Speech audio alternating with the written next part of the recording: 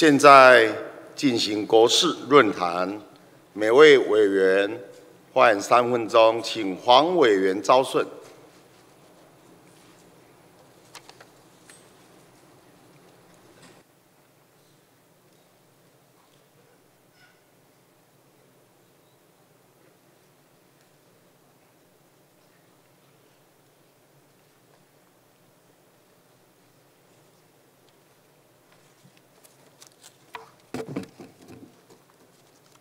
主主席赖院长，各位同仁，大家早。我想今天早上我看到报纸，行政院又在预告说四月要调电价。我看到这个新闻的时候，我就想到二月的时候，当我们的消保官宣布说，可能在三月下旬、中旬以前就不会卫生纸不会涨价，但是也造成了。我们全民疯买卫生纸的运动，同时这样的新闻也上了英国的 BCC 的国际新闻当中，让我们觉得我们的国家如果用这样子的方式上国际新闻，其实是蛮可耻的一件事。呃，从那一天一直到现在，行政院就邀请业者去喝咖啡，说喝了咖啡，我们的我们的卫生纸就不会涨价。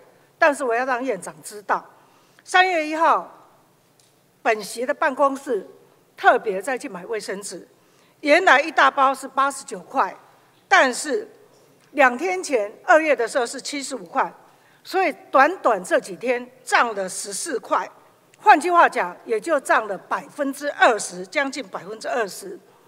这是这样子的一个涨价，让人民怎么样有信心呢？我想这一波的涨价的过程当中，我们清楚的知道，包括 Seven Eleven 超商小杯的咖啡，通通都取消了，不管是鸡块或者是连锁店等等，以往我我们人民所有的小确幸全部都没有了，所以我要告诉院长，这样子的状况我们回得来吗？而且行政院邀集。大家去喝咖啡，真的做到了抑制整个的物价了没有？今天行政院又告诉我们四月要涨电价，我想这样子的一个情况下，不管是我们劳工的薪资，或者是我们整个人民每天所需要的东西，我们怎么样能够真正的让人民有信心？我想这是我们现今行政院必须要做的。如果行政院连卫生纸都让我们不放心，连咖啡都让我们喝不到，那全国的人民对行政院绝对不会有信心的。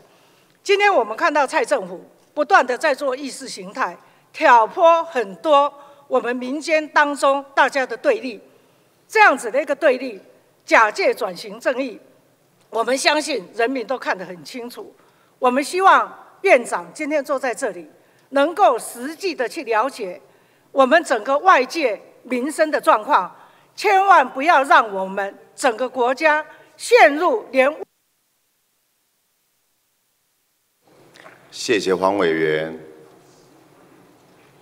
下一位，请林委员立场。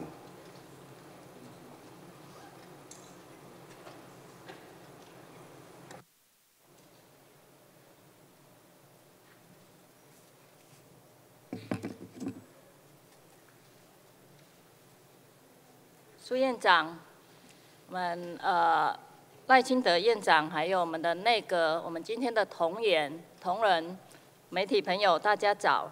其实呃大陆会台再出招，台湾仍然无法去留财留财，那继续空转。大陆会台政策近日来公布了三十一项的会台政策的措施，其中有十二项是给予台资。跟大陆企业同等的待遇，十九项是提供我们国人与大陆同胞之同等待遇，范围涵盖了我们的影视文创、学术教育、我们的医疗、去金融等相关产业。面对大陆逐步推动对台相关的优惠政策，本席十分担忧，台湾到底还有哪些优惠条件可以让人才留在台湾、留在国内工作呢？我们以教育之言来看，今日台大的副校长、土木系的教授，我们康教授才去了加拿大的博达大学去任教。那再来，清大、清华大学有三位资深的教授就被香港挖角了，交通大学甚至一整个团队。都到欧洲去了。面对台湾的高教纷纷出走，现在大陆又出招了，来措施来拉拢我们的高教的，那等于又给了我们人才外流的一个很大的道路，开了一个很大的道路。此外，会台政策的第三项还提到，台湾的科研就科技研究机构、高等教育企业。在大陆注册独立法人，就可以可牵头或参与国家重大研究计划的项目申请，享受大与大陆同等的政策。简单来说，假设台湾的大专院校跟学术单位只要在大陆注册独立法人，不但可以招收来自全世界的学生，还可以申请计划，同等于直接在大陆设立。分校，甚至连产学合作管道都帮你架设好了。本席要在这边说，大陆的延揽人才冲击的不但是我们的企业，还有我们的基本的人才资源。那我们做了什么？本席再次呼吁我们的蔡政府团队，我们的赖院长的内阁团队，其实应该要放下政政治的斗争，广听民意，不要继续造成国内的阶级对立。族群隔阂，应该要想出一个积极的作为，为我们台湾留住人才。谢谢林委员，下一位请陈委员移民。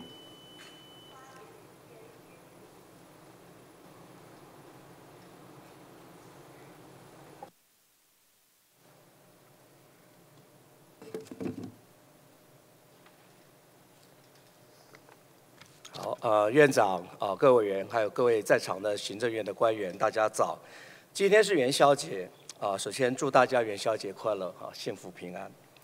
今年十月二十四日即将要举行啊，这个全国的地方公职人员的选举，除了是被视为民进党完全执政的中期中考的考核外，国民党认为应该要协助全国的人民透过公民投票，让高高在上的政府官员。听到一般民众的真正的心声，而由于民进党造进的能源政策，导致全台火力发电厂火力全开，结果造成全台的空污频传，紫爆的天数创新高，学生体育课被迫要暂停，而民众罹患肺癌的人数也节节的增加，和节节的上升。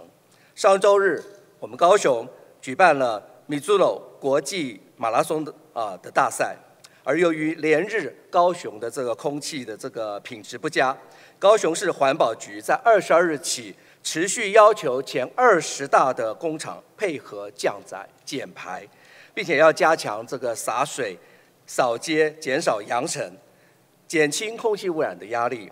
结果呢，我们高雄有两万多的这个国际的这个人士，还有在我们国内的这个选手参加了这个比赛。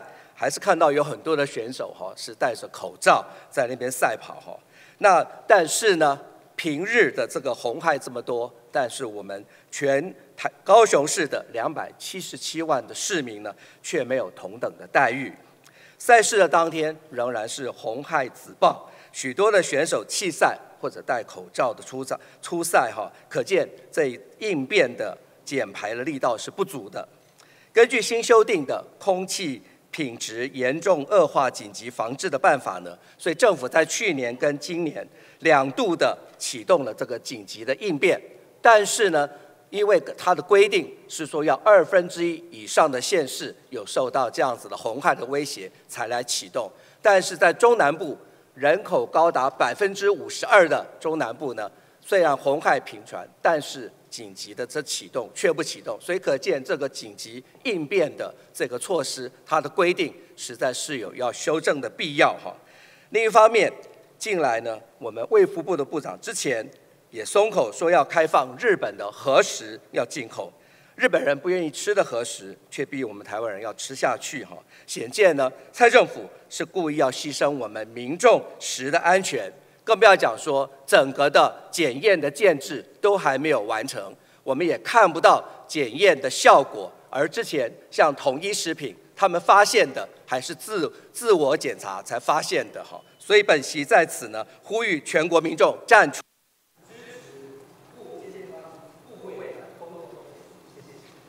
谢谢陈委员，下一位请王委员惠美。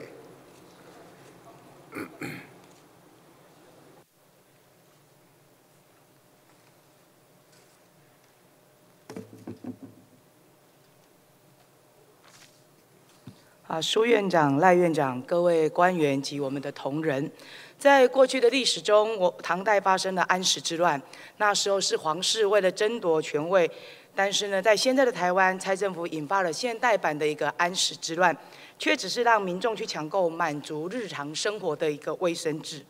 那国际原物料上涨，物价波动早有迹象，工业及文化用纸多次的调涨。在去年三月就已经带动了一波卫生纸的一个涨价，但民进党政府积极在斗政治斗争，漠视民生，直到这一波卫生纸抢购潮之后，才警觉到物价影响民生可能带来的一个政治冲击。但目前行政院除了启动稳定物价小组，消保会进行了调查，还有公平会以联合涨价来恫吓叶子之外，只会口头喊卫生纸不缺货。然而，一句三月中都不会涨价，却挑起了民众对物价上涨的一个敏感神经，反而变成了抢购行为，泼诶推波助澜。卫生纸是家家户户男女老少每天都必须要用的必需品，政府不断喊话，却阻止不了抢购的风潮。本席认为，首先是薪资未涨，物价齐涨。虽然政府推加薪，但多数的中小企业都不愿意跟进。因为一例一休已经造成了资方成本的一个增加，那还有空间可以来帮员工加薪呢？因此，台湾薪资长期的停滞，才会对物价波动这么的敏感。好好的拼经济才是解方。对于卫生值的一个上涨，本席认为这只是万物齐涨的一个开始。而国内知名的景气研究机构也告诉我们，政府必须担心之后的一个连锁效应。我们举几个例来说，台湾人民常用的、常备的药品胃散，最近的涨幅高达了三成，大罐的一罐涨到了百元，而白鸡肉、白肉鸡呢，价格从去年每台斤的二十六元一路窜升，到现在的三十一点三，涨幅有两成。也有数十业者顶不住成本的一个压力，将涨幅调到五到三十元。这些讯息都告诉我们，台湾的物价恐怕回不去了。面对物价上涨，现在的台湾人民心中只能抱持一个最卑微的一个想法，那就是到没有涨价的地方去消费。然而，在万物皆涨，只有薪水不涨的情况之下，通膨可果可能是下一个未爆弹。民众的荷包没有最小，只有更小。我本席要奉劝民进党政府。水能载舟，也能覆舟。如果只是积极的在政治斗争而罔顾民生，最终将是会被民意来唾弃的。谢谢王委员，下一位请陈委员欧博。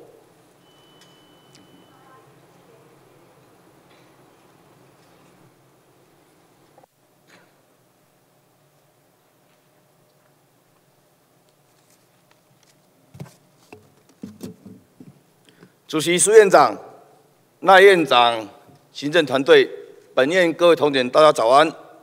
在新春期间，欧博走访了一位九十五岁的仁瑞老太太，虽然高龄呢，但是仍然耳聪目明，只有双脚的关节稍微老化，行动有些不便。老太太的两个女儿跟女婿呢，都回来探望。我看到他们全家呢。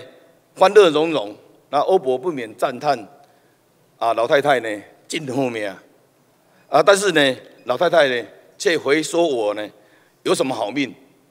那欧伯呢，不免呢疑惑。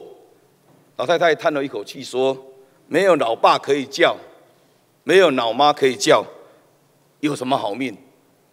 老太太虽然已经九十五岁了，她的爸妈当然不在，但是她记忆的深深处里面呢，皆是有老老爸老妈的呵护，啊，有爸爸可以叫，他认为这样才是真正的好命。那即使他现在身为曾祖母呢，我想他的心里面依然能够感受到父母叫唤那种幸福。那欧博呢，啊，家父不幸在我读大学的时候呢就往生。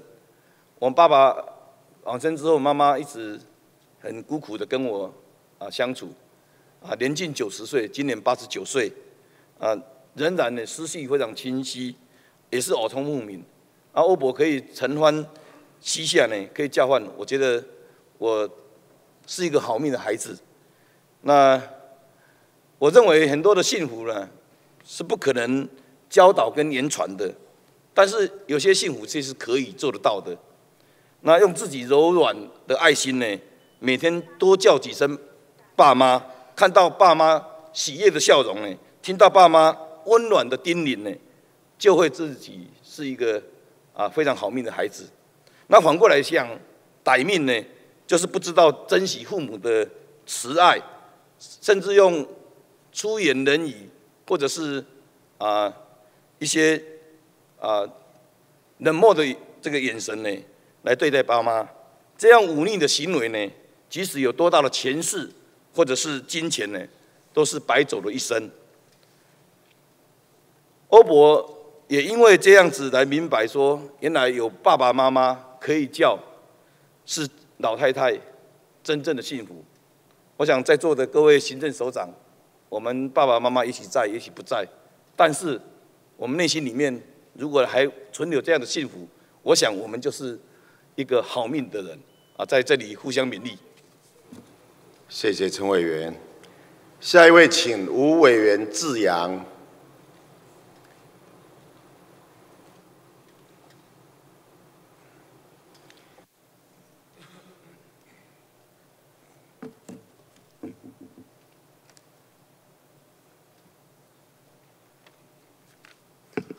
呃，主席，各位同仁。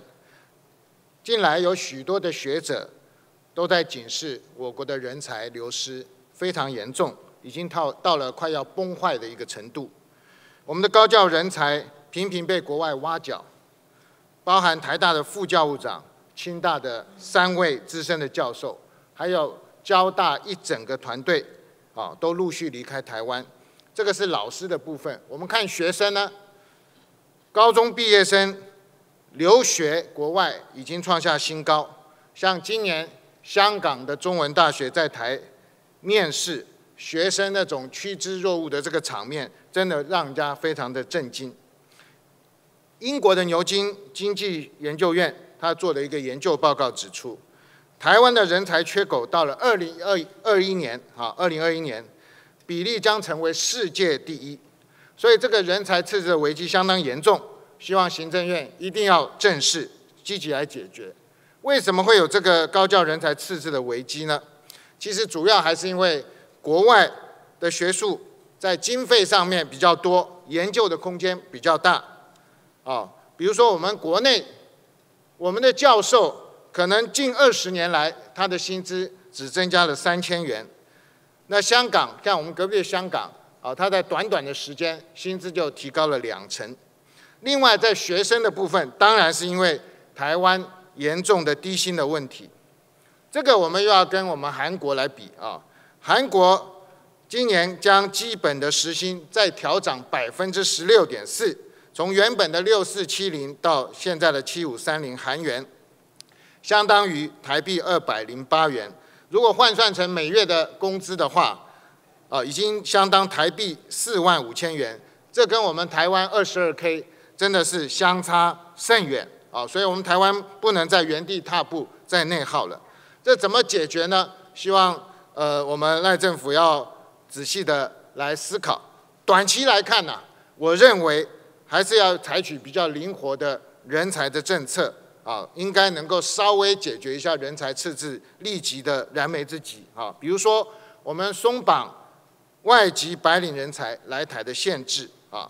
另外，外籍学生来台念书啊，也应该松绑。念书以后留下来在这边工作，继续研究或投入产业，这个也要鼓励啊。另外，在长期的部分呢，我们还是要把我们的产业做转型，把经济的饼做大，发展附加价值比较高的产业。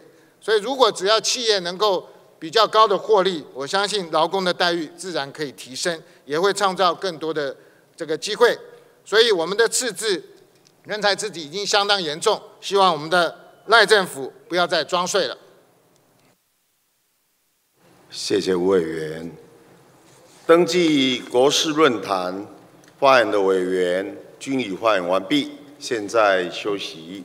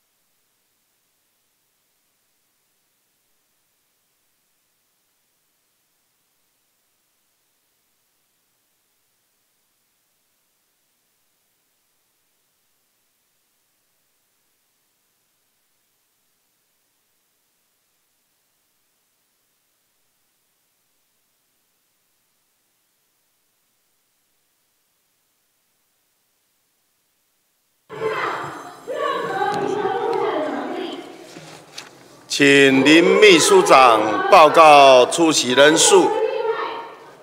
出席委员七十八人，已足法定人数。现在进行开会，在进行报告事项之前，先处理一百零七年二月二十六日朝野党团协商结论，请议事人员宣读。法院朝野党团协商结论时间：一百零七年二月二十六日星期一上午九时三十分。地点：一场三楼会议室。决定事项：一、各党团同意定于二月二十七日星期二举行第九届第五会期第一次会议，开议日并为单日一次会。自三月二日星期五起，每周五及次周二视为一次院会。国事论坛及临时提案依往例处理。周五上午九时至十时为国事论坛时间，周二下午五时至六时处理临时提案。质询期间，周二下午一时五十分至二时三十分处理临时提案。二、二月二十七日星期二，邀请行政院院长率同各部会首长列席，进行施政方针及施政报告，含有关针对核二厂二号机重启之能源政策、因应花莲镇灾防救灾机制及国土安全规划、稳定物价机制问题，并予报告，并答复质询。报告后随即进行政党质询。当日质询人数由民进党党团推派四人，国民党党团推派二人，时代力量党团及亲民党党团各推派一人进行。质询顺序依时代力量党团、国民党党团、民进。党党团、亲民党党团之顺序轮流交叉方式进行，有关质询期间之顺序及人数均依立授权议事处办理。三、本第五会期程序委员会依政党比例，由民进党党团推派十一人，国民党党团推派六人，时代力量党团及亲民党党团各推派一人代表组成。名单请于三月八日星期四中午十二时前送至议事处会诊。上述名单送交议事处后即不予更换。主持人苏家全、蔡其昌，协商代表柯建明、许志杰、何新纯、李红军、徐永明、林德福、李彦秀、曾明宗。宣读完毕。请问院会对以上超越党团协商结论有异议？无异议，我们就通过一百零七年二月二十六日超越党团协商结论，经决定如下：一、各党团同意定于二月二十七日星期二举行第九届第五会期。第一次会议开日并为单日一次会，自三月二日星期五起，每周五及次周二视为一次院会。国事论坛及临时提案依往例处理。周二上午九时至十时为国事论坛时间。周二下午五时至六时处理临时提案，质询期间，周二下午一时五十分至二时三十分处理临时提案。二二月二十七日星期二，邀请行政院院长率同各部会首长列席进行施政方针及施政报告。含有关针对核二厂二号机重启之能源政策、应应花莲赈灾、防救灾机制及国土安全规划、稳定物价机制问题，并予报告，并答复咨询。报告后，随即进行政党咨询。当日质询人数。由民进党党团推派四人，国民党党团推派两人，时代力量党团及亲民党党团各推派一人进行。质询顺序依时代力量党团、国民党党团、民进党党团、亲民党党团之顺序轮流交叉方式进行。有关质询期间。之顺序及人数均依立授权议事处办理。三、本第五会期程序委员会依政党比率，由民进党党团推派十一人，国民党党团推派六人，时代力量党团及亲民党党团各推派一人代表组成。名单请以三月八日星期四中午十二时前送至议事处会诊，上述名单送交议事处后即不予更换。现在进行报告事项。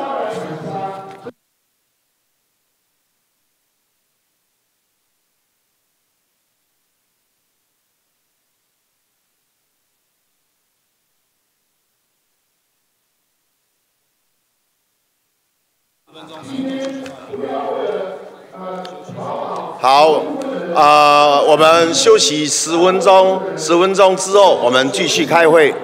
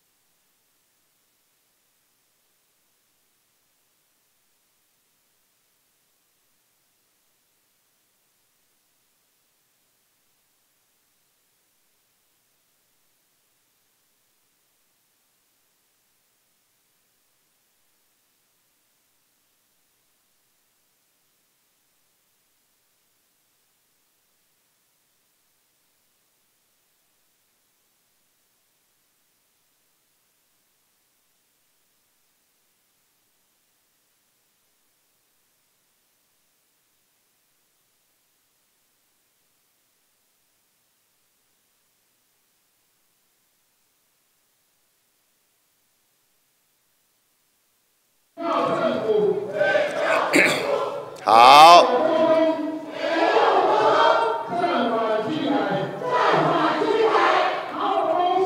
好，谢谢，请各位委员能够回奏。报宴会现在继续开会，进行报告事项，请林秘书长宣读第四会期第十五次会议第一次临时会、第二次会议及第五会期第一次会议议事录，请宣读。立法院第九届第四会期第十五次会议议事录，时间：中华民国一百零六年十二月二十九日上午九时至九时二十七分，十时至十二时六分，下午一时十五分至十一时十六分。地点：本院议场。出席委员称为欧博一百零七人，请假委员李彦秀等五人。主席院长苏家全。报告事项：第一案，宣读本院第九届第四会期第十四次会议议事录，决定确定。第二是八十一案、八十二三案、八十七案至一百一十九案、一百二十六案、第一百八十案至三百二十八案，均决定交付相关委员会审查处理及交付相关委员会。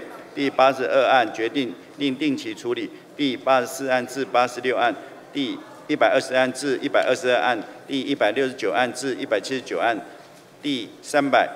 二十九案至三百四十三案均决定退回程序委员会重新提出。第三百四十四案决定交财政司法及法制委员会，并一百零七年度中央政府总预算审查。第三百四十五案、第三百四十六案均决定自内政委员会抽出进付二读，与相关委员相关提案并案协商。第三百四十七案、三百五十案均决定展延审查期限。第三百四十八案、第三百四十九案。第三百六十案为司法及法制委员会所提之报告案，第三百五十一案、三百五十九案为行政院函送本院委员会提案之严主情形，第三百六十一案为国民党党团函请查照案。执行事项：甲。行政院答复部分二十八件，以本院委员执行部分二十二件。讨论事项：第一案至第二十七案、第三十案至三十案经决议修正通过。第二十八案、第二十九案均决议交党团进行协商。第三十三案决议另定期处理。其他事项：一、亲民党党团提议变更议程两案，时代力量提议变更议程四案及国民党党团提更变更议程四案均不予通过。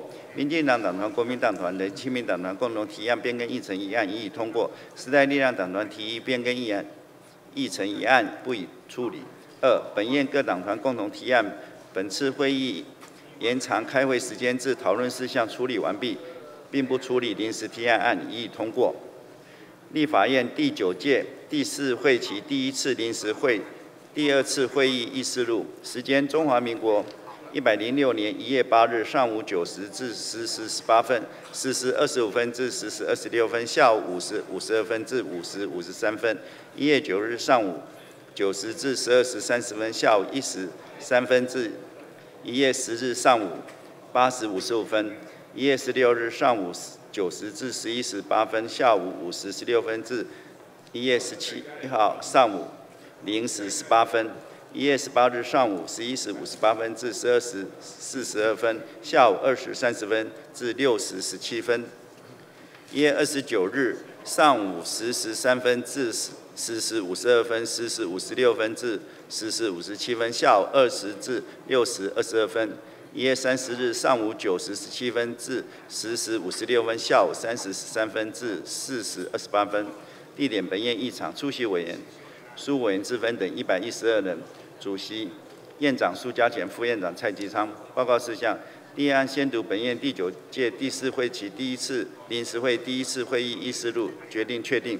讨论事项：第一案决议照审查报告。修正通过。第二案、第五案经决定修正通过。同意前之行使事项决议：王幼林、田秋瑾、瓦利斯贝林、林胜峰、高永成、张武修、陈思梦、杨方婉、赵永清、蔡崇义、杨芳林等十一人，经获超过全体立法委员二分之一之同意票，依法同意为监察院第五届监察委员。其他事项一。时代力量党团提议变更议程一案不予通过。二，民进党团提议延长开会时间，共四案均已通过。国民党党团提议一月十日休息至九时继续开会，不予通过。一百零七年一月八日朝野协商共获结论五项。二三呃四一百零七年一月二十五日朝野党团协商结论一项。立法院第九届第五会期第一次会议议事录，时间：中华民国一百零七年二月二十七日上午九时二分至九时四十分，十时二十五分至十一时五十一分。地点：本院议场。出席委员黄伟哲等一百零三人，请假委员周委员春米等八人。主席院长苏家全。本次会议议事日程未及进行，故不予载列。宣读完毕。保员会针对第四会期第十五次会议、第一次临时会、第二次会议及第五会期第一次会议议事录，并无委员或党团提出错误或遗漏之处，做以下之宣告：第四会期第十五次会议、第一次临时会、第二次会议及第五会期第一次会议议事录。均确定，请宣读第二案。本院委员赖世宝等十九人理据《监察法》第二条条文修正草案精审议案，程序委会见，立即由会交司法及法制委员会审查。请问内有异，无议通过。第三案，行政院函请审议海关进口税则部分税则修正草案案，程序委会见，立即由会交财政委员会审查。请问会有异，无异通过。第四案，行政院函送中华民国一百零七年二月六日赈灾灾区范围为花莲县花莲市新城乡及吉安乡，并自一百零七年二月六日生效。程序委会见，拟请于会交内政委员会。请问会有异，无异通过。第五案，行政院函为修正行政院会议议事规则，程序委会见，拟请于会交司法及法制委员会。国民党党团提议改交审查。交司法及法制委员会审查，请委员会有意，无意通过。第六案，行政院农业委员会函文修正《农业天然灾害救助办法》第十四条条文，财讯委会见，立即约会交经济委员会。时代力量党团提议改交审查。交经济委员会审查，请问会有异，无异通过。第七案，经济部函送地址以及地址敏感区 H 零零一八花莲县石梯坪海街及林慧妍，陈训委会见，拟请约会交经济委员会。请问会有异，无异通过。第八案，经济部函送中华民国一百零七年度再生能源电能趸购费率及其计算公式，程序委会见，拟请约会交经济委员会。国民党党团提议改交审查。交经济委员会审查，请问会有异，无异通过。第九案，卫生福利部函送健康食品加标示事项，程序委会见，拟请委会交社会福利及卫生环境委员会。国民党党团提议改交审查，交社会福利及卫生环境委员会审查，请问会有异，无异通过。第十案，劳动部函送公告，指定长期夜间工作之劳工，为雇主应施行特定项目健康检查之特定对象。程序委会见，拟请由会交社会福利及卫生环境委员会。国民党党团、时代力量党团提议改交审查，交社会福利及卫生环境委员会审查，请委员会有异，无异通过。第十一案，总统府函为百零七年度中央政府总预算决议，检送最初第一款第一项决议第二五八项书面报告，程序委会见，拟请会交司法及法制委员会。请问会有异，无异通过。第十二案，考选部函为百零六年度中央政府总预算附属单位算决议，检送考选业务基金公共关系费编列及用途说明专案报告，程序委会见，拟请会交司法及法制委员会处理。请问会有异，无异通过。报员会。第十三案至第七十五案，请依序宣读。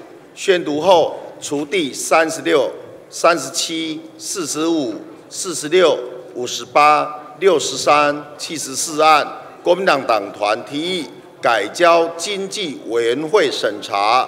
第十七、二十二、二十六、二十七、三十一、三十七、三十八、四十、四十五、五十二。五十八、六十五、六十九、七十、七十二、七十四案，时代力量党团提议改交经济委员会审查外，其余议案均依程序委员会意见交经济委员会。请问院会有异？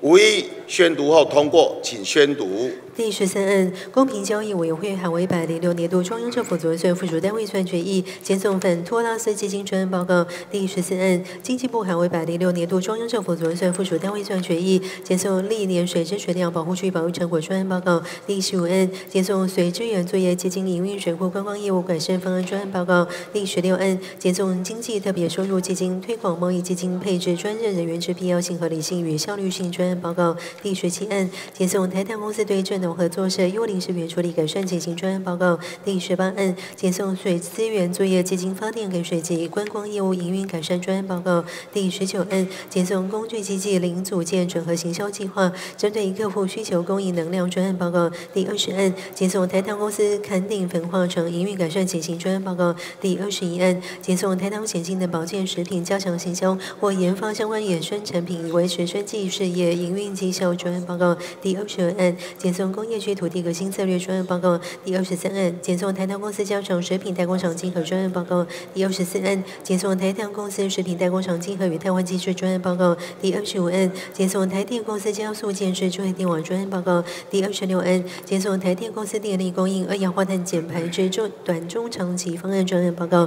第二十七案检送台电公司新兴计划前置规划评估作业未征周云允仪检讨改善专案报告。第二十八案检送台电公司澎湖低碳岛风力发电计划办理进行专案报告。第二十九案检送台湾地区砂糖平准基金实际运用规划或检查财政专案报告。第三十案检送台电公司加强新兴计划前置规划及沟通协调专案报告。第三十一案检送台电公司深澳电厂更新扩建计划修正案办理进行专案报告。第三十二案检送台电公司台中发电厂第二阶段煤灰填海工程计划专案报告。第三十三案检送台电公司万大电厂水库严重淤积，冲击蓄水发电及观光专案报告。第三十四案检送推动企业会议暨奖励旅游来台办理专案报告。第三十五案检送台电公司就北港至红地推动太阳光电设备建设之进度专案报告。第三十六案检送台电公司土地租金配合调整专案报告。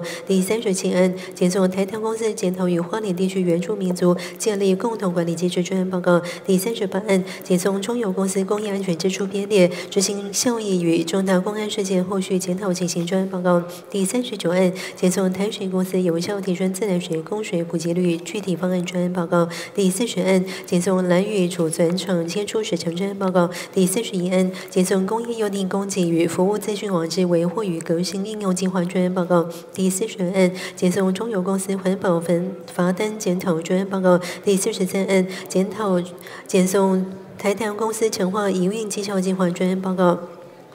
第四十四案检送台水公司研拟定额内用水优惠等专案报告。第四十五案检送台电公司合一、合二厂除役后电力缺口问题专案报告。第四十六案检送台电公司应用新南向政策与印尼之糖业投资专案报告。第四十七案检送台电公司再生能源预算编列情形明显与新政府立场不一致专案报告。第四十八案检送台电公司以促进社会经济、青年就业、农业有序经营、粮食安全经营改革策略专案报告。第四十九案检送台南公司土地管理改进专案报告；第五十案检送台南公司经营绩效改进方案专案报告；第五十一案检送台电公司一百零六年度发电用燃料费用险杠估专案报告；第五十二案检送台电公司新增电源开发计划尚无法完全弥补缺口疑虑专案报告；第五十三案检送中油公司强化公司财务结构社具体计划书面报告；第五十四案检送台湾中油股份有限公司借调至其他机关人力清偿及检讨专案报告；第五十五案检送台水公司构建固定资产专案计划，需完备先期规划与核实成本效益分析书面报告。第五十六案检送中油公司探案费用执行率书面报告。第五十七案检送中油公司高雄长及后进地区整治计划与污染调查进度之执行水准与方案专案报告。第五十八案检送台糖公司配合土地储备制度政策专案报告。第五十九案检送放射性废弃物集装式储存厂书面报告。第六十案检送台电公司针对万里水利发电厂重启计划全面报告。第六十一案接送中油公司重新检讨年度营运绩效目标与绩效考核标准专案报告。第六十案，检送中油公司劳务财专业专案报告；第六十三案，检送台电公司合一合厂燃料时已面临主板无粉填换之困境，各机组口于永久停止运转到期前即不再运转，形同提前除役专案报告；第六十四案，检送台湾中油公司降低海外碳勘风险，提高自产能源比例专案报告；第六十五案，检送台电公司研逐适度提升再生能源发电配比可行性专案报告；第六十六案，检送动力与公用设备效率提升计划专案报告第六十七案，前送台电公司决议第一百一十六项专案报告第六十八案，国家发展委员会函为百零六年度中央政府责任附属单位宣决议，前送行政院国家发展基金事股今日会议召开进行决议以及如何执行专案报告。第六十九案，接送行政院国家发展基金管理会加强投资文化创意产业实施方案执行学生专案报告。第七十案，接送产业创新转型基金推动相关策略与推动后知绩效与运作进行专案报告。第七十一案。检送成立国家级投资公司计划书专案报告第七十案，检送行政院国家发展基金加强投资中小企业实施方案投资情形专案报告第七十三案，检送行政院国家发展基金协助提升转投资事业经营绩效及退场机制专案报告第七十四案，行政院农业委员会函为百零六年度中央政府责任附属单位算决议，实施农业保险制度日日趋急迫，检送农业保险制度规划及成与立法研析结果。第七十五案，检送农贷政策导引国内农业朝向创新转型发展专案报告。以上个案宣读完毕。请继续宣读第七十六案。第七十六案，国立故宫博物院海为百零六年度中央政府责任附属单位算决议，接送冻结第四目文物价值运用与管理预算书面报告，程序委会见联勤会交教育及文化委员会处理。请问对有异，无以通过。第七十七案，金融监督管理委员会函为百零六年度中央政府责任附属单位算决议，检送推动高龄重者金融消费者保护计划作为效益及评量基准专案报告，程序委会见联勤会交财政委员会处理。请问会有异，无以通过。第七十八案，财政部函为百零六年度中央政府责任附属单位算决议，检送国有财产开发基金改善及存续情形报告，财政委会见联勤会交财政委员会处理。请问会有意，无以通过。第七十九案，财政部海为百零六年度中央政府责任附属单位算决议，检送行政院公益事业民营化基金运作检讨专案报告及安排报告，程序委员会见联勤会交财政委员会处理。请问会有意，无以通过。第八十案，财政部海为百零六年度中央政府责任附属单位算决议，检送行政院公营事业民营化基金财务改善专案报告，程序委员会见联勤会交财政委员会处理。请问会有意，无以通过。第八十一案，行政院环境棚署海为中央政府前瞻基础建设计划第一期特别专案决议，该属第二目的节之环境品质感测物联网发展部件及执法应用计划、公平物联网产业发开展计划等预算冻结百分之十，检送书面报告。财税委员会见联勤会交财税社会福利及卫生环境两委会处理。第八十一案，现有一国民党党团有异，请退回程序委员会重新提出。二时代力量党团提议改交财政、社会福利及卫生环境两委员会审查。本案奏如下决定：退回程序委员会重新提出。下一案。第八审案，经济部海为中央政府流域综合治理计划第三期特别预算案决议，水利署向下办理自主性防灾社区之扩充建制及辅导计划冻结，表委员检送书面报告，程序委员会见联勤会交财政内转经济三委员会处理。请问对有意，无异通过。第八十三案，行政院农业委员会函为中央政府流域综合治理计划第三期特别预算案决议，水土保持局上游坡地水土保持及自身防洪向下办理计划推动审查及管制考核预算冻结一般委员检送报告资料，请列入议程。财税委员会见联勤会交财税内转经济三委员会处理。请问会有异，无异通过。第八十四案，行政院农业委员会海为中央政府流域综合治理计划第三期特别预算案决议，水土保持局上游坡地水土保持及自身防洪预算冻结百分之十，检送报告资料，请列入议程。财税委员会见联勤会交财税内政经济三委员会处理。请问会有异，无异通过。第八十五案，行政院农业委员会函为中央政府流域综合治理计划第三级特别预算案决议，水土保持局上游坡地水土保持及日山防洪预算冻结二亿七千八百二十万元，检送报告资料，请列入议程。财税委员会见联勤会交财税内政经济三委员会处理。请问会有意无意通过？第八十六案，行政院农业委员会函为百零六年度中央政府所算附属单位算决议，接送农产品产销调节计税及待改善等问题专案报告，程序委员会见内经营会交经济委员会处理。请问会有意无意通过？第八十七案，卫生福利部函为百零六年度中央政府所算决议，检送药健康经济业务全生命周期管理计划二十四项绩效指标书面报告，程序委会见年经委会交社会福利及卫生环境委员会处理。请问会有意无意通过？第八十八案，行政院人事行政总处函为一百零七年度中央政府总算决议，检送税出电款第三项决议三预算冻结书面报告，程序委会见年经委会交司法及法制委员会处理。请问会有意无意通过？第八十九案，行政院行行政院人事行政总处函为百零七年度中央政府总算决议，检送岁出电款第三项决议及专案报告，程序委会见年经委会交司法及法制委员会处理。请问会有意无意通过？第九十案，行政院人事行政总处函为百零七年度中央政府总算决议，检送该总处通过修正决议一，冻结地目一般行政一百万元书面报告，程序委会见年经委会交司法及法制委员会处理。请问会有意无意通过？第九十一案，行政院人事行政总处函为百零七年度中央政府总算决议，检送最初第二款第三项决议二，冻结第二目人事行政之政策规划执行及发展三百万元报告，程序委会见年经委会交司法及法制委员会处理。请问会有意无意通过？第九十二案，行政院人事行政总处函为百零七年度中央政府总算决议，检送岁出第二款第四项决议一，冻结第二目训练辅导及研究五十万元书面报告，程序会见年经委会交司法司法及法制委员会处理。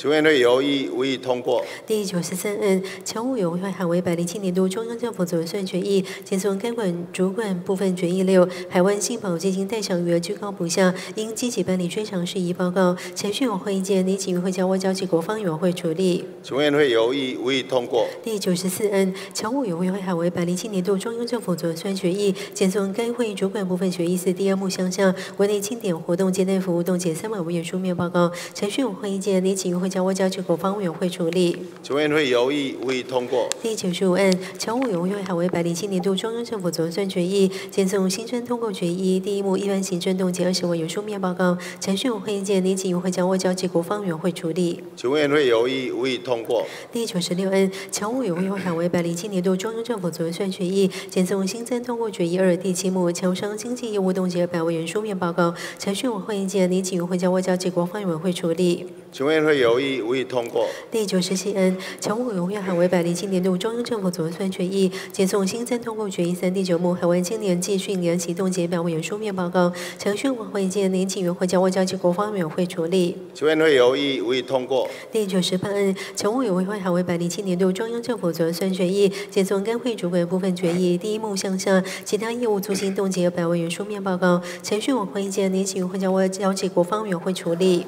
请问会有意无意通过？第九十九案，侨务委员会函为百零七年度中央政府总算决议，检送该会主管部分决议二第一目项下设备及投资冻结三十万元书面报告，程序委会见年经委会交外交及国防委员会处理。请问会有意无意通过？第一版案，侨务委员会函为百零七年度中央政府总算决议，检送该会主管部分决议三第二目项下召开侨务委员会议冻结二十万元书面报告，程序委会见年经委会交外交及国防委员会处理。请问会有意无意通过？第一百零一案，侨务委员会百零七年度中央政府总算决议，检送该会主管部分决议时第五目项下业务费冻结一百万元书面报告，程序委会见年经委会将外交及国防委员会处理。请问会有意无意通过？第一百零二案，侨务委员会百零七年度中央政府总算决议，检送该会主管部分决议时第七目项下联系海外侨生组织并协助推展义务冻结一百万元书面报告，程序委会见年经委会将外交及国防委员会处理。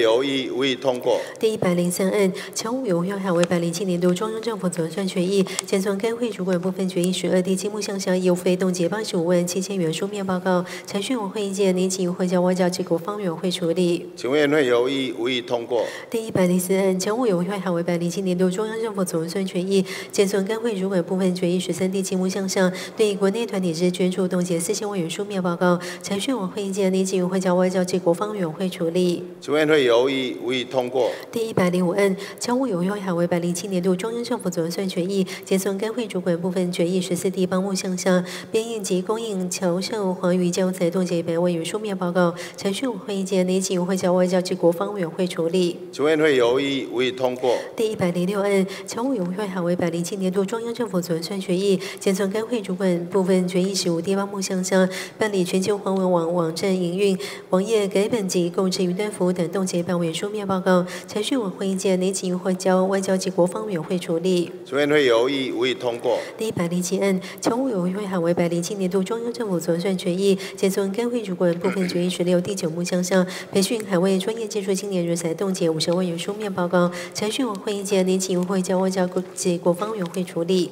请问会有异，无异通过。第一百零八案，侨务委员会函为百零七年度中央政府总预算决议，检送该会主管部分决议五第二目项下，研究发展及考核业务冻结三十万元书面报告，程序委会意见，内请委会交外交及国防委员会处理。请问会有异，无异通过。第一百零九案，侨务委员会海为百零七年度中央政府总预算决议，检送该会主管部分决议六第三目项上，落实侨务工作增进沟通服务冻结二百万元书面报告，程序委会意见，内请委会交外交及国防委员会处理。请问会有异，无异通过。第一百一十案，侨务委员会海为百零七年度中央政府总预算决议，检送该位主管部分决议期第四目项下，零配国内优质艺文团体及文化艺术专业人员赴海外展演，关怀关怀侨胞并宣扬我国文化，促进国际交流，冻结三万委员书面报告，财讯会议见，内请委会交外交及国防委员会处理。请问会有异，无异通过。第一百一十一案，侨务委员会海为百零七年度中央政府总算决议，检送该会主管部分决议八第四目项下，辅导海外各地夏令营及零配文化教师巡回教学，冻结一百万元书面报告，财讯会议见，内请委会交外交及国防委员会处理。请问会有异，无异通过。第一百一十二案，侨务委员会海为百零七年度中央政府总预算决议，检送该会主管部分决议九第四目项上，海外华侨文教中心服务业务冻结三百万元书面报告，程序委会意见，内请委会交外交及国方委员会处理。请问会有异，无异通过。第一百一十三案，命侨务委员会海为百零七年度中央政府总预算决议，检送第一幕向下，辅助侨团社配合国庆举办庆祝活动，冻结三百元书面报告，程序委会议见，内请委会交外交及国防委员会处理。请问会有异，无异通过。第一百一十四案，总统府还为百零七年度中央政府总预算决议，检送最初第一款第一项新增决议一，冻结第一幕一般行政二千一百一十万三千元书面报告，程序委会议见，内请委会交司法及法制委员会处理。请问会有异，无意通过。第一百一十五案，本院外交及国防委员会海为本院交付审查委员吕玉玲等二十人拟具《陆海空军军官士官任职条例》第七条条文修正草案，敬请改交司法及法制外交及国防两委员会审查，程序委员会意见，内请委会交改交司法及法制外交及国防两委员会审查。请问会有异，无意通过。第一百一十六案，本院人事处函送立法院第九届第五会期各委员会召集委员选举时间地点表，时间一百零七年三月八日星期四上午九时至十二时，地点如下：内政委员会红楼二零二会议室，外交及国防委员会红楼三零一会议室，经济委员会红楼一零一会议室，财政委员会群贤楼九楼大礼堂，教育及文化委员会群贤楼一零一会议室，交通委员会红楼二零一会议室，司法及法制委员会红楼三零二会议室，社会福利以及卫生环境委员会群贤楼八零一会议室，程序网会议见，拟请院会照案通过。请问会有异，无异通过。报院会第一百一十七案以下，请一并宣读。宣读后均准予备查，请宣读。第一百一十七案为北约内政委员会函，有关一百零六年度中央政府总预算相关解冻报告已经处理完竣，准以通知。第一百一十八案至第一百二十一案为北约内政委员会函，为院会交付行政院海员署方所函送一百零五年第四季办理政策宣导相关广告执行情形等案，业经处理完竣，决议均准予备偿。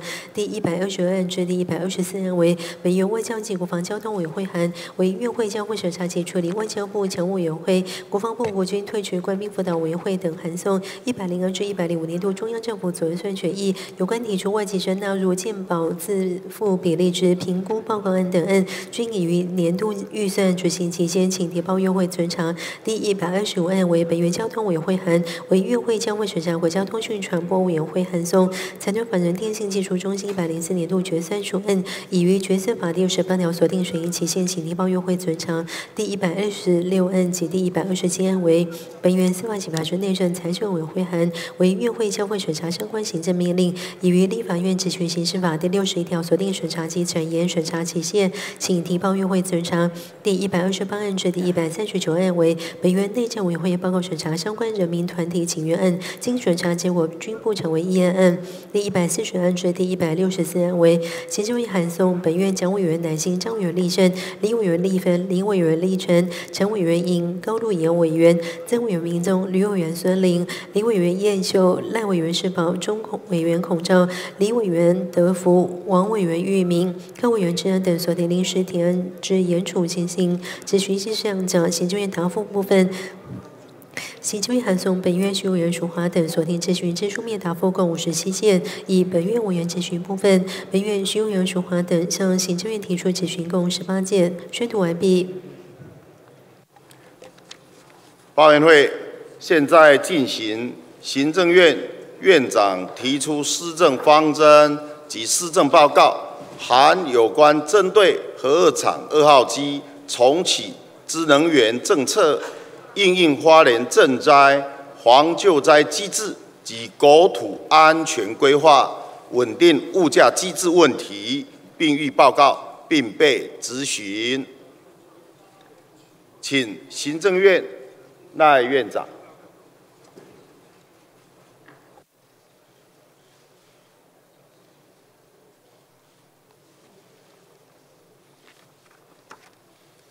苏院长。蔡副院长、各位委员先进，大家早安。贵院第九届第五会期已经于二月二十七日开议，原定当日由清德率领行政院团队进行施政报告并被询，唯因军人年改、陈抗发生意外事件，本人感到相当遗憾。除已经请台大医院全力提供医疗协助之外，并请辅导会、国防部给予相关的慰问跟协助，也诚挚的祝福廖上校能够渡过难关，早日康复。军职人员的年金法案，政府会严谨考量国军服役特性，并且在长留、长留、久用、从优照顾国军权益的基础上，参考国际经验。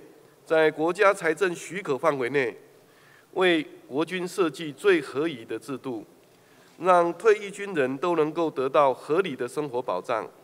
目前，对于相关制度内容，还有需要进一步的讨论之处，我们也会持续跟社会进行沟通，期盼一起来为世代军人同袍，寻求一个可长可久的永续年金制度。以下开始进行施政口头报告。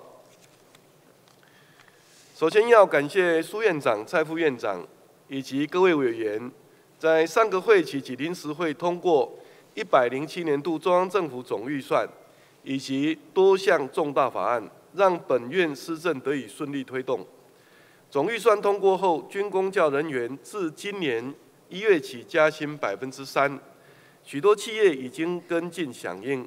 将企业的获利与绩效成长的果实分享给员工，相信此一做法将可增加消费、扩大内需，并活络经济。其次，所得税法修正案的通过，除了建立符合国际潮流且具竞争力的公平合理的所得税制外，也适度减轻薪资所得者、中低所得者、中小型及新创业者的负担。例如，借由提高各项扣除额，使月薪三万元以下的受薪者，特别是社会新鲜人，可以不用缴纳所得税。若是夫妻双薪抚养两个五岁以下幼儿的四口之家，年薪约一百二十三万元者，也可免缴所得税。本次修法也缩小内外之差距，让企业更有竞争力，让有意愿投资台湾者一起让台湾经济向前迈进。而劳基法在优先保障劳工四大核心权益不变的前提下修法通过，给予劳资双方更有弹性的合作空间，也维持经济发展动能及保持产业竞争力。新规定在三月一日实施后，行政院会督促劳动部加强执法，以确保劳工权益，营造劳资团结合作、共存共荣的工作环境。此外，为了拼经济，清德自去年九月二十七日亲自主持加速投资台湾专案会议，排除投资障碍、松绑法规及提出各项行动方案，付诸实行。而有关新创事业及延揽外国专业人才的金融科技发展，以创新实验条例、产业创新条例以及外国专业人才延揽及雇用法，也都顺利完成立法程序。这些都对促进台湾整体经济发展与提升竞争力有正面的注意。在国人的共同努力之下，台湾已经逐渐走出经济停滞的困境。去年的经济成长率为百分之二点八六，明显优于前几年，也较原先预估值高。全年台湾的外销订单额度达四千九百二十八亿美元，也创下历史新高，年增率约百分之十一。且全年出口值达三千一百七十四亿美元。创下近七年最大增幅，并为历年次高。去年我们的股市更创下二十八年来的新高，上市上柜公司总营收达三十二点七兆元，也写下历史的新高，较前一年增长百分之七。此外，去年外国的观光客来台人数持续突破一千万人次，再创历史新高。失业率则降到百分之三点七六，创十七年来的新低。由此可见，只要贵我两院朝野政党充分合作，必定可以引领国家稳健成长，再创台湾经济荣景，为人民及后代子孙带来幸福。有关本院近期各项施政，已编印成书面报告送达贵院，敬请参阅指教。以下仅就近期施政成果。及未来的工作展望进行扼要报告。一、解决五缺问题，排除投资障碍，打造友善的投资环境，是政府庞责无旁贷的任务。长期以来，企业面临的五缺，期待政府可以确保水电稳定供应，满足用地需求，以及解决缺工和缺人等问题。本院于去年十一月逐一向社会提出解决对策。及行动方案或具体措施，并于今年初指派徐国勇政务委员率同相关部会副首长前往各个工业区，向厂商说明并进行沟通跟交流。在解决缺地方面，我们提出优惠释出公有土地，辅导政府开发之民间闲置土地释出，开发与更新产业用地三大策略。并有十二项具体措施，预计在民国一百一十一年前，可提供一千四百四十二公顷的用地，满足新增或扩充产业用地需求。针对产业用水需求持续成长与短缺的问题，我们采取开源、节流、调度及备源四大策略，透过建制水利基础建设，降低漏水率。提升农业用水效率以及工业用水循环利用等做法，以确保产业用水的稳定供应。目前，供水建设已有阶段性的成果，例如北部的桃园与板新地区大汉溪水源的调度工程，南部的增文水库排沙隧道工程皆已经完工，而中部的大安大甲溪水源联合运用工程也已经动工。这些都可以大大提升台湾各区域水源调度的能力及发挥效益。预计至一百二十年，每年可提供十九亿吨的用水，可以满足产业及民生所需。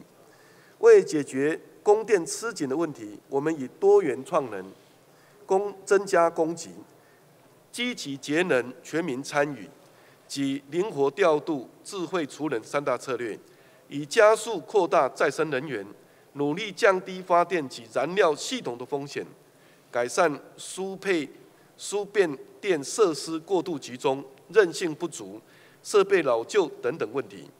对于新建电力工程，已责成经济部及台湾电力公司严格管控进度，务必如期如职完成，已达到一百零八年后每年备用容率百分之十五、备转容量率百分之十的供电目标。有关贵院关心核二厂二二号机再转问题，该机组运转执照将于二零二三年到期。台湾电力公司于去年十二月完成大修后，向原子能委员会提出申请再转，乃属正常程序。依规定，尚需经原能会安全查核。未来无论该机组是否再转，电业法第九十五条已经明定，核能发电设备应于中华民国一百一十四年以前全部停止运转，故皆不影响二零二五年。达到非核家园、核一、核二及核三如期除役、核四不运转的目标。另在解决产业缺工方面，我们以开发劳动力、创造友善职场及缩短学用落差三大策略，针对本国劳动人力的开发跟媒合，从多个面向协助产业升级、改善工作环境与提升薪资。鼓励产学合作、建教合作，调整科系招生等，缩短学用落差等等等作为，期待多元管道解决缺工的问题。至于为解决人才不足，我们从留才、揽才、育才三个面向着手，并透过税制优化、新增企业奖酬管道，打造新创友善创业环境，给青年发展更多的机会。同时建立新南向人才双向交流机制，松绑五加二产业聘雇外国专业人才的相关限制，强化产学联结及企业协力培育等方式，满足产业人才需求。这些策略、方案、计划及做法，均会列列管追踪落实执行力，让企业顺利投资。二。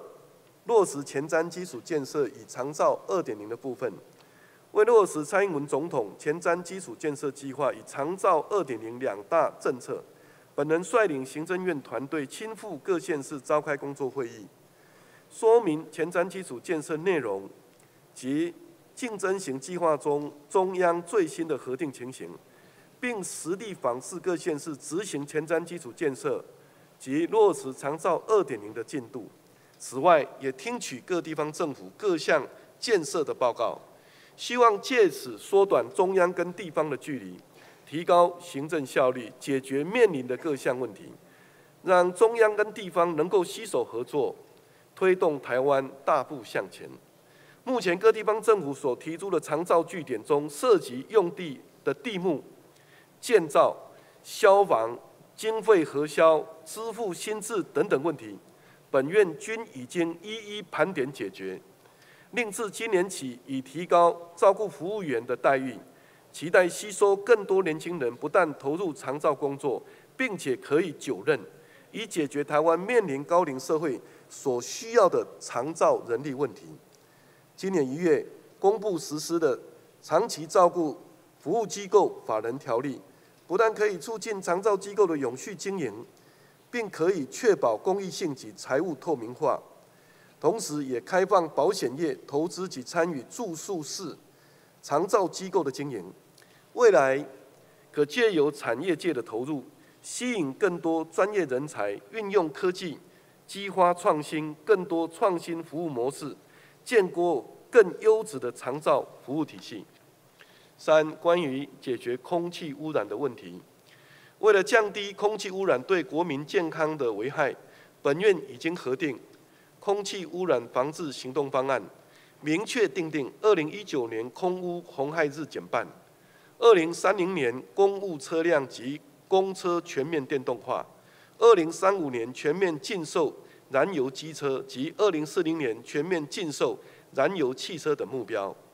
为达到上开的目标，我们针对细悬浮微粒等污染源的管控，提出更具体的行动方案，包括要求国营事业达到最严格的超低排放，强化港区空污防治，加速老旧车辆汰换，加强餐饮业油烟、道路、营建工程及河川扬尘的管理等措施。政府也将自今年起。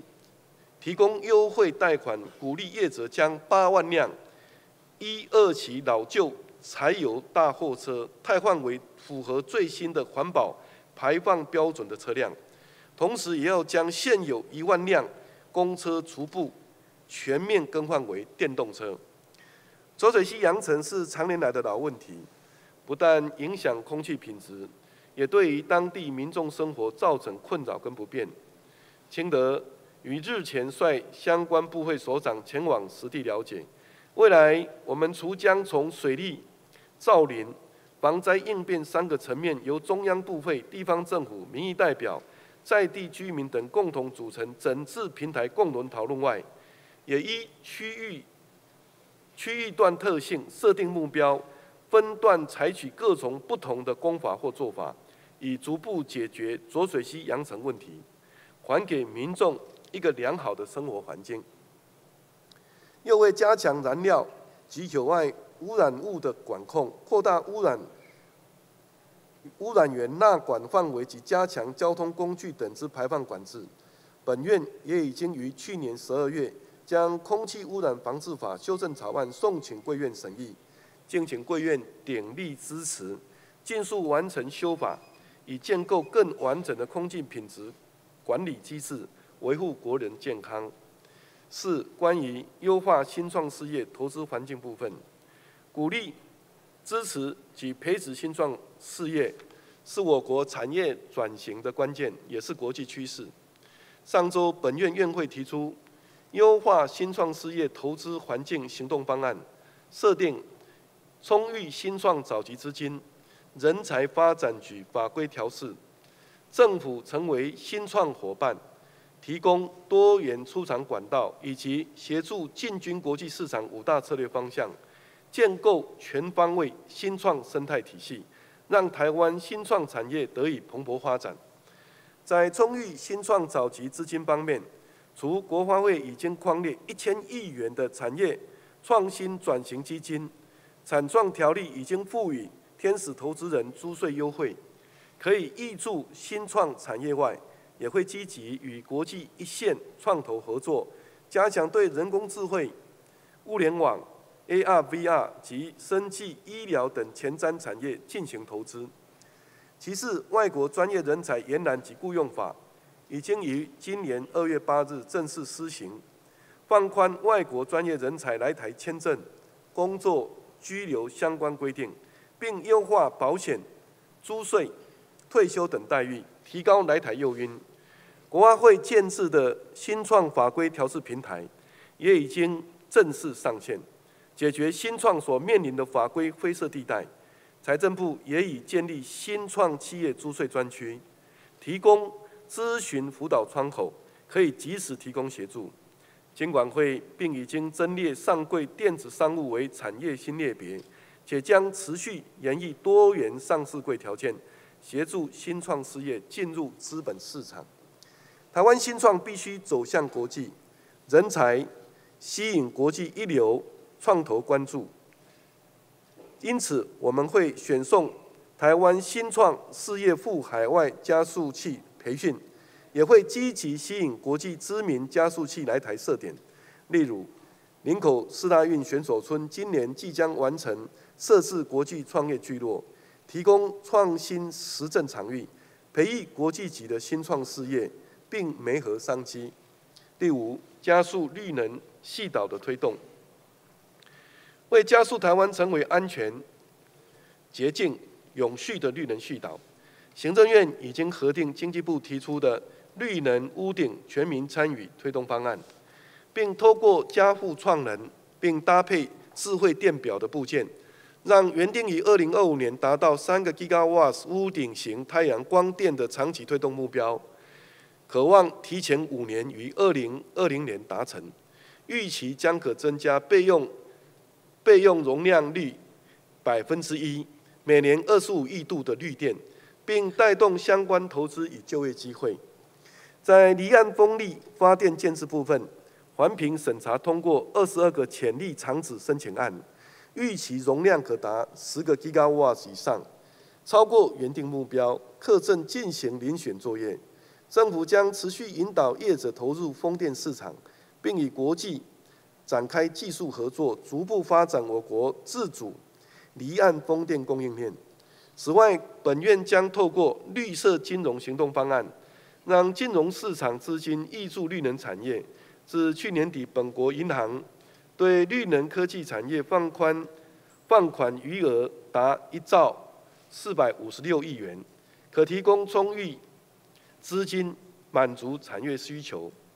为朝多元创能努力，再生能源发展条例修正案已经放宽再生能源范畴，包含小水力发电，并增加及保障多元绿电使用方式。简化申请程序及增加并网弹性，敬请贵院支持，早日达成绿能系岛的目标。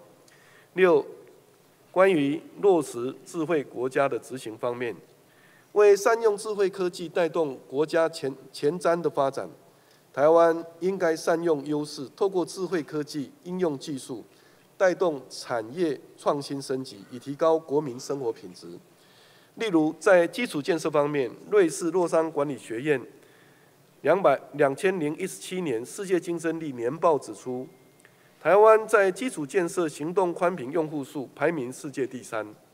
在此基础上，政府将营造有利智慧交通、防灾、医疗、智慧学习与观光等应用环境，并于二零二零年达成数位经济规模。由二零一五年的三点四兆元成长到四点八兆元，数位生活服务使用普及率由百分之二二十五点八提升到百分之六十，高速宽频服务涵盖率达百分之九十的网速由每秒一百个 mega 提高到一个 giga。目前政府全力推动台湾 AI 行动计划。微软公司已经于今年一月份在台湾设立 AI 研发中心，并宣布未来两年内将投资十亿元，五年内会在国内招募培养两百名 AI 人工智慧的人才，再加上近两年 Google 公司在台湾设置的云端资料运算中心，显示台湾推动智慧产业已获得国际肯定，未来更可将国内相关产业及产学。研人才密切连结，在推动行政行动支付方面，我们已经检讨、修订、松绑相关法令，并扩大结合电子票证在交通、小额支付等应用，创造更多行动支付场域，结合相关服务及设备厂商、电信业者与金融机构，使行动支付普及率在二零二五年能够达到九成。七。关于加速老旧危险建筑改建及更新方面，二月六日深夜十一点五十分，花莲发生强震，造成数栋大楼倾倒、多处道路桥梁毁损的严重灾情。本院于地震发生后十分钟即成立灾害应变中心，所有紧急应变单位，包括中央消防署与各地方。特搜队、国军部队以及民间慈善团体等，均在第一时间投入救灾。蔡总统与本人亦速度前往灾区了解抢救灾情，并抚慰受灾民众。在这段时间，我们收到来自许多国家政府与民间的慰问，以及物资、人力等协助。本人在此要表达由衷的感谢。在所有同仁不眠不休的努力之下，抢救工作已经告一段落。复原重建工作正接续展开，本院已经在二月七日成立行政院零二零六花莲赈灾救助及重建专案小组，将统合各部会资源，从家园、产业、基础设施等方面着着手，全力协助花莲重建。目前重建专案小组已经召开四次会议，协调解决各项问题。行政院及全体国人将与花莲人民站在一起，携手同心重建家园。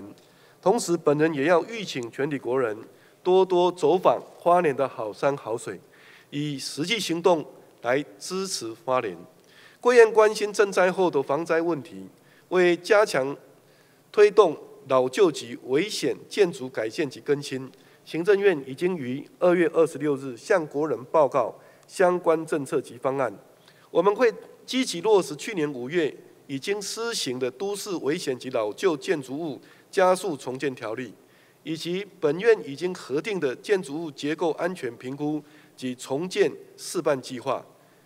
内政部今年编列两亿千万元执行上开计划，预计将推动五百件重建计划，协助约一万户的家园重建。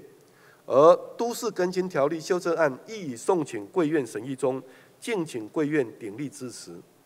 另外，全面盘点国内建筑物安全情况，内政部已经于今年二月二十一日修正《建筑物公共安全检查签证及申报办法》。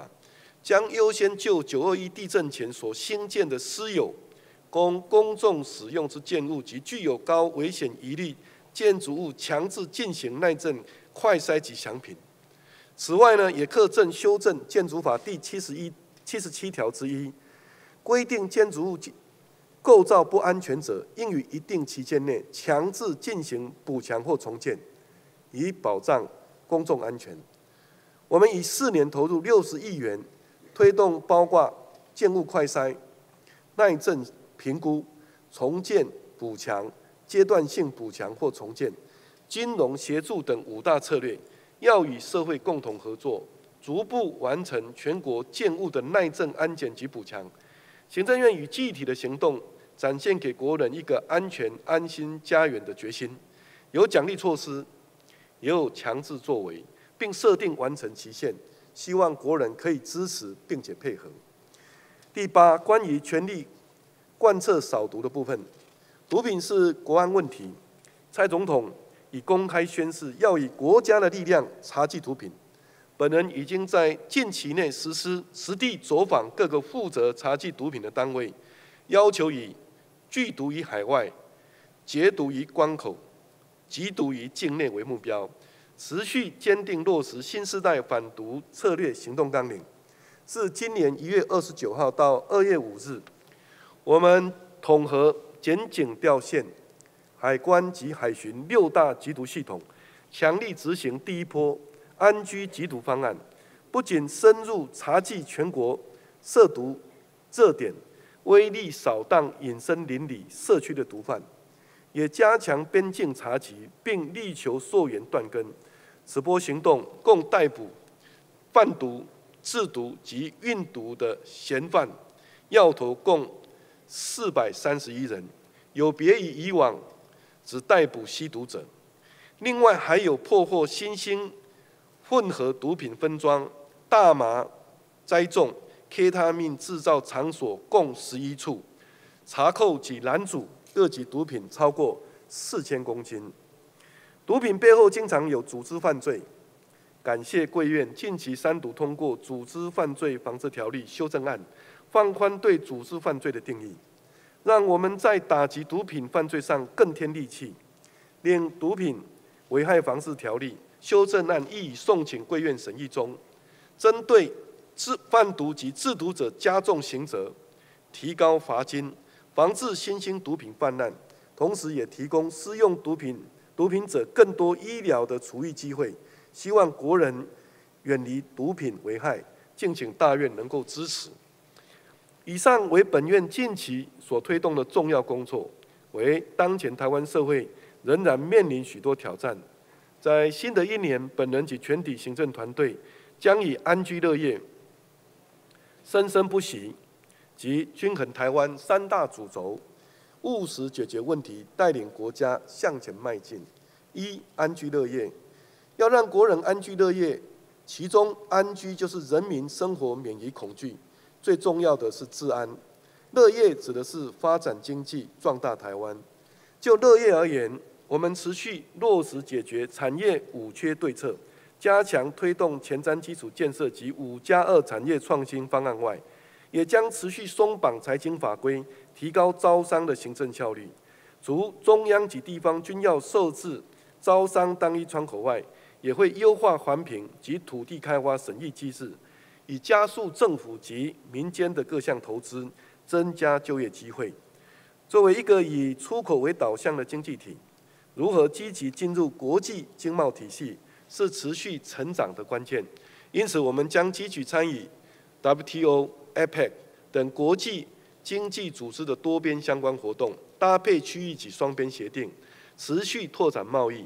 另外，争取加入跨太平洋伙伴全面进步协定 （CPTPP），寻求成员国的支持，扩大。国际合作也是行政院的重点工作。此外，加强推动新南向政策亦是当前的施政重点。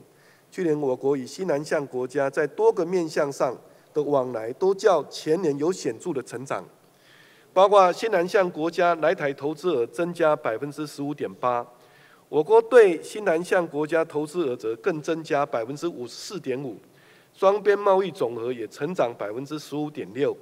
而我国对西南向国家采取放宽签证、增设据点等多项作为下，去年西南向国家来台旅客人数也也较前年成长百分之二十七点六，来台留学人数也较前一年成长约百分之十。我们将秉持双向互惠及多元发展原则，持续深化、扩大与西南向国家的合作。为彼此带来经贸上的利益，达到台湾与新南向国家双赢共荣的目标。有关贵院所关切的物价问题，我国物价在中央银行长期政策主导之下，一直保持低且稳定的状态。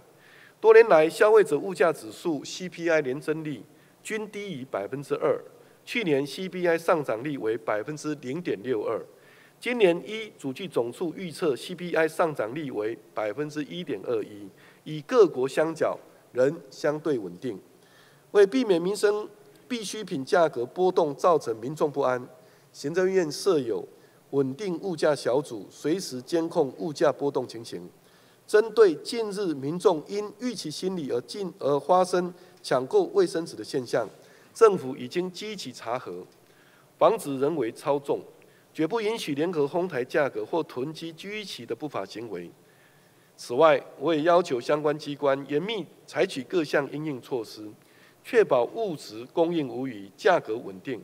在经过近日相关部会及各县市政府消保官查核结果，卫生纸在量的部分已供应无虞，所以在价格的部分也会稳定合理。因此，欲请民众无需抢购囤积，更不必对通货膨胀。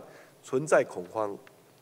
就安居来说，为强化治安，政府除将持续加强六大缉毒系统的团队合作，落实跨机关、跨区域结合民力深入社区，全面缉毒溯源断根外，今年将更投入三十三亿元，以倍增的经费充实查缉设备，提升毒品检验量能，增加公卫医疗个案管理师人力。落实对毒品使用者之追踪辅导，以多元方式来提升防毒、拒毒、缉毒与戒毒的成效。在打击诈欺犯罪方面，去年成功拦阻诈骗案件数及金额，虽分别较前年提升百分之七十二及四十二，但仍有努力空间。我们将强化跨机关侦防策略，加强国际合作，溯源查缉集团共犯成员。在打击黑帮组织方面，自去年九月内政部实施除暴专案等作为后，帮派以政党或团体名义扰乱社会秩序行为已经有所改善。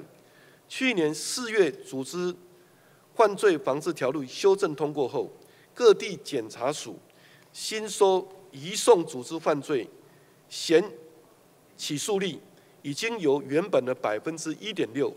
增加到百分之五十四。未来我们将持续强力打诈、扫黑、除恶务尽，还给国人一个清新安全的生活环境。为加强社会安全，我们已经提出强化社会安全网计划，针对完善多元化家庭支持系统，及早辨识脆弱儿童与家庭，及建构公司协力处理模式等三大面向，提出整合治安、教育、心理健康及社会工作等网络间之合作策略，包括普设社会福利服务中心，建立保护。及儿少高风险家庭集中受理与派案中心、儿少保护区域医疗整合中心，以及增聘社工人力、深化个案服务等，希望借由强化跨体系的合作，根本管控来消弭各项社会安全的风险因子。二、生生不息部分，当前国人高龄化、少子女化及低生育率的现象。已经对国家长远发展造成不利影响。对此，政府将研提出一套完整的育才、育人、揽才及移民政策，由根本解决问题。在育人政策方面，为达到二零三零年将总生育率提高到一点四人的目标，政府除将提出新的幼儿照顾津贴以奖励生育外，亦将建构多元托育体系，借由持续公加速 教保公共化，以一百零九年前增设一千两百余班公立 及非营利幼儿园，以及透过政策引导，让私立幼儿园加入政府公共化政策等做法，以减轻家 家长托育费用负担。提升幼儿入园率，同时改善私立幼儿园教保服务人员等低薪问题，稳定托育服务品质。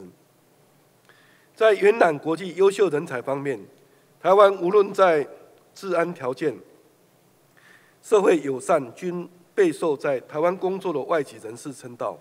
因此，我们将善用此一优势，优化外国人才来台就业环境。吸引更多外国专业人才来台工作，并能够在台湾永久居留，甚至成为我国公民。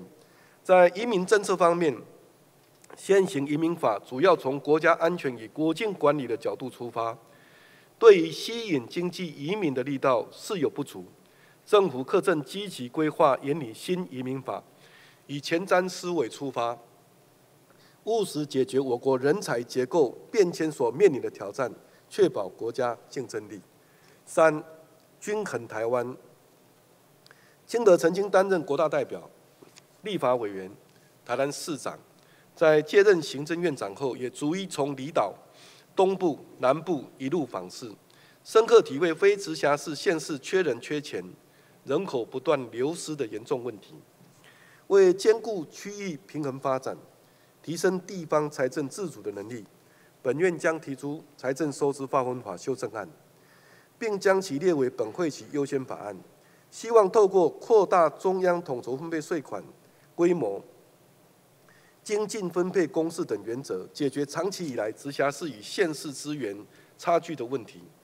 此外，为解决各级行政区域新设、废止或调整的问题，本院课正研拟行政区划法草案。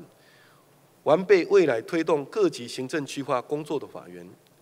公务人员是各级政府运作的骨干，但长期以来，直辖市与非直辖市间却普遍存有公务人员同一职务不同职等的问题，不仅打击同仁士气，更不利地方政府留住人才。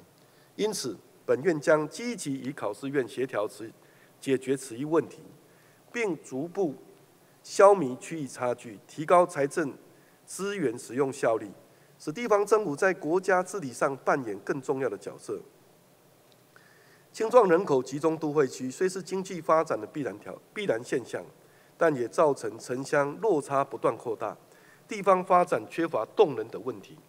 因此，强制地方创生的推动，均是均衡台湾的第三个政策支柱。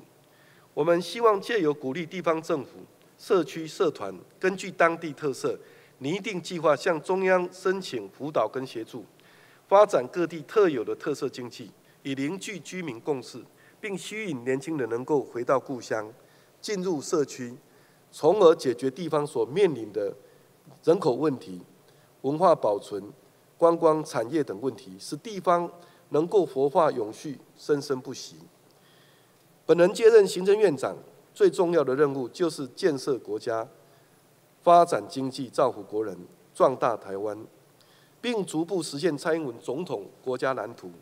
我也相信，面对挑战，政府要能够承担责任、务实应应，才能够提出时期真切改革。国家的实力正逐步累积，体质也日趋强化，这是台湾人民与政府携手向前。所共同走出来的光明前路，未来清德将持续率领行政团队全力以赴，期盼贵我两院齐心协力，携手共进，一起打造繁荣、安定、幸福的台湾。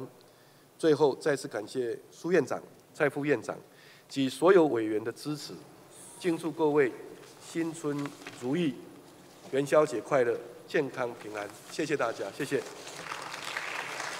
好，谢谢赖院长所提出之报告。在进行质询之前，先做下列两项宣告：一、施政方针及施政报告质询以即问即答方式进行，每位委员询答时间为三十分钟，如以两议题。进行咨询，每一议题为十五分钟，采用联合咨询室，依其人数合并计算询答时间，但不得超过三人。二、依登记次序，轮到执行之委员如不在场，已放弃执行论，采用联合执行室，其中执行委员如不在场，亦以放弃执行论，执行论询答时间不予并入。进行咨询之前，先请林秘书长报告部位首长请假情形。报告院会，行政院来函，张政务委员谨申本日下午因公请假，唐政务委员凤本日因公请假，法务部部长。邱泰山本日下午四时起因公请假，由陈次长明堂代表列席。外交部长吴钊燮本日下午二时三十分至四时因公请假，由张次长文良代表列席。交通部贺成部长但本日下午因公请假，由王次长国才代表列席。行政院农业委员会林。主任委员冲贤本日因公请假，由陈副主委及众代表列席。国家通信传播委员会詹主任委员庭于本日因公请假，由副主任委员钟博代表列席。报告完毕。现在我们请徐委员有名咨询，询答时间为三十分钟。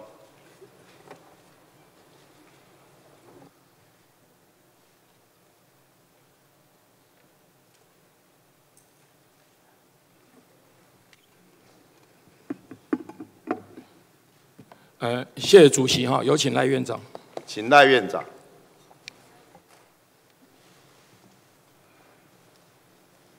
学员你早。哎，院长辛苦了哈。哪里？那其实我们这个咨询本来是礼拜二要进行的哈。那我因为有一些反军改的朋友哈的一些事情，那我想我就直接问了哈。后来行政院这边有说，本来礼拜四院会要处理这个军改的草案，好，现在是暂缓了。院长，我想请问，这个暂缓是因为你们草案的内容要做很大的更动，还是说觉得目前时机不合？什么时候我们行政院会开始审议？院会会开始来看这个军改的草案？那什么时候我们立法院会知道草案的内容？是感谢徐委员哈，就是原预定本周四行政院会要通过军改的法案，但是礼拜一晚上，也就是我。来立法院之前就已经做成决定，啊，应该要跟啊立法院多进一步的沟通，再送到立法院来审议，啊，并不是因为该事件的影响。对，院长，我们现在比较担心的是说，我想有很多团体反对了哈。可是我想，整个立法院在上个在去年关于公教这一块，其实是整个非常努力。我们也希望七月的时候可以顺利的这个实行。那当时其实有个期待，就是说希望军改的草案也赶快在立法院审议，因为我想军公教虽然他们的待遇有一些差异，可基本上希望能一起施行哦改革这一块。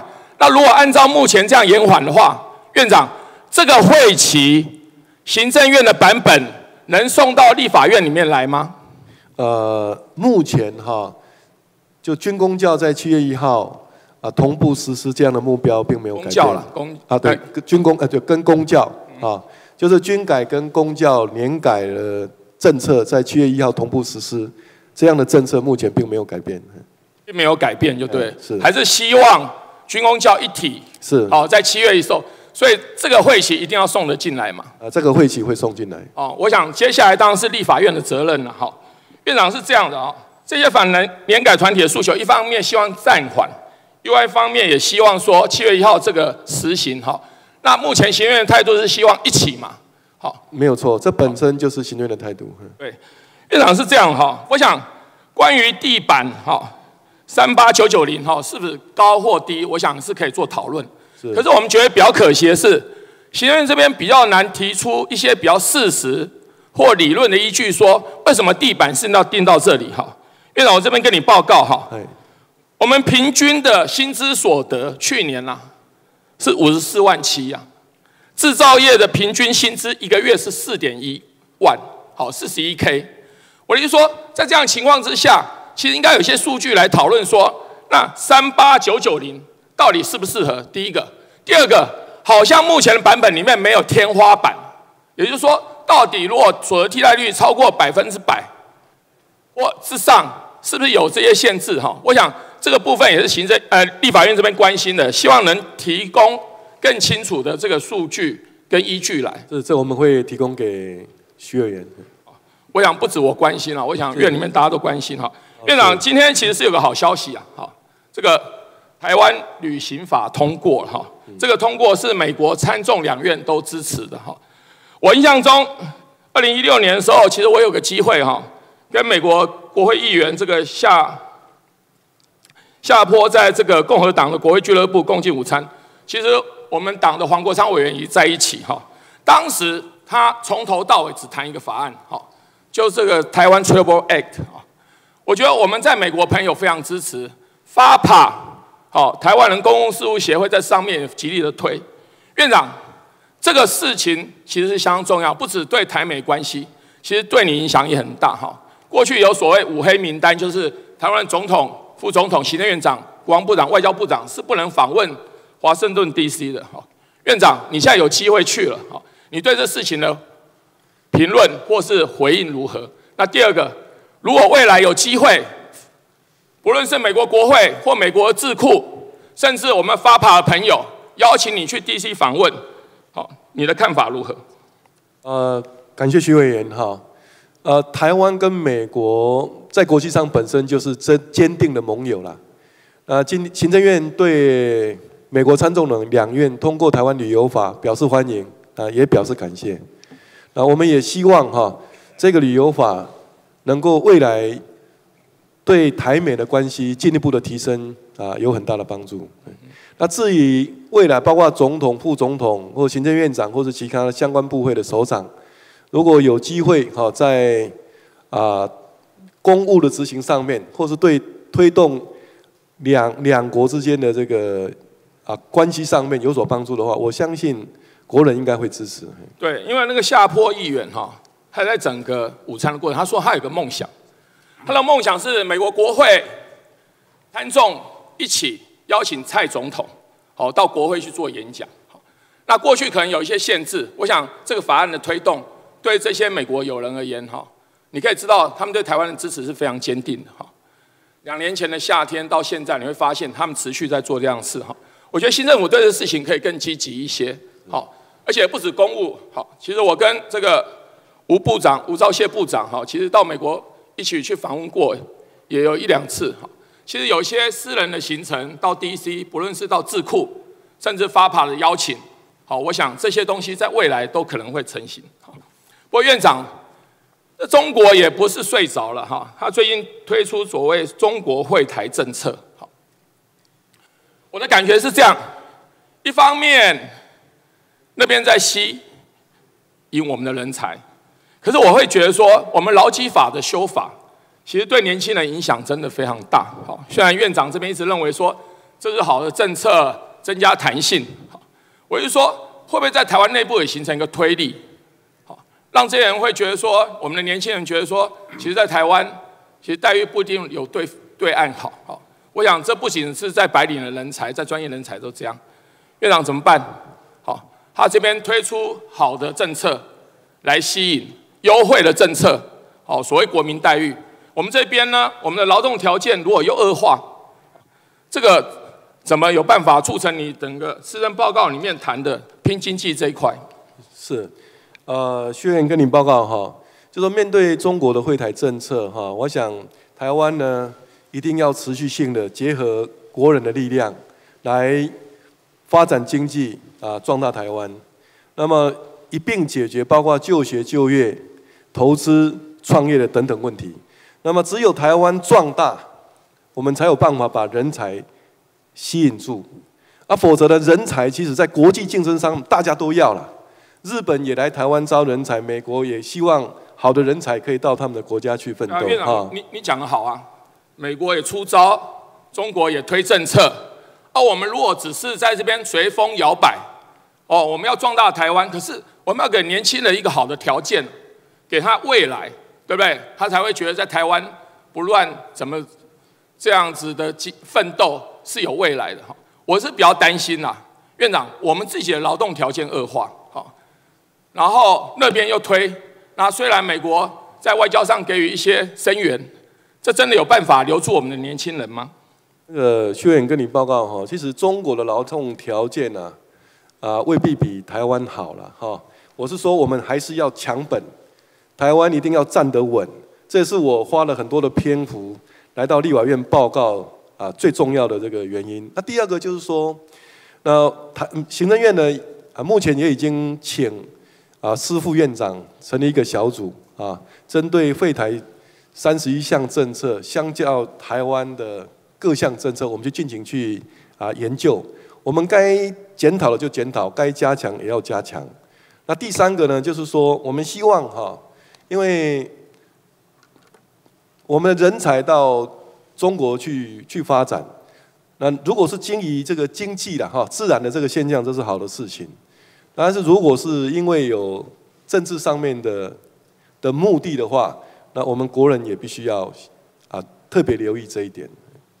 院长，我会这么为什么这样提哈？就是说整个劳基法修法的争议哈，我想。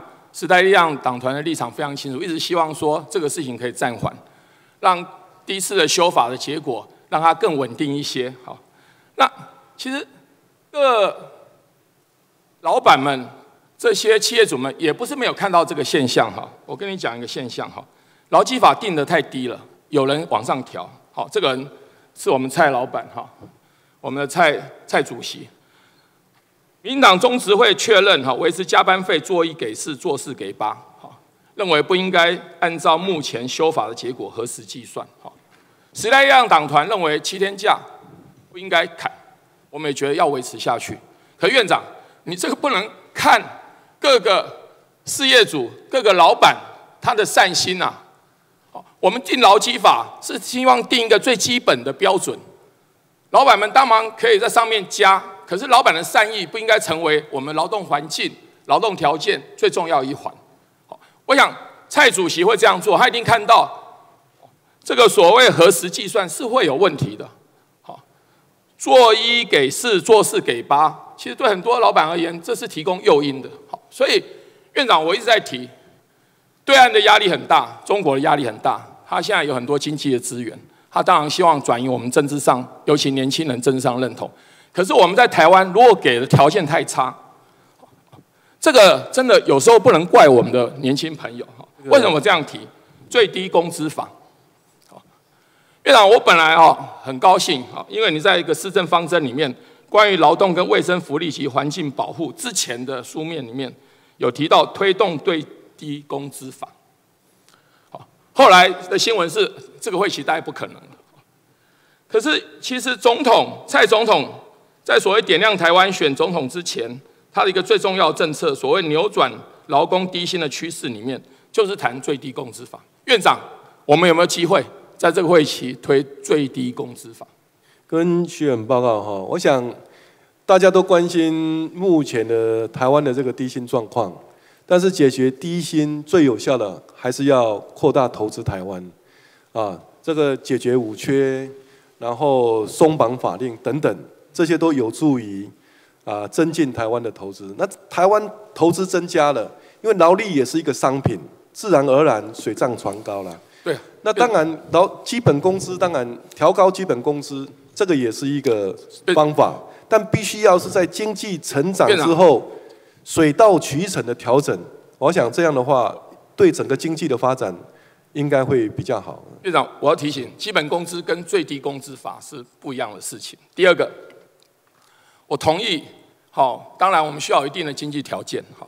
可是当对岸用两倍、二点五倍的薪水，这是最基本的，而我们自己的劳动条件恶化，我们的薪资又没办法往上提升。我前面讲过，啊我们的平均薪资五十几万，可是我们这个军人年改的。这个地板是三万九，我我的意思说，在这些情况之下，你怎么让这些年轻人觉得说，这个政府是在乎他们的，关心他们的哈？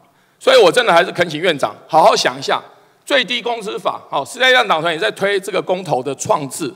好，我觉得民众支持非常高。好，从民调上来看，好，院长，物价，好，我们之前谈卫生纸，很多人说啊，这是炒作。甚至有集团老板开始讲说啊，通膨要来了。好，我看到你关于这个书面报告里面补充里面，又谈到物价这一块。好，你也谈到第六页、第七页。哦，有监测的项目，有能源类、食品类，好，大众物资、民生物资。院长，你知道这个有个东西没监测到，就是电价，就是水价。好还有为什么我会这样讲哈？光是今天到底四月要不要调电价，调多少，都有不同的说法。院长、部长都在这里，我们电价什么时候要调，幅度多少？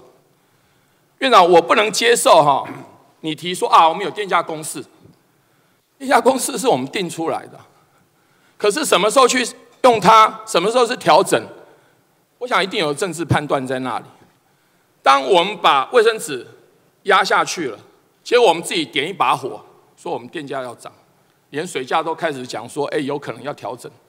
我们怎么去看通膨这个现象？这对台湾经济的发展这个阶段到底好或不好？其实这是可以争论的。徐远，我先请那个沈部长跟你报告。好，我跟委员报告一下，刚刚委员在垂询的这一个电价的问题。那电价来说的话呢，依现在电力法规定是每年的四月跟十月这两个阶段来检讨。那目前呢，台电已经把它的整个的这个电价的版本已经送出来了。那现在呢，是由能源局跟我们部长，你不要跟我讲程序了。好，没关系，你就跟我讲四月你要不要调整电价嘛？好，我就讲实际的情况。哦，是不是？第一个呢，谈到市长出来讲的调整三点五趴，三百三十度以下没有，到底是不是这个方向？我相信很多小吃店、很多早餐店都在注意这个事情。三个关键的因素，第一个就是会不会影响物价，还要不要照顾民生？第三个节约用电，这三个环环相扣。那这个部分呢，一电话规定，现在呢就是有一个所谓的涨跌幅三 percent 的上限。那现在呢，这个部分就是刚刚提到的物价。照顾民生跟节约用电这三个如何取得平衡点？那这部分呢，我们在这个委员会所所以到底会不会涨？我们四月要不要涨三趴？那个徐委员，因为哈，这属于电价审议委员会的职权呐。啊，其实不要说经济部长，连我本人都没有权利去讨论这个事情。我我觉得我们都不要讲虚的。电价审议委员会在审电业法的时候，我那时候坚持外部要多一。结果经济部这边说没有，我自己的人要多一，也就是说经济部是完全控制电价审议委员会，你有八百亿电价平稳基金，电价审议委员会你过半，你控制，这是电业法审议的过程里面争执的重点。就今天跟我讲说，这全部是电价审议委员会，这是电价公式。院长，我觉得这样没有负起责任。如果觉得通膨是可以刺激经济发展，我觉得大声讲出来没关系。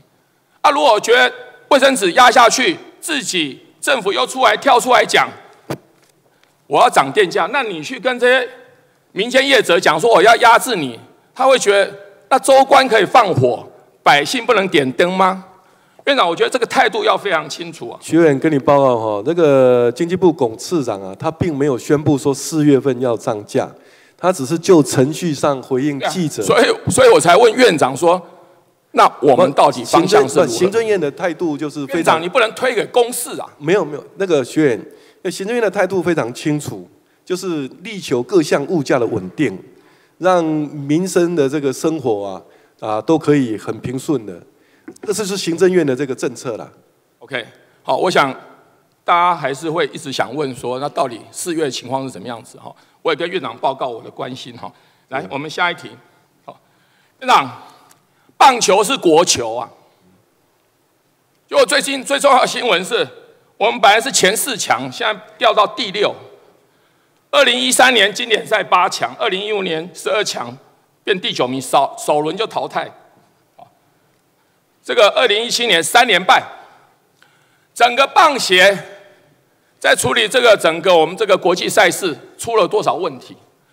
这也是为什么暑假的时候临时会的时候跨越党派体改通过，一方面跟台湾英雄致敬，因为我们四大运表现很好。可是院长第五名连降连从前四强连降。到第六名，接下来十二强赛虽然可以参加，可是东京奥运到底能不能去？还要看十二强打的怎样。二零二一年经典赛要从会外赛开始打，足以自知国球变成这个境境界，体育署没有责任吗？院长体改，结果我们棒协改选的时候在灌人头啊，这上面是。很清楚的证据哈，某大企业叫他们的员工在签，签什么？签去参加变成棒球协会的会员。好，这里面还有讲哈，哪个有限公司哈，是个人资料。好，棒协多堕落，网民都叫邪恶的邪。其实我们的体改竟然往这方面走。为了这个事情审预算的时候，没有一个部会。百分之三十被冻结，是跨党派蓝绿都有共识，应该冻结。他给他一堆条件，结果现在发生什么事？棒协出问题，有大企业要进去，结果我们的这游泳协会院长，你看啊，这个是体育署的编号，游泳协会的会员 A 七 A 七，六二六六二七，你知道吗？这个理性女性。跟谋性男性，他们身份证字号是同样的。体育署从来没有个部会百分之三十被冻结，在立法院里面大家是全部同意的，这样一个羞辱。结果体育署在做这个协会的改革的时候，继续这样恶干。院长这样的署长做得下去吗？从前四强掉到第六名，没有人负责。然后我们要讲说啊，我们要给我们台湾年轻人信心，我们给我们的运动员未来。立法院里面临时会通过体改，院长，这样的体育改革做得下去吗？呃，谢谢。这样的署长还继续坐在那里吗？当你的部会冻结百分之三十，没有个党团有意见的时候，这个署长就应该下台了。我跟委员报告哈，那么呃，刚才委员关心棒球排名滑落哈，这个确实我们要检讨。那主要也是在这一次呃统计里面呢，我们二零一四年 U 二十一的这个项目啊，它已经算排除掉了哈，所以整体的平均成绩啊，确实如委员所说的，这是原因，但是这绝对是需要我们在面对。那不是原因呐，那是现象，就是我们打的很烂是现象。所以呃，原因是什么？因为我们棒协太烂，所以我们在做体改。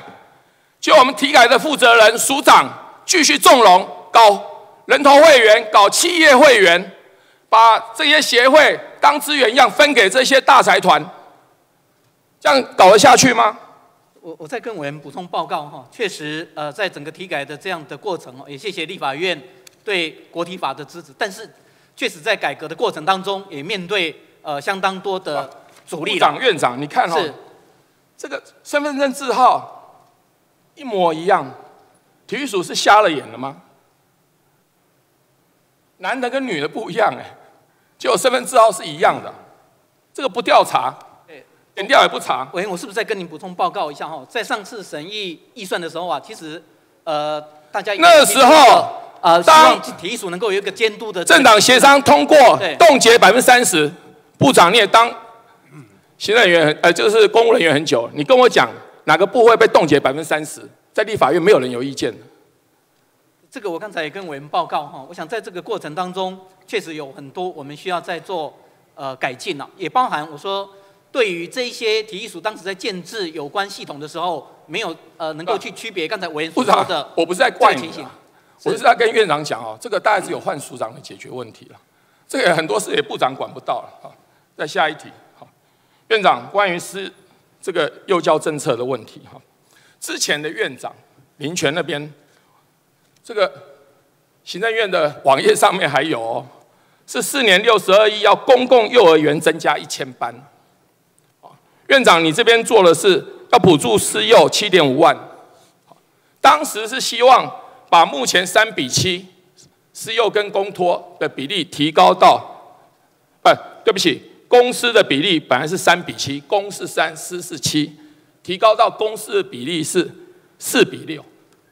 院长，如果你是用补助私幼来进行所谓公共化，第一个，我觉得这公共化是有问题的；第二个。我想公司的比例，那会更不不平均呐。这真的是目前的政策方向吗？跟跟学员报告哈，就是说林权林院长的政策目前能持续推动。我在今天的口头报告里面也有提到。哦，有我有注意到，所以我才会想说，那到底补助私幼的所谓公共化，我目前要去推吗？那个跟学员报告，就是院长他的后果是怎样？公托会死成一片啊。公托怎样？私幼、私公幼会死成一片，私幼的价格会再往上爬，因为你把它垫高了嘛。哦，不是这样子的哈，就是说，如果今天我们把金钱直接用金钱补助补贴了哈，用经费补贴，不管一万、两万、三万，那过去的这个政策哈，我们有有去检讨，大概这几年来增加了百分之二十四，但实际上对生育率帮助并不明显。那所以呢，我们一方面推动公共化啊，就是用呃今年哈有大概有一千两百间的那个公立幼儿园会建制。那另外呢，这个啊非营利幼儿园这部分也会持续。但是呢，我们希我们在当我们在建立公立幼儿园的时候，先估估不论去它的经费多寡，其实它的时间上、提成上面啊也有相当的困难，所以我们才会就是用特约的方式，让私立幼儿园参与这个公共服务的体系。啊，扮演公立幼儿园这样的角色。院院院长，我是提醒，好，就像我前面讲，那个现象可能会发生，好，因为私立幼儿园会拿到政府的补助，他会觉得那是基本，好，他会在往上垫，这样子会不会刺激生育率？我觉得这个真的行政院那个简单的一句话哈，跟徐远报告，就是说，我们希望让这个父母亲把孩子带到有特约的幼儿园，他所付的费用跟带到公立幼儿园相差无几，好。那这个时候政府就不需要去做公立幼儿园了，好，我们的公幼公共化就缺乏动机了。好，院长，因为我时间有限，我只是提说这个东西搞不好竞合的效果，好，可能是负面的哈。呃，直接到那个那个台湾省政府、台湾省执议会，对不起，因为我时间有限，我很多要跳过去哈。院长，这是上次咨询哈，对，十月的时候，好，我问你，台湾省政府、台湾省执议会、台湾福建省政府哈，我们时候有提到，不管他人员的问题、经费的问题。那时候我院长说，这是院长的话了哈，是，哦，因为这是我们公报上面登的哈，这个我们可以处理哈。虽然有人说要修宪，可是院长那时候说这个我们可以处理，要不要处理？院长说我会来面对这个问题，哈，讨论结果会跟徐委员报告。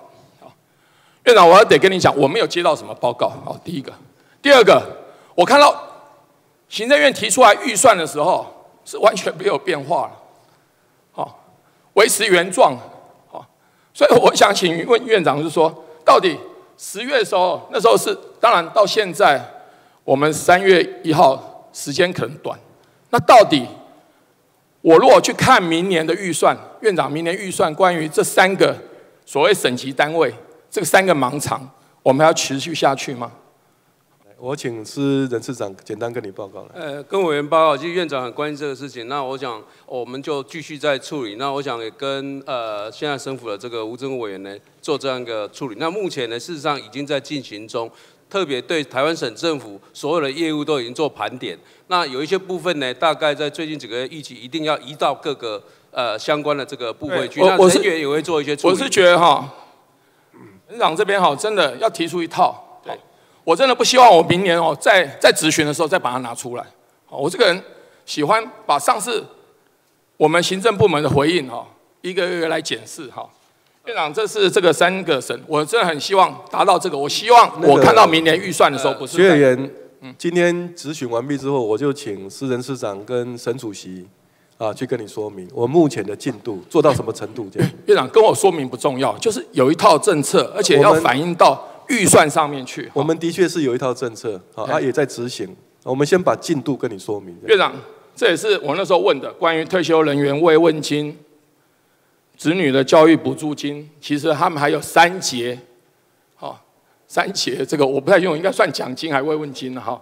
现在连现职人员都没有三节奖金了哈。好，我那时候是说，啊，我们不是做公教的年改吗？当时很多人讲说啊，这一块先留着，年改以后我们再来处理。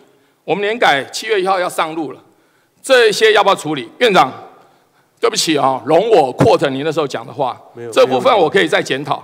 好那我问说会再检讨有落日的可能吗？好，院长这边说没有排除任何可能，检讨就是这个意思。那检讨就是这个意思，是我们有落日的可能吗？跟学员报告哈，因为后来我们检讨的结果，这两万五千块钱的楼地板呢，哈，也是当初行政院跟当初的立法院共同讨出来、讨论出来，认为这样是算合理的。啊，所以我们检讨的结果说，这一个底线呢。啊，不以此给他所以院长，这个不会有所谓落日，不会去删它。我们退休人员所谓年终慰问金、三节奖金、三节慰问金好了，我们的子女教育补助会持续下去吗？不，他是说领两万五千块钱以下的，表示说他是相对弱势的。啊，因为公务人员退虽然同样退休，有领比较高，很失望了。我们年改其实已经有楼地板了。好。我们现在又用这个，然后让这些连现职人员都没有东西继续下去，我觉得这个是我不能接受。哦，因为时间有限，合适预算。院长，这是你讲的哈。是。你接邢院长，飞和家园，好。要年年编列预算，提出一个计划来解决合适预算。不论你用任何名义，有没有落日的可能？那个合适的预算，我们目前哈。呃，因为你现在核要启动啊，所有人现在开始都在想说合适会不会继续弄啊？我是不是利用这机会跟委员报告一下？那合适预算来说的话呢，现在委员在关心的就是何时落入。我们今年会不会再看到明年的合适预算？确保这些资产能够呢来最大化，所以现在还是要一段时间，三年，我们来好好的来把它呢，院长照顾。我全。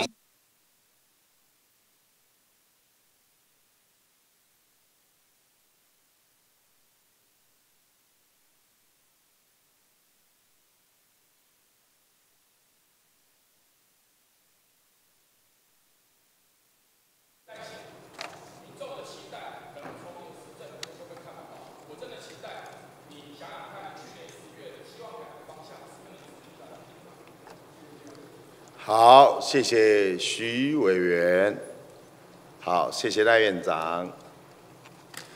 报院会上午执行到此为止，下午二时三十分继续开会，进行施政方针及施政报告之执行。现在休息。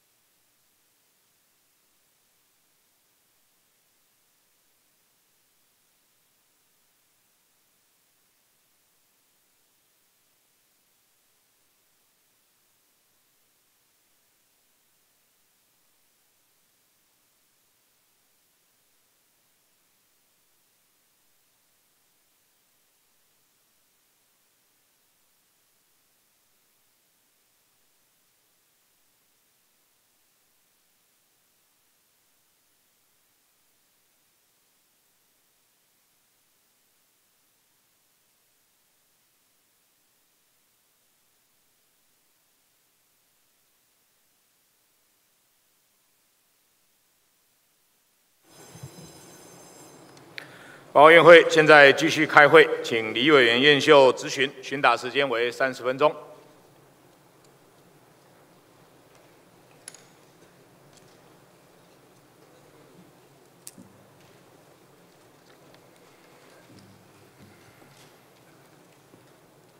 呃，我是不是可以请赖院长请赖院长。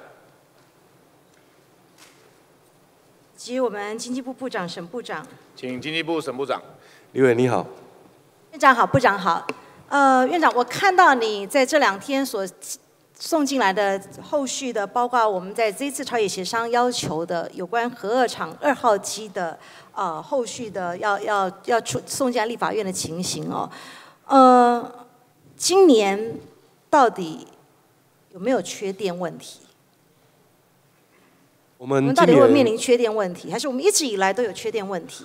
我们呃，不管是今年或是未来，我们都希望能够达到稳定供电这样的目标。我们有没有缺电的问题吗？院长，我只问你说，我们到底有没有缺电问题？今年如果相对明年的话，会我们的供应量。在备转容量上面会没有办法达到百分之六，这是事实。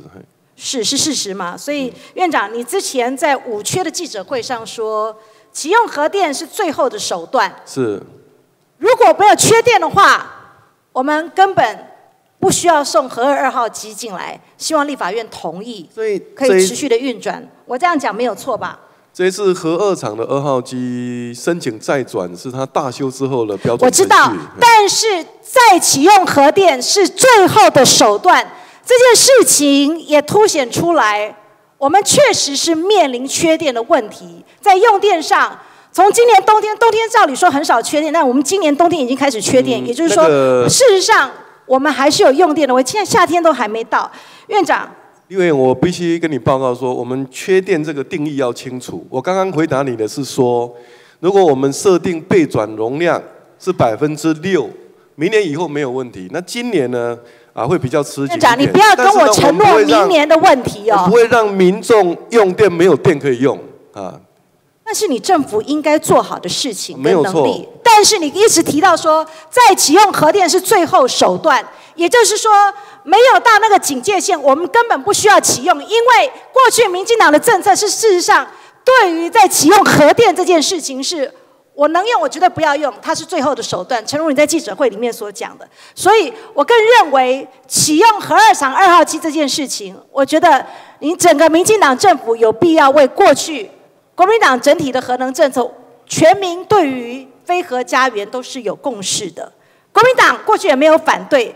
但是我们要的是一个稳定减核的状况。今天你民进党这个会期要送进来再启用核电，我没有意见。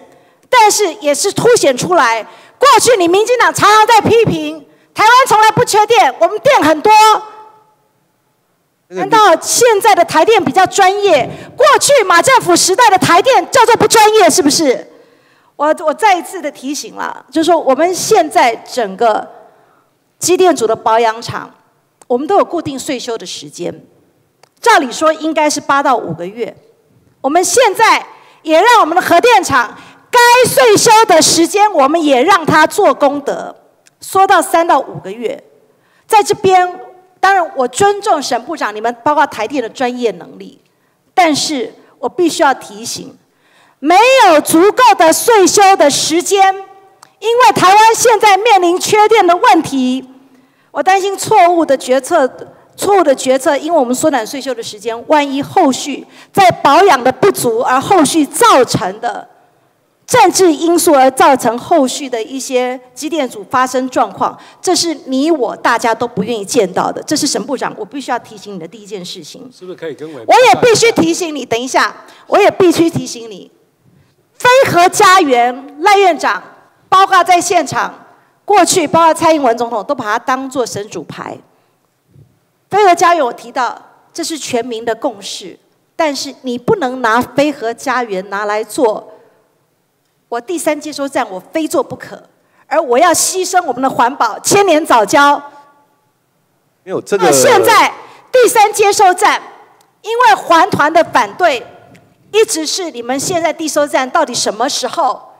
可以新建完成这这就是院长你们的变数。我知道你们有在努力，也要积极的做沟通。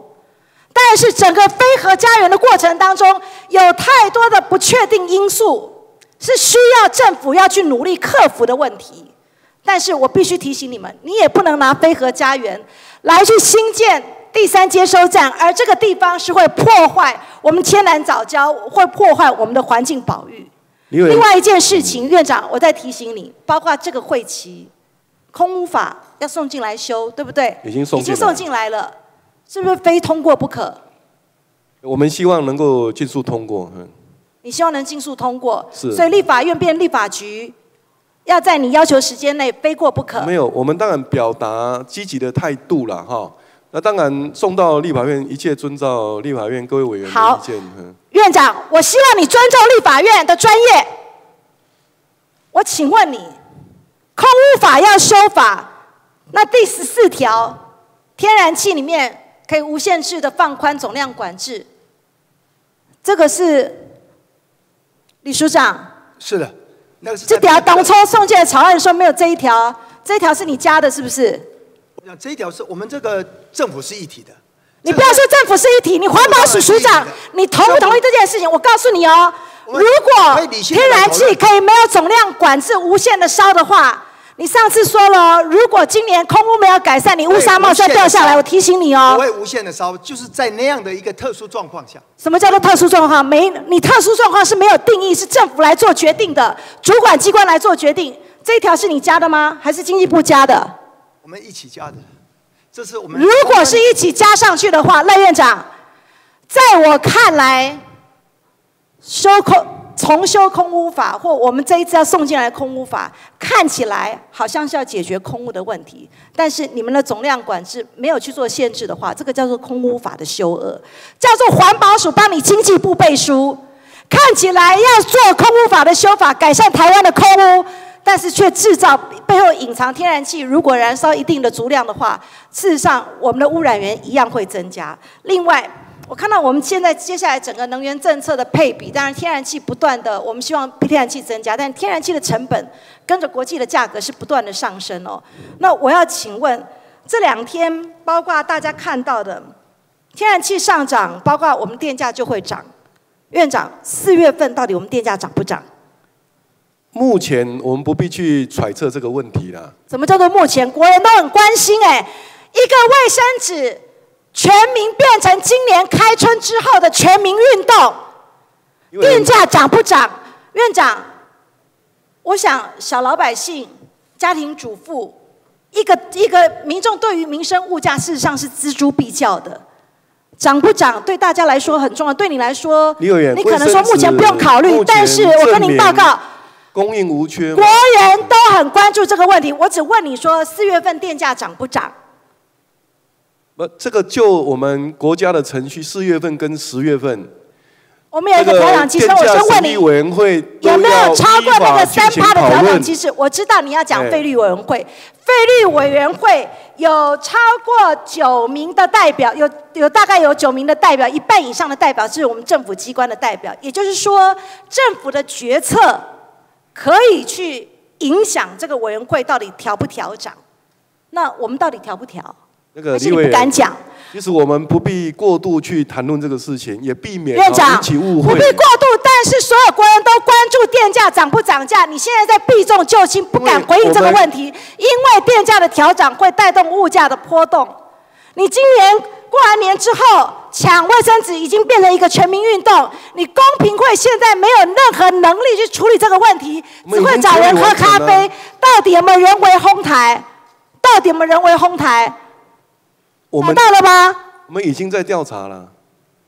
你不要到时候告人家，然后最后自己政府又败诉，然后到最后变成政府的威信就变没有了。这部分我没注意。嘿这已经不是第一次的事情，每一次物价一调涨，我看到你们找人喝咖啡，但是政府对于整体物价稳定的机制，民众是没有信心的。院长，你今天在这边跟我喊话说卫生纸不缺，今天的汤圆，啊今天是元宵节，元宵节的汤圆比平常过去涨了三成。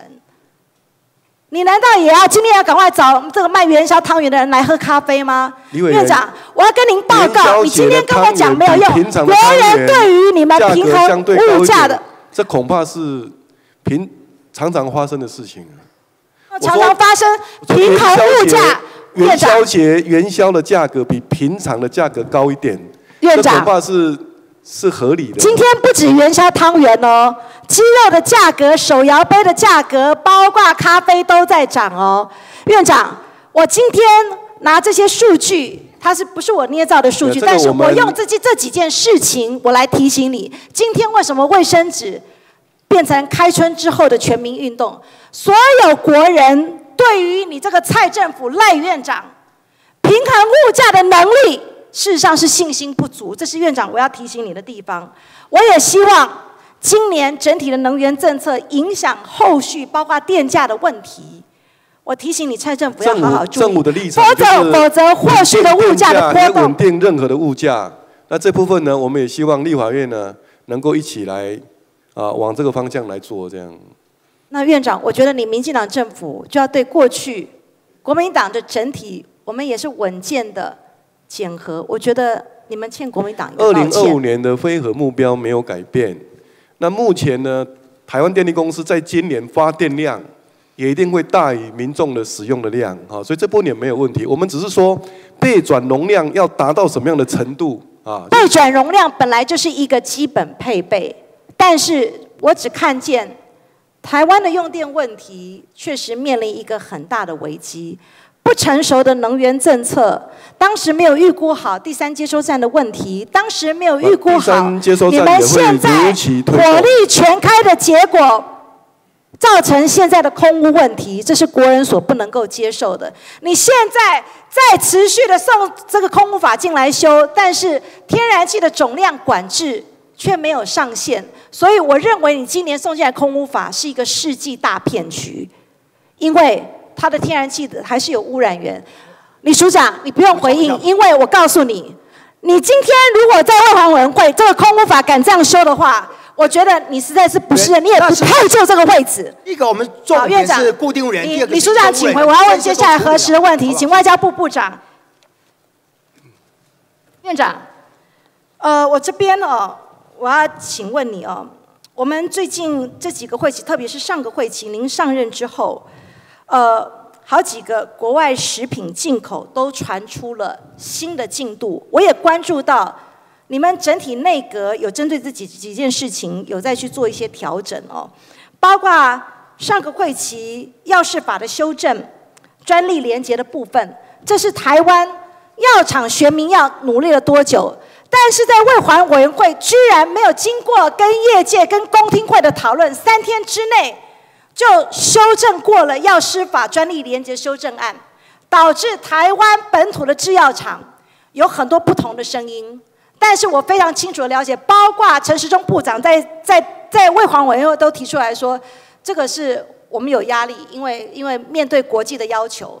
但是我看到的是，这整件事情可能都是来自美方的压力哦。呃，我要提醒院长，过去您在担任市长的时候有说过了几句话，我再让您重新再记忆一下哦。这边有几张图片，你应该可以看得到。呃，政府首要任务是保护人民的安全，不能弃守国人的健康，更不能屈服于政治利益下，哦，不可一意孤行，一错再错。这是你当时有提醒，在五个五县市的联合记者会，你有讲出来的话。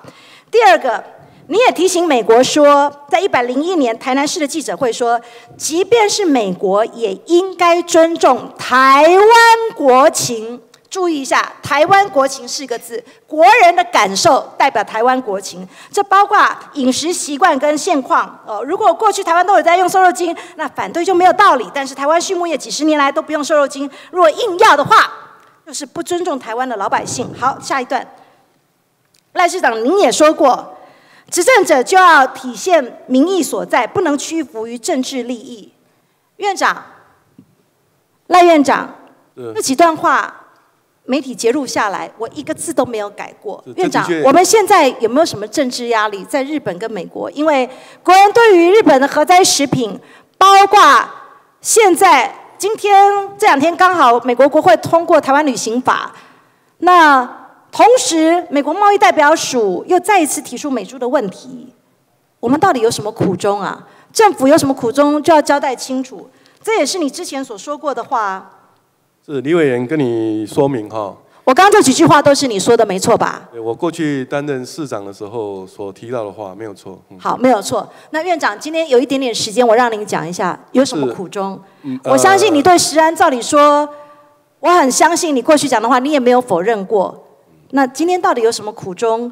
必须陈时中部长上个会期末的时候有提出来说，我们何时？我们现在正在讨论改变地区管理的方式，风险管理。媒体上我也看到风险管理。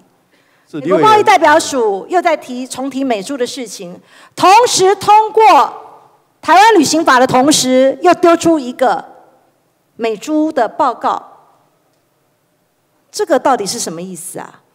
政府有压力吗？是李委员哈，因为台湾身为国际的一员，我们有对外贸易啊，但是呢，我们不管出口或进口啊，我们所根据的标准就是安全了啊，要符合。院长，我不同意你“安全”两个字，因为根据台湾的国情，美国也要去思考台湾的国情，这都是你过去担任台南台南市市长所说过的话。是院长，我不管你现在换了一个位置，你看事情的角度或许不一样了，但是我今天拿你过去讲过这三段话，我再一次提醒你，全就是我们唯一的考量啊。那以前就不安全喽。以前你提醒马政府的话，就是马政府他没有照顾安全喽。哦后来因为马政府时代，根据那个 Codex，我们也都支持啊。院长，一开始，院长啊一开始社我会，请你不管马政府怎么做，那后来马但是政府根据国际的标准 Codex，后来社会大家都没有意院长见啊。但是你觉得台湾的人民对于未来美美猪的瘦肉精，包括何时，不管你现在你要未来如何去做科学数据的改变它管理的方式，你觉得是国人所能够接受的吗？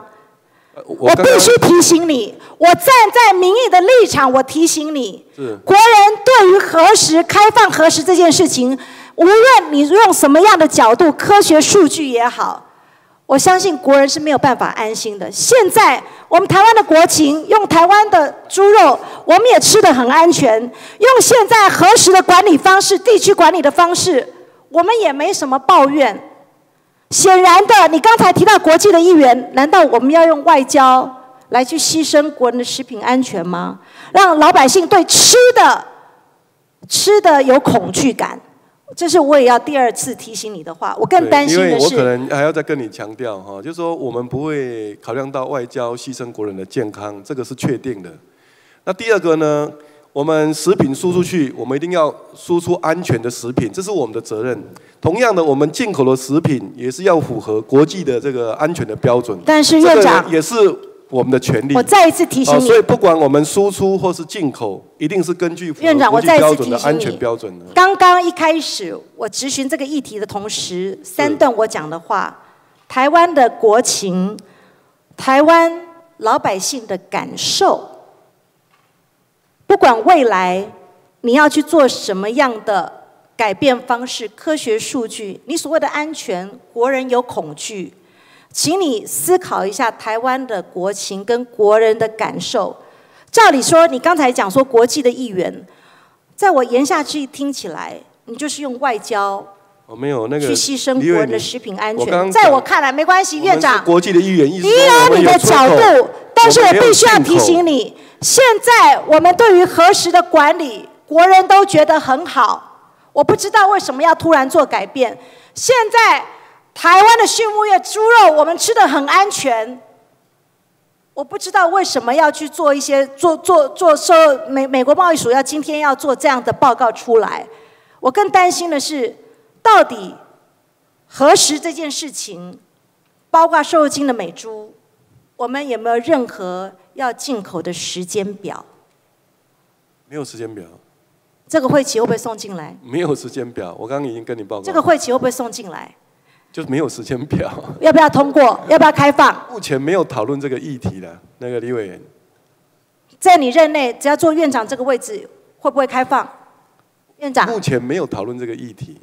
就是随时都有，也就是你言下这目前没有讨论，也不排除未来会讨论。我可以跟你报告，就是说，就是说，任何食品的进口，政府的责任就是以安全为最高的标准嘛。我们不会说考量到外交牺牲国人健康。院长，你讲的安全，国人觉得不安心。你喊的卫生纸没有缺货，都买得到，国人仍旧信心不足，到现在大卖场还在排队。所以院长。我请你回去好好看一下，我刚才提出你在担任台南市市长所提出来那三段话，请你注意一下台湾的国情，台湾的老百姓，美国也好，日本也好，应该去思考一下台湾人民的感受。你身为父母官，你身为中央，你可以决定要不要进口这件事情。我希望你也站在国人的对食品安全的立场跟感受。你不要让家庭主妇去买的时候，买猪肉的时候，我还要再确认、再确认、再确认是台湾猪还是美国猪。我要我要去买日本零食的时候，我还要再确认、再确认它是不是来自福岛五县市的食品。这是我要提醒你的地方。你不要让我们食的不安心，买的不安心。谢谢。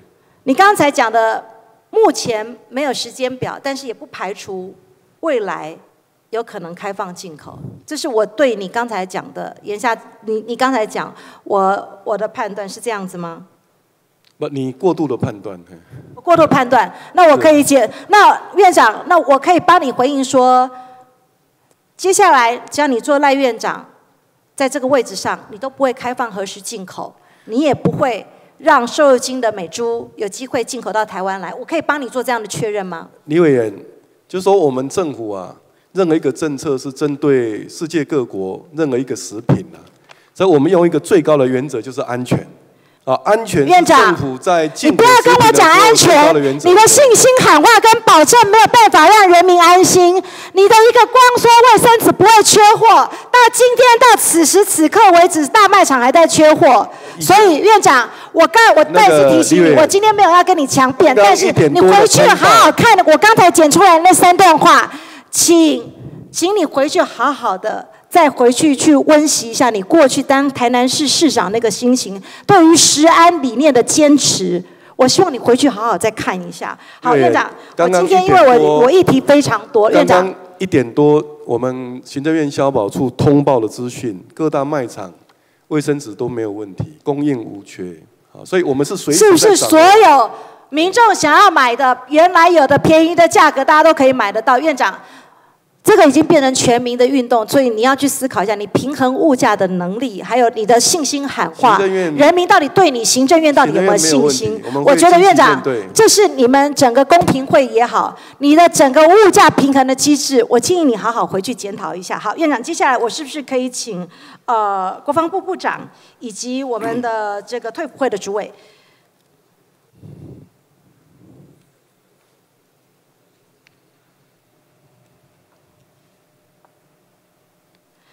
严部长，我边讲哦，因为时间有限。严部长，邱主委，嗯，今天晚上八点钟，所有的好多退役军人，您过去一起奋斗的同胞弟兄，要在立法院外面八点帮庙上上帮庙上校集气。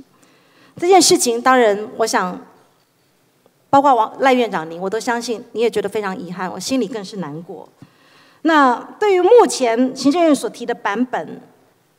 我想请问一下邱主委，因为这一次退辅会，照理说退辅会站的角度就是照顾你过去的弟兄，对不对？你觉得一路走来，这些退退辅弟兄们在外面和平的坐在外面搭着一个棚子，你觉得他们是无理取闹吗？不是无理取闹，他们有他们的诉求。据理力争，和平合理吗？他们他们对他们自己的权益争取，你觉得合理吗？他们用的方法。都以合法的，然后他们有他们的感受，我们都可以了解，我觉得也是合情合理。好，那呃，严部长，你提到这整件事情是国安危机哦，请问两位上任之前有没有看过林万益主委这个新的军改的版本？呃，我们看过。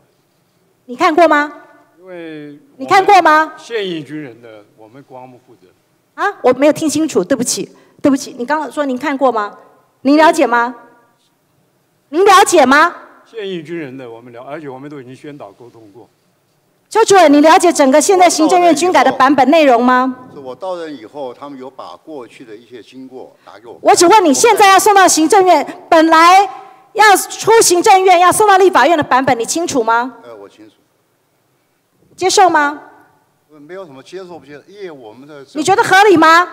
我觉得在对军人争取这福利来讲的话，这个基本上我们可以在一个这个点上再往上努力，这也就是将来我们要努力的，像委员是多帮忙的。邱主委，我很高兴你讲过这样的话。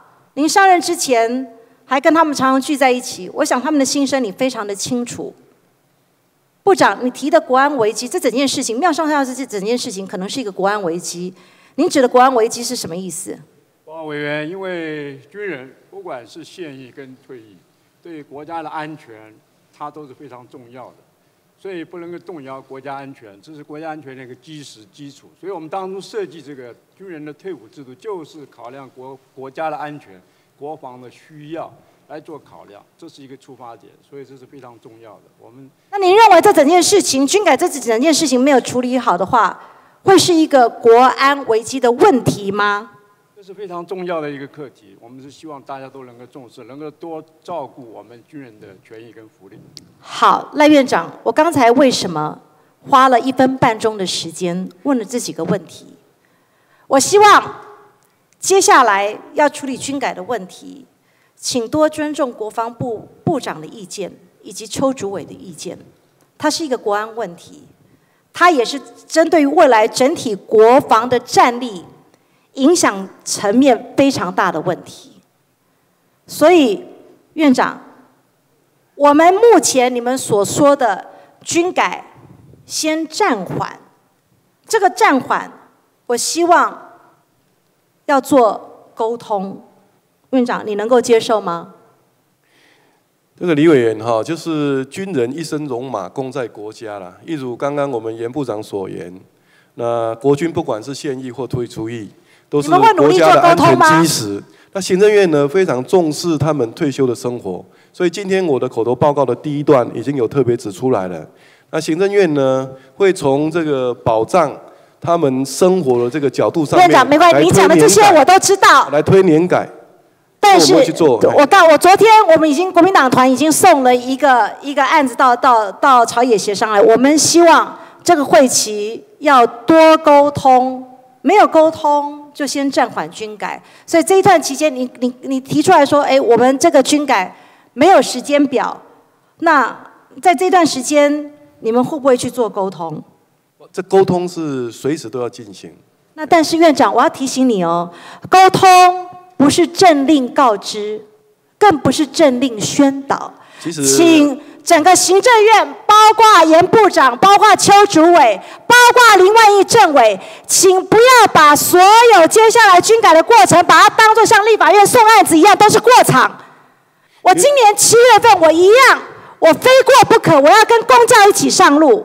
因为其实我真的要替林万益政委、还有冯部长啊，以及李主委说两句话。其实今天这个礼拜预计要在行政院通过的版本，其实也已经调整过的啊，就是因为过去的相当时间，他们跟退出役的官兵啊，或者是现役的官兵都做过充分的沟通。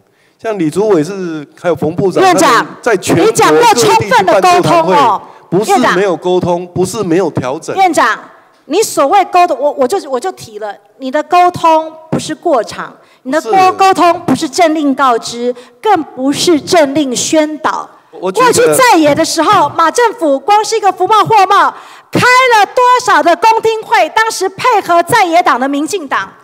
今天这个年改，如果是国安危机，对于未来整体国家的国防战力，对于我们未来国家可不可以吸引更多优秀年轻人从军，它影响是非常大的。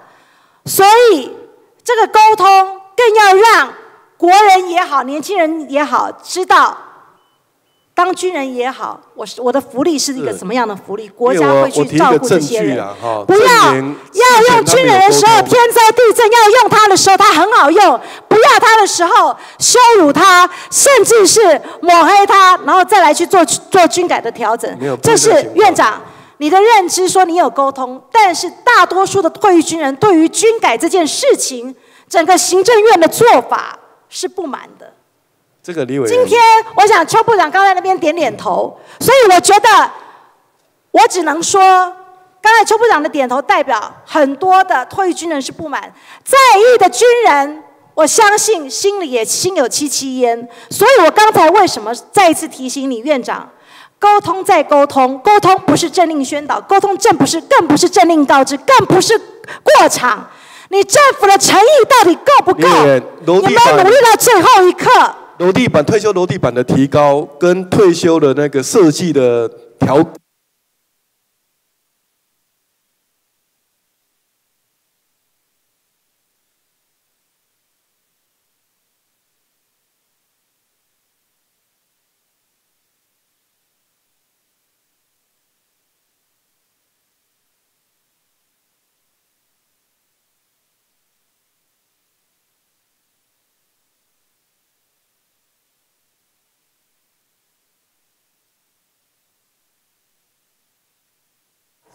好，谢谢，谢谢。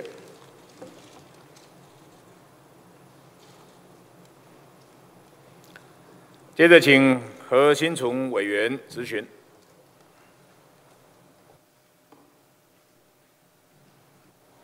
谢谢主席、副院长，呃，各位大家晚安，大家好。我们请赖院长。请赖院长。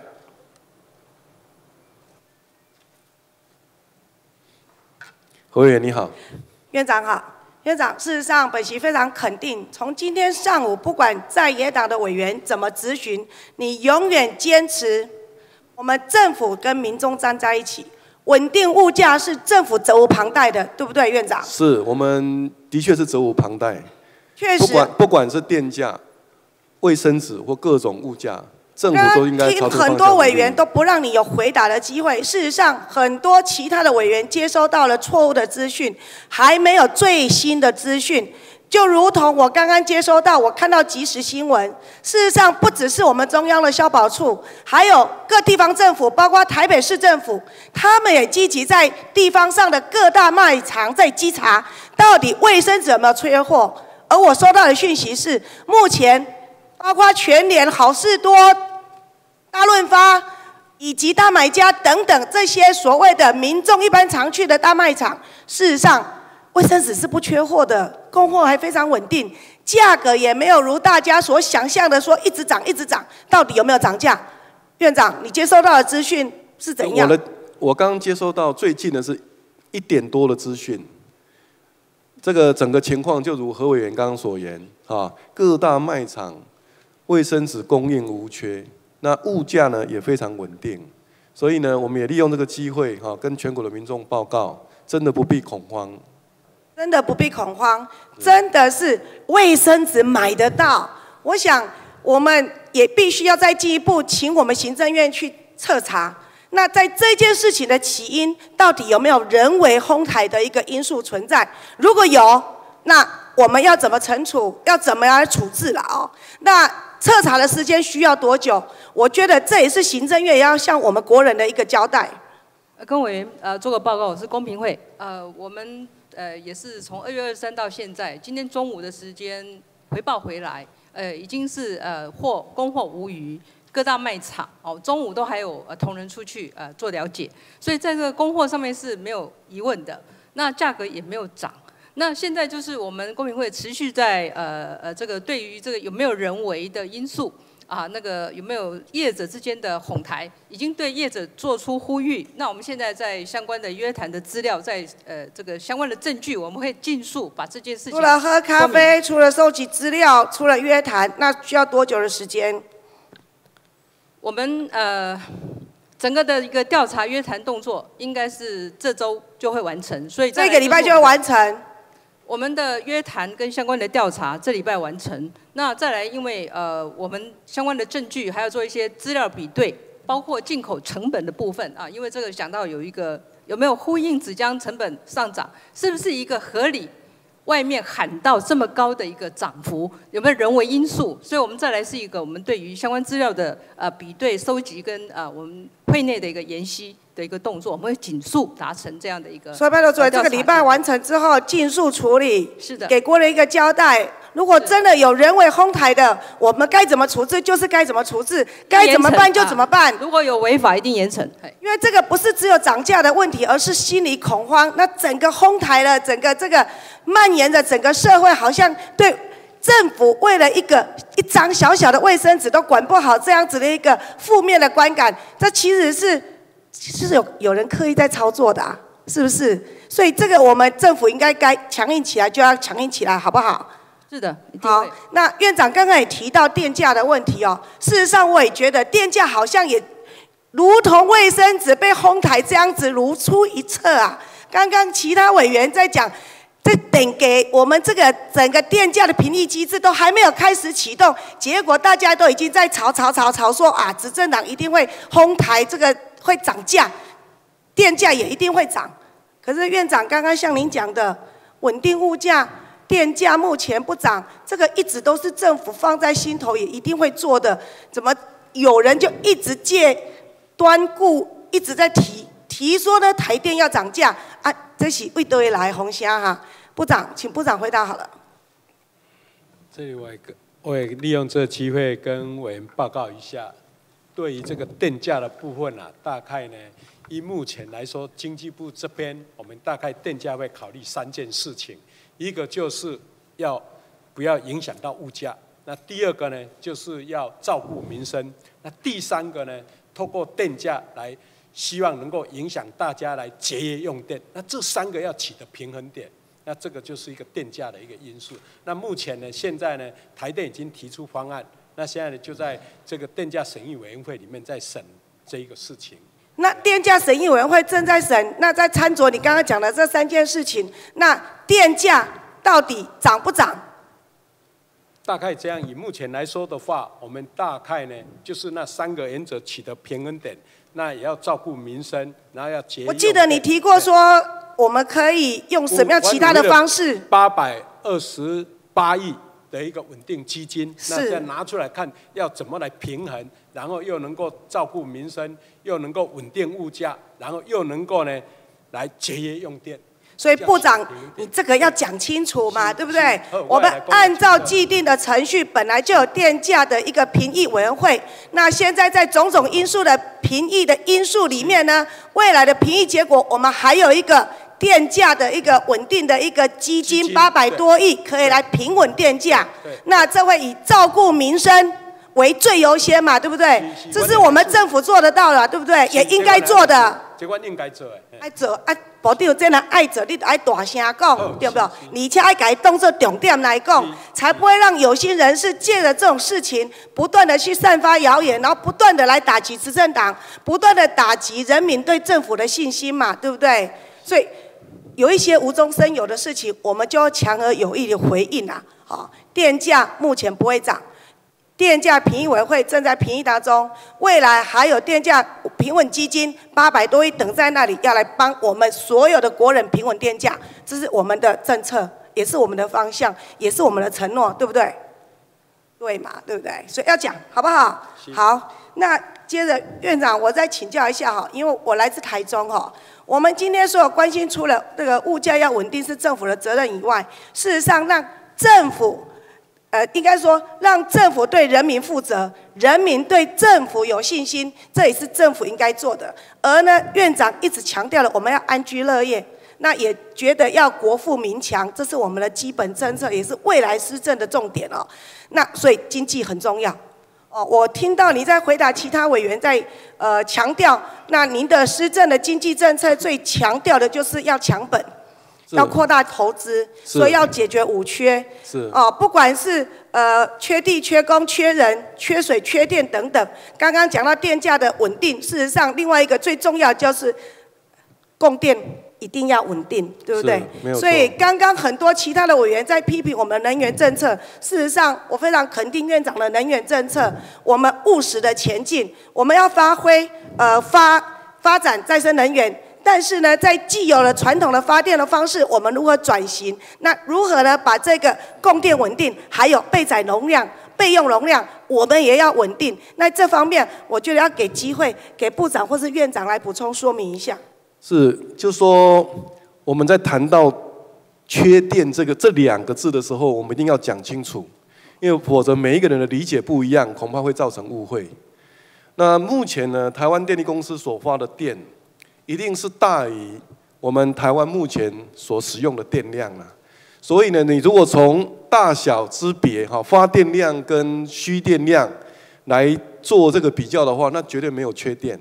但是如果我们设定一个比较高的标准啊，就是说我们不仅仅发的电要大于需求的电，我们还要有剩，剩多少呢？预留一个空间对，备用空间就是备转啊。如果说我们要达到百分之十，那当然还不到啊。这明年一百零八年之后呢，我们的目标能够设到百分之十。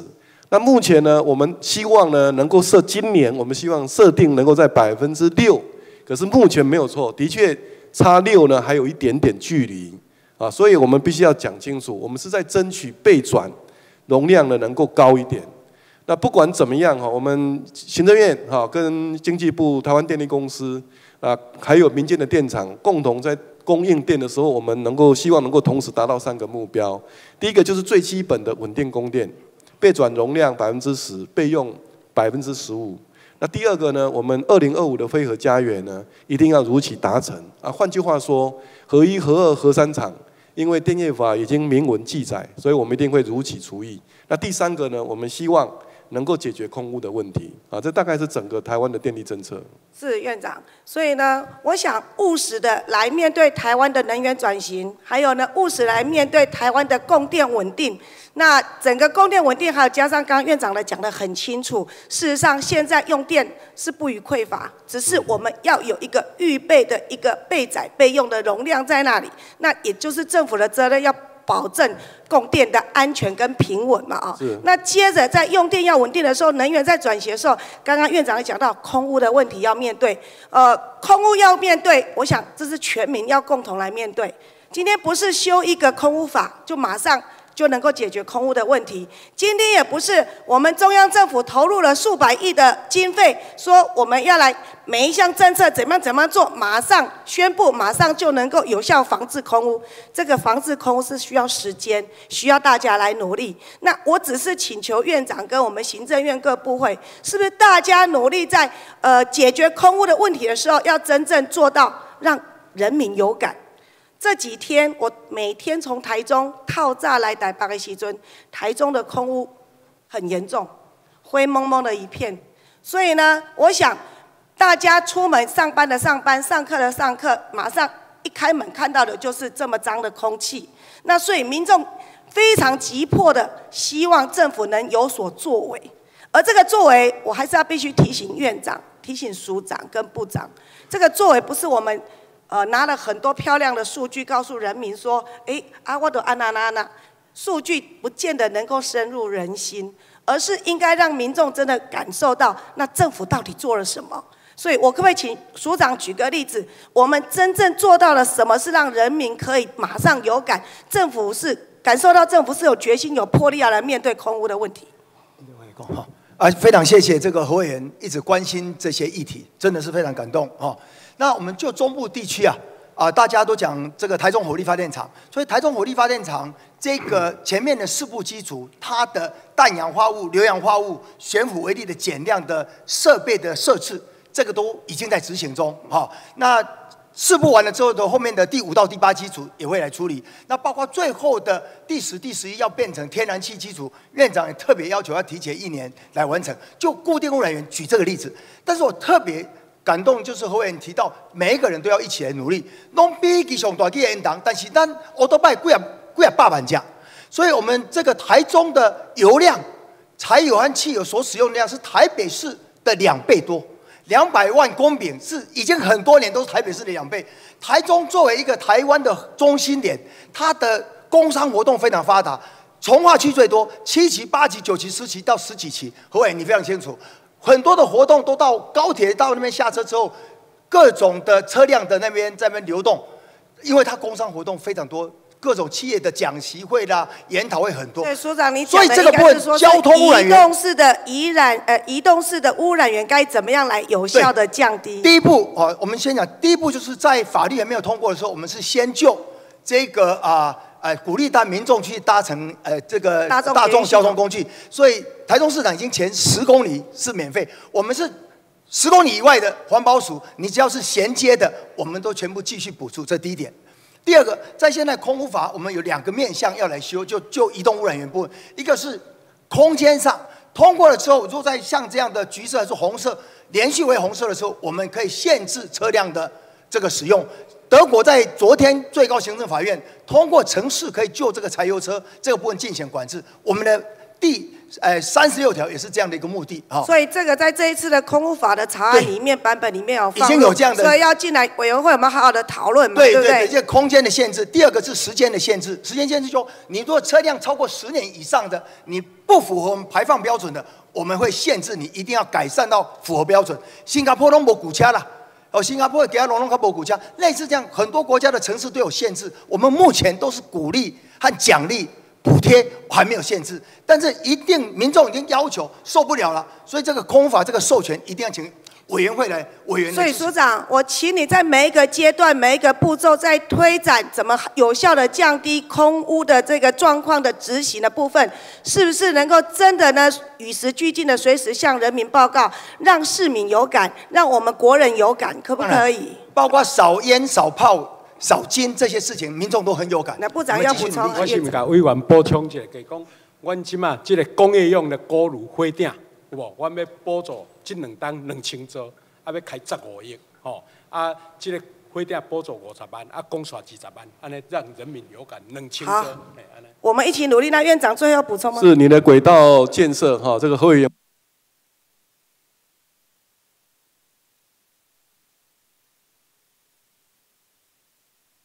好，谢谢。接着请周成秀霞委员咨询。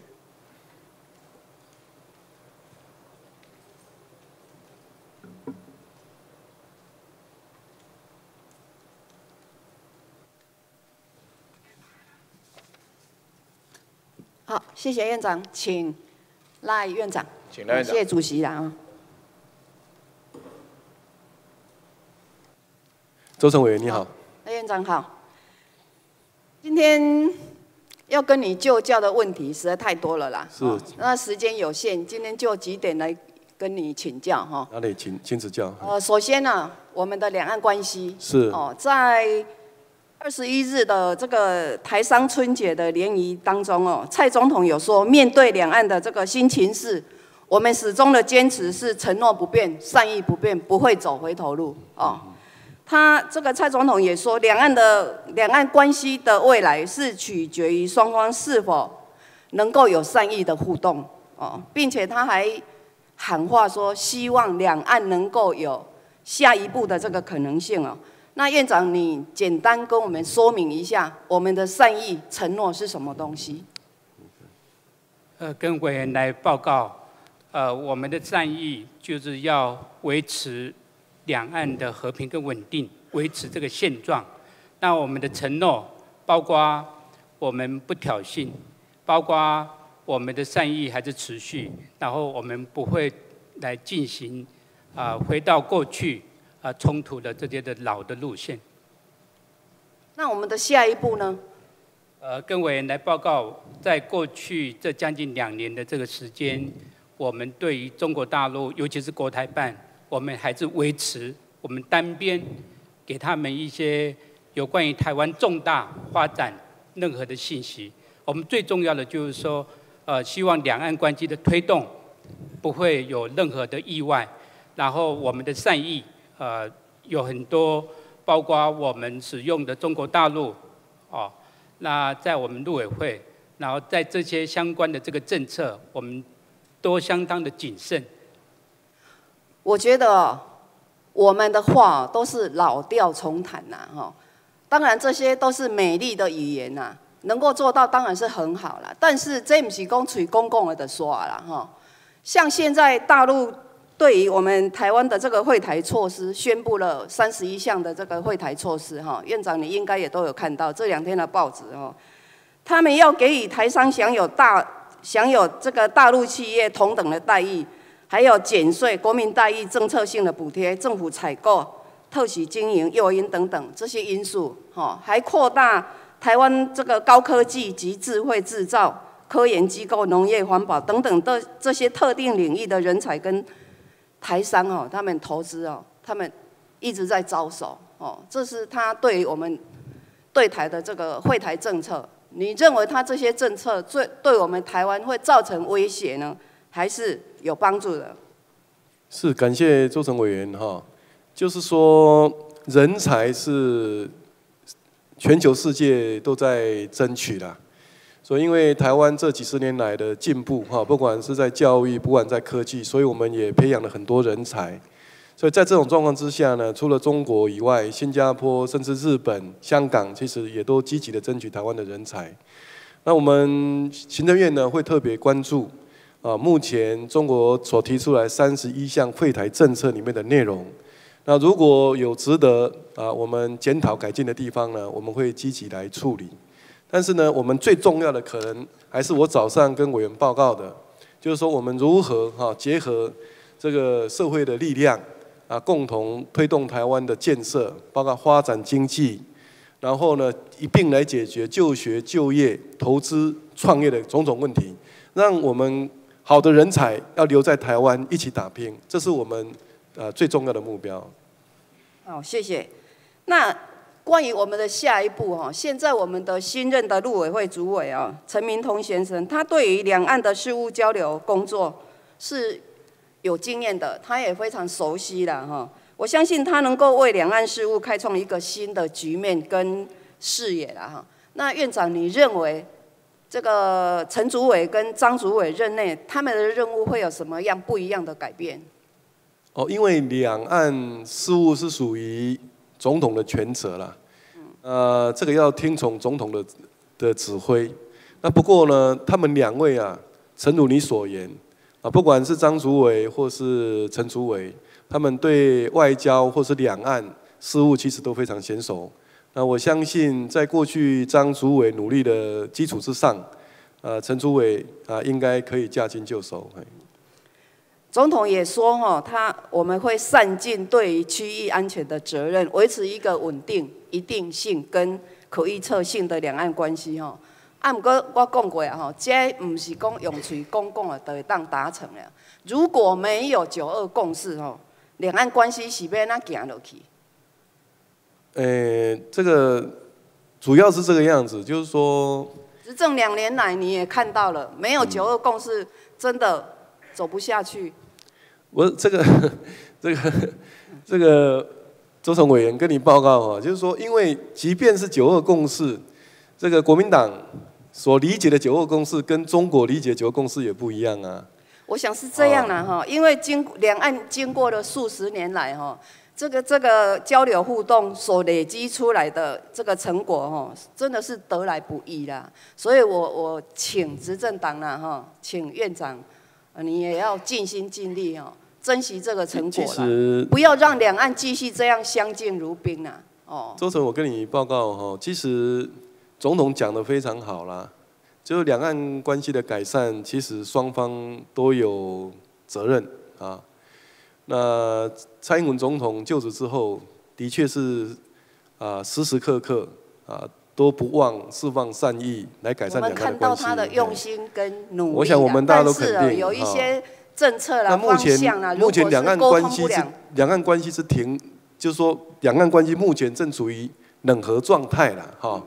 那国际社会也认为，其实啊，中国这边其实也有他们的责任之所在啊，因为我到美国去访问，或是在台湾跟这个国际的的这个专家学者在见面的时候，其实他们也肯定蔡英文总统的努力。啊，其实他们也期望啊，中国应该要打开心胸啊，自信的跟台湾交往。那我特别跟周成委员报告，也分享一下之前我去访问以色列。那么以色列呢，他们的想法也是一样，就是说他们现在呢也积极的跟过去啊像埃及啦、约旦啦一些中东的一些国家共同合作，啊，希望透过交流，经过长时间培养彼此之间的信任，然后来达到和平。他们也不相信签一个协定，或是透过一个怎么样的口号就可以得到和平。好啦，我希望我们的政府努力啦，加油啦，为了我们国人啊，为了国家的这个经济利益为考量了哈，爱开认真的啦，真正是两方的问题哈，爱好好啊来处理，要不然现在国人都感受到他们真的跟以前的这个时代哈很大的不一样，像咱的观光业的话啊哈，有一些饭店什么，现在都真的是苦哈哈，这跟咱两方拢有真大。诶，这个关系，和咱的农产品同款，嘛是嘛是拢感受真深嘛吼。好了，那就不要再谈了。那接下来谈谈我们的飞河家园哦。我们蔡总统在这个二零二五年的飞河家园，去年已经入法了哦，所以它不再只是一个愿景，而是一个有法源依据的目标哦。那院长您的施政报告也说，在核一厂在今年哦，也是的十二月份哦，即将会除役哦，没有错吧？是没有错，我们也会依照法律。那这个你的施政报告里面也说，二零二五的这个辉尔家园的目目要达成，二零二五年要达成了哈。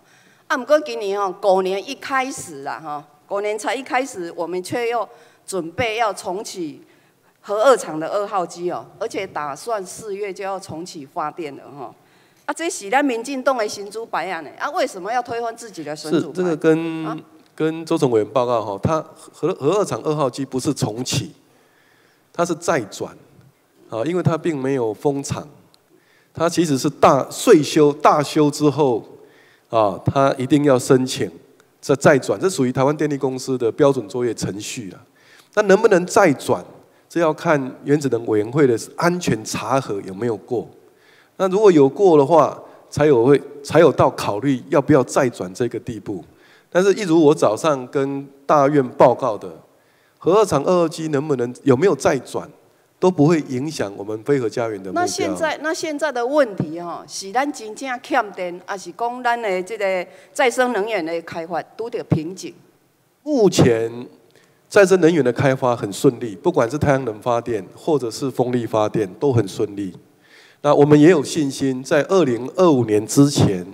它的发电占百分之二十，啊，这个没有问题，啊，那另外另外就是这个飞核家园的目标啊，牵涉到这个再生能源啊这一部分啊，我们会积极来处理啊，所以这个没有问题以外呢，我们包括一些啊火力发电啊的这个配比啊，包括厂的维修或者是机组的新建。这个也会如期来完成。因为这个在你的报告里面哈，我没有看到你有提到二零二五年天然气的这个供电占比哈要达到百分之五十，哦，我是没有看到的啦哈。我在想说，这个是不是因为天然气的价格太太高了，所以目标是改变了，是不是？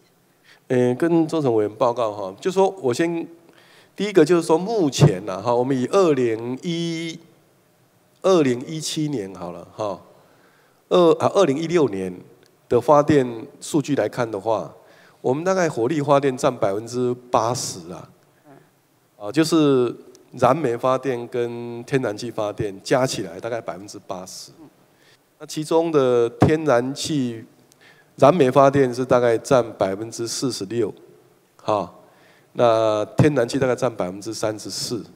那其中呢，核能发电占百分之十五，再生能源占百分之五，加总起来是百分之百。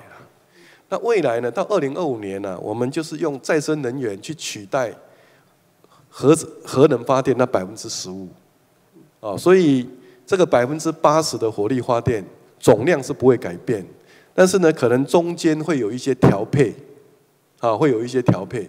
但不管不管是天然气占比多少，我们燃煤的这个燃煤的发电，我们也会去环保要求，啊，好比说超超临界的机组，让它能够降低这个空气污染的这个情形。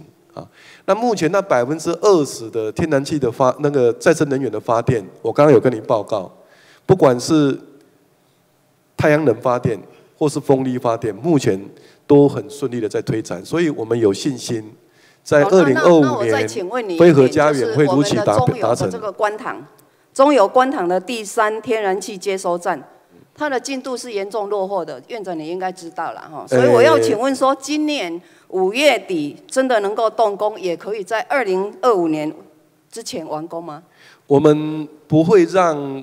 观塘的天然气接收站影响二零二五年飞核家园的目标，哦，就这个比较长期的目标不会受到影响。那这过程当中，当然这个环保团体对观塘第三接收站有一些不同的意见。那不过呢，目前我们张景生政委啊，跟这个经济部啊，还有跟啊地方的大家已经有讨论一个啊两全其美的方法，既能够兼顾。早教啊，或者是这个柴山多杯孔珊瑚啊，这个环保团体要求的，那也可以兼顾这个中油公司天然气接收站的建制，所以我们有信心哈。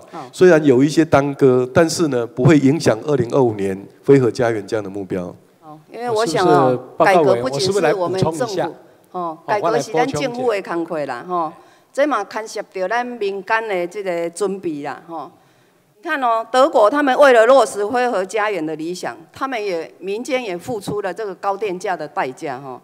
所以院长，我想我们也有这个义务哦，要诚实的告诉民众说，要辉和家园哦，电价一定会涨。到二零二五年的时候，到底是要涨多少钱呢？其实院长，你有这个责任，也要告诉我们的国人，这是我们最关心的问题哦。一晚我先来补充一下。好。好，大概刚刚委员有在关心就是观塘那一件事情。好，那观塘的话，我们现在我简单的二忙讲伤济，我这时间无偌济。这个回回避的迄个替代方案，啊，好乡乡亲大家较放心啦。哦，所以讲，伫即大家咱可以讲迄个面积甲数较小。啊，过来就是针对迄个回避裸露的早教，甲多贝孔山的范围遐，拢甲回避掉。哦，安尼来大家个嘿，啊，像委员咧关心咧，像过年时啊，我嘛是去甲委员沟通，啊，委员慢慢啊了解。哦，即环评的委员，我因为这这是拢国人足足重视、足关心的问题。像你未来的电钱是毋是要起价？哦，是不是要涨？啊，要涨多少？这是。这是大家都在关心的问题。今天这个我就不再问了，因为刚刚委员也都问了啦。关于我们的物价的上涨啦，我们电价啦，什什么全部应该都会涨啦。但是我希望哦，我们的的这个控管机制哦，院长你有责任把这个控管机制管理好哦。唔忙，你看刚为了一个卫星做的啊，变成一个国安问题，变成一个国际笑话哦，这会红笑啦。我我请你哦，要拿出魄力。这个要起偌济，你明显的告诉我们的国人，好大家会当安心，唔茫他妈抢抢卫生纸要笑死人。是会照周成委员的要求，哈，行政院会积极来面对今年的物价的情况啊。不过也请委员能够了解到，因为中央银行已经多次公开说明，今年台湾的物价相对来讲仍然稳定，哈。那你刚刚关心的卫生纸的这个问题，其实上一个委员咨询的时候，我们也报告。光一点钟的最新的通报的资讯，其实卫生纸没有问题，量没有问题，价格也稳定哈。就是有这个责任要把我们会我们会把事情处理好，稳定机制做好。一定，我们一定会全力以赴。再下来是我们的这个核实的问题哦，这嘛是关系对咱国人的全民的健康啦哦。我们的陈部长，卫福部陈部长在一月二十九日的时候，一共台湾英万被允许。进口这个日本的辐射污染的食品进来了哈，但是仍然禁止输台的日日本五县市的这个食品是依然禁忌的啦哈。它将会根据国际惯例适时开放。啊，二月二十一日公卫福部对于核灾食品的开放，并没有任何计划，一切照原本的步调哈。啊，院长还是部长？你敢会当甲大家讲，咱政府到底是虾米时阵会开放日本的这个核实的这个物件，你来互咱食？诶，跟委员报。到底是什么时候？跟委员报告，大概有两个最基本的原则哈。第一本就是有核哈，有辐射哈，这样污染的物质是绝对不会进到台湾来。好，第二个，卫生福利部是本于国人的安全、科学的证据、国际的规范来进行相关的研究。那目前并没有任何的时间表，都没有任何的时间表，是吗？对，好了，韩国啦哈，韩国曾经两度要求由韩国派官学及民间团体所组成的代表团赴日，会同日本专家对日本八县水产品及海水进行采采样哦。查明日本食品辐射残留实况，日本也同意了，哦，也同意配合了。啊，为什么我们的政府不比照韩国的方式调查，作为风险治理的依据？为什么不可以？哎，我们并没有说是不可以哈，只是在科学的证据若有需要这样做调查的时候，我们也不排除。那目前就是没有需要了。是不是？呃，目前来讲，因为没有任何进一步的规划，所以我们只是就日本相关所提出来的数字，请专家做分析、做研究。虽然在 WTO 哈仲裁，韩国是输了啦哈，不过他们仍然是坚持不开放日本的这些水产品哦，八线的水产品哈，他们是仍然不开放的，他们还要再上诉了哈。所以韩国都这么坚持了，我想我们台湾哦。有好的有好的模样，咱都爱学啦。为着咱个人的健健康吼，个人的健康，好的榜样我们就学，不好的咱都唔通学。我们还是会坚持一个国人的健康安全的哈，那国际的规范。那至于韩国那个，因为他现在还在上诉中哈，我们会密切的注意。因为除了香港跟新加坡以外啦哈，台湾的日本食品的消耗量是世界第一的啦。哦，所以为了国人的健康啊，我想院长、部长你们也都是很关心呐，哈。所以这个日本福岛等五县的农产品要销来台湾哈，请你们要三思而后行了哈。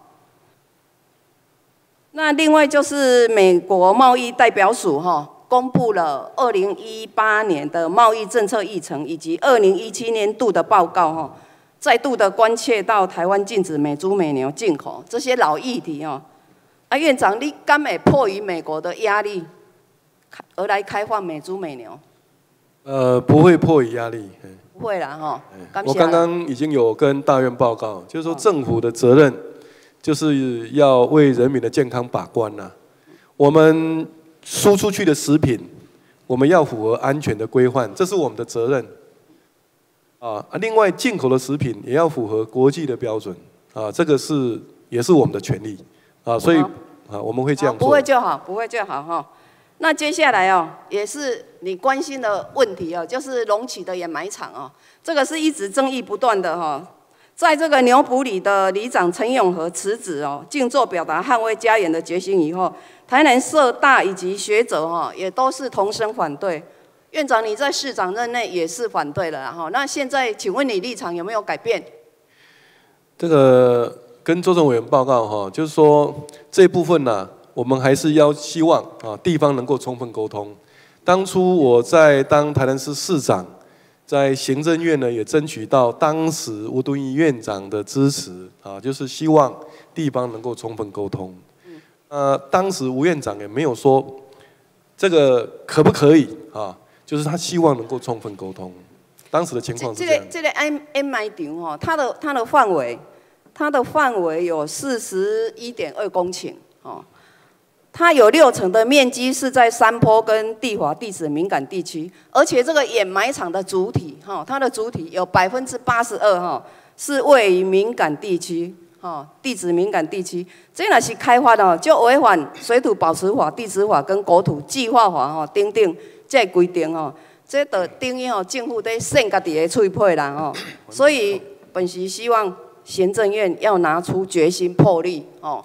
诶，环保署长，你上清楚的吼，这这个我在你拢做关心这，我我报过就，就我们一起长期的吼，我们现在这个全世界在推动这个循环经济的概念，理论上所有物件在地球面顶，咱拢会使搁家利用。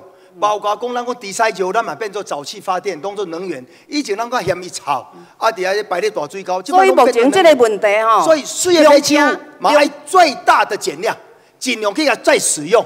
所以目前那个目前本色啦体积就吼，就需要希望不需要那么多咱行政与环保署提出魄力，提出决心，这个部分是过去撤销撤环评哦销伊这个环评的部分环敏感地带，包括地震迄个代志吼，咱拢够含在地质专家拢再三的研议过了吼，所以这个代志咱袂轻易，但是归结到尾啊，是整个社会，你不要产生那么多垃圾，就是变成都把它态度上认为它都是可再使用的资源，安尼最后爱大物件都无济，安尼这个空间都袂安尼满世界拢无够用。所以我们一步长，这是长期策略，短期我们现在包括垃圾多元方案这样的一个分类 MBT 的引进，这去年通过一百五十六亿的这个呃中央地方的新的计划，让这个整个垃圾处理啊都有一个新的方法，咱一波一波来解决这个争议的问题。这个梁家吼，它这里有世界级的这个白垩泥浆地景啊，这这是一个非常难得的美景啊吼，所以本色希望讲这个环评诶这个水土保持吼，先撤销环评，然后也要撤销欧新水泥的这个水土保持的许可证。呃，迄个做什么？咱的环评制度吼，你有知大概大家拢感觉讲足严的，哦，敢若风险伤严，无风险受伤啦。所以在环评的过程里面，水土保持，呃，这个这个呃这个断层带，哦，还是各种的呃水的渗透、水源区的保护，加拢爱委员拢爱去爱去考量。所以咱袂遐轻本性哦，彩，袂底下轻彩。底下上一个会期哦，我也咨询过，这这它的整治哦，它这一条这一个这一个整治工程的费用哦，花了多少钱才把它整治好？你现在要准许它开发的话，都无采工咧，政府咧开遐侪钱。包括你那像讲二人溪这款的吼，过去对物件咱整治搁开二十亿吼，类似这样事情，咱对水质的保护一定专业来注意掉。所以委员你提醒的代志，咱会修掉。好啊，咱一切照这个环评的程序，环咱的环评制度是讲风险伤严都无咧风险伤伤的。好，我想这点是也是这社会一般的感觉，但是咱徛咧环保保护一定会注意这个代志。好好，谢谢谢署长，你可以先请回。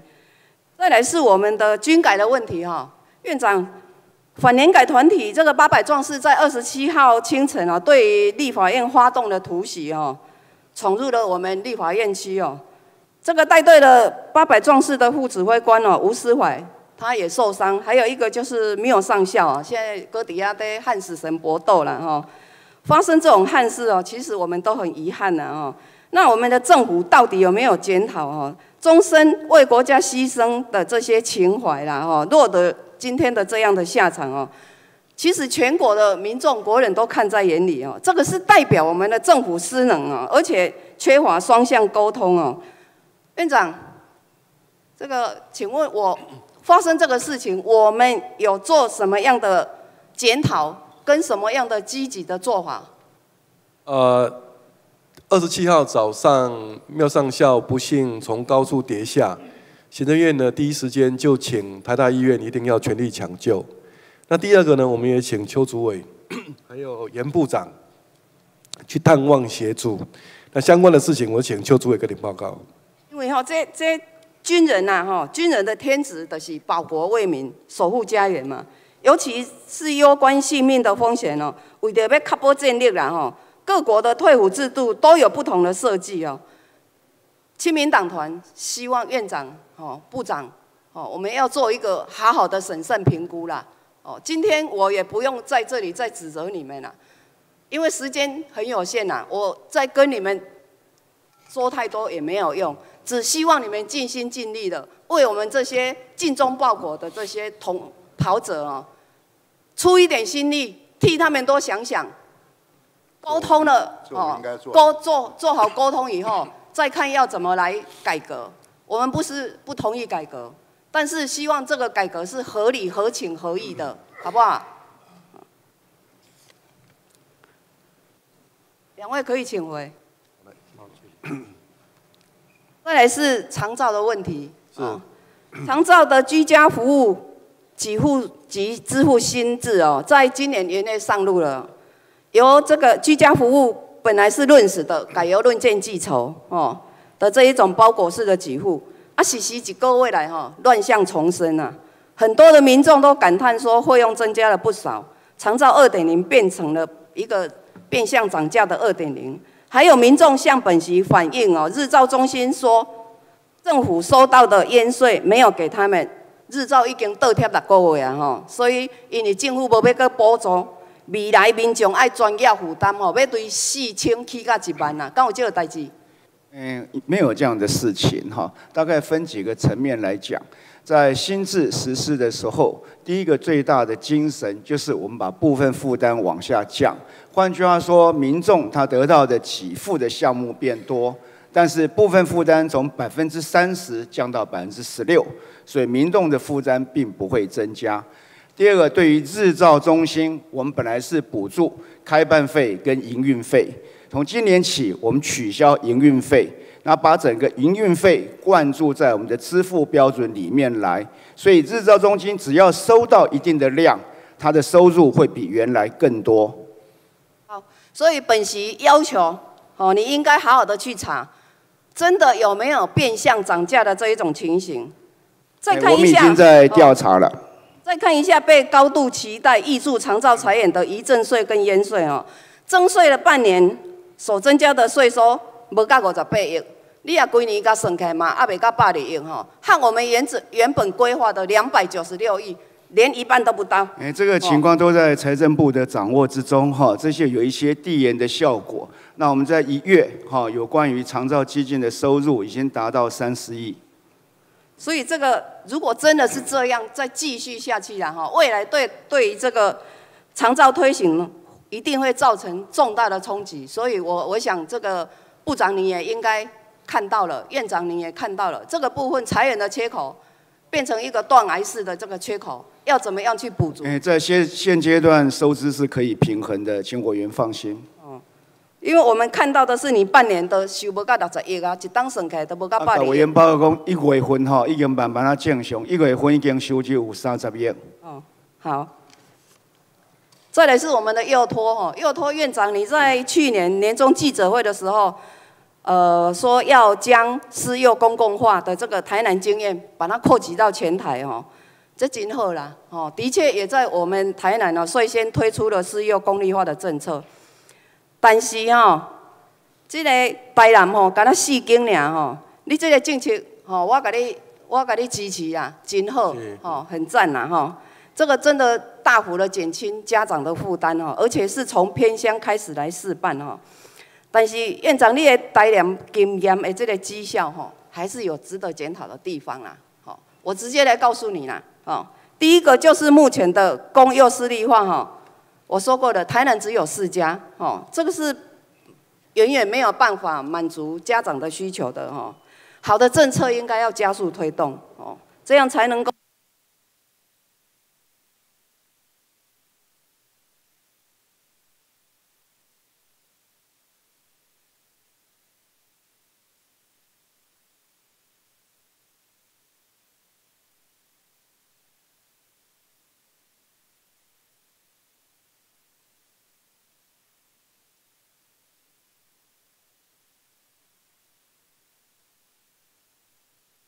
好，好，谢谢。来，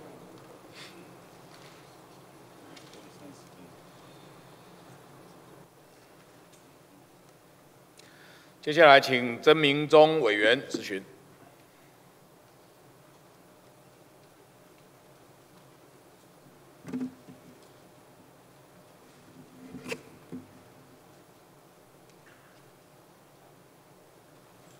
好，谢谢主席。呃，麻烦请院长，请赖院长。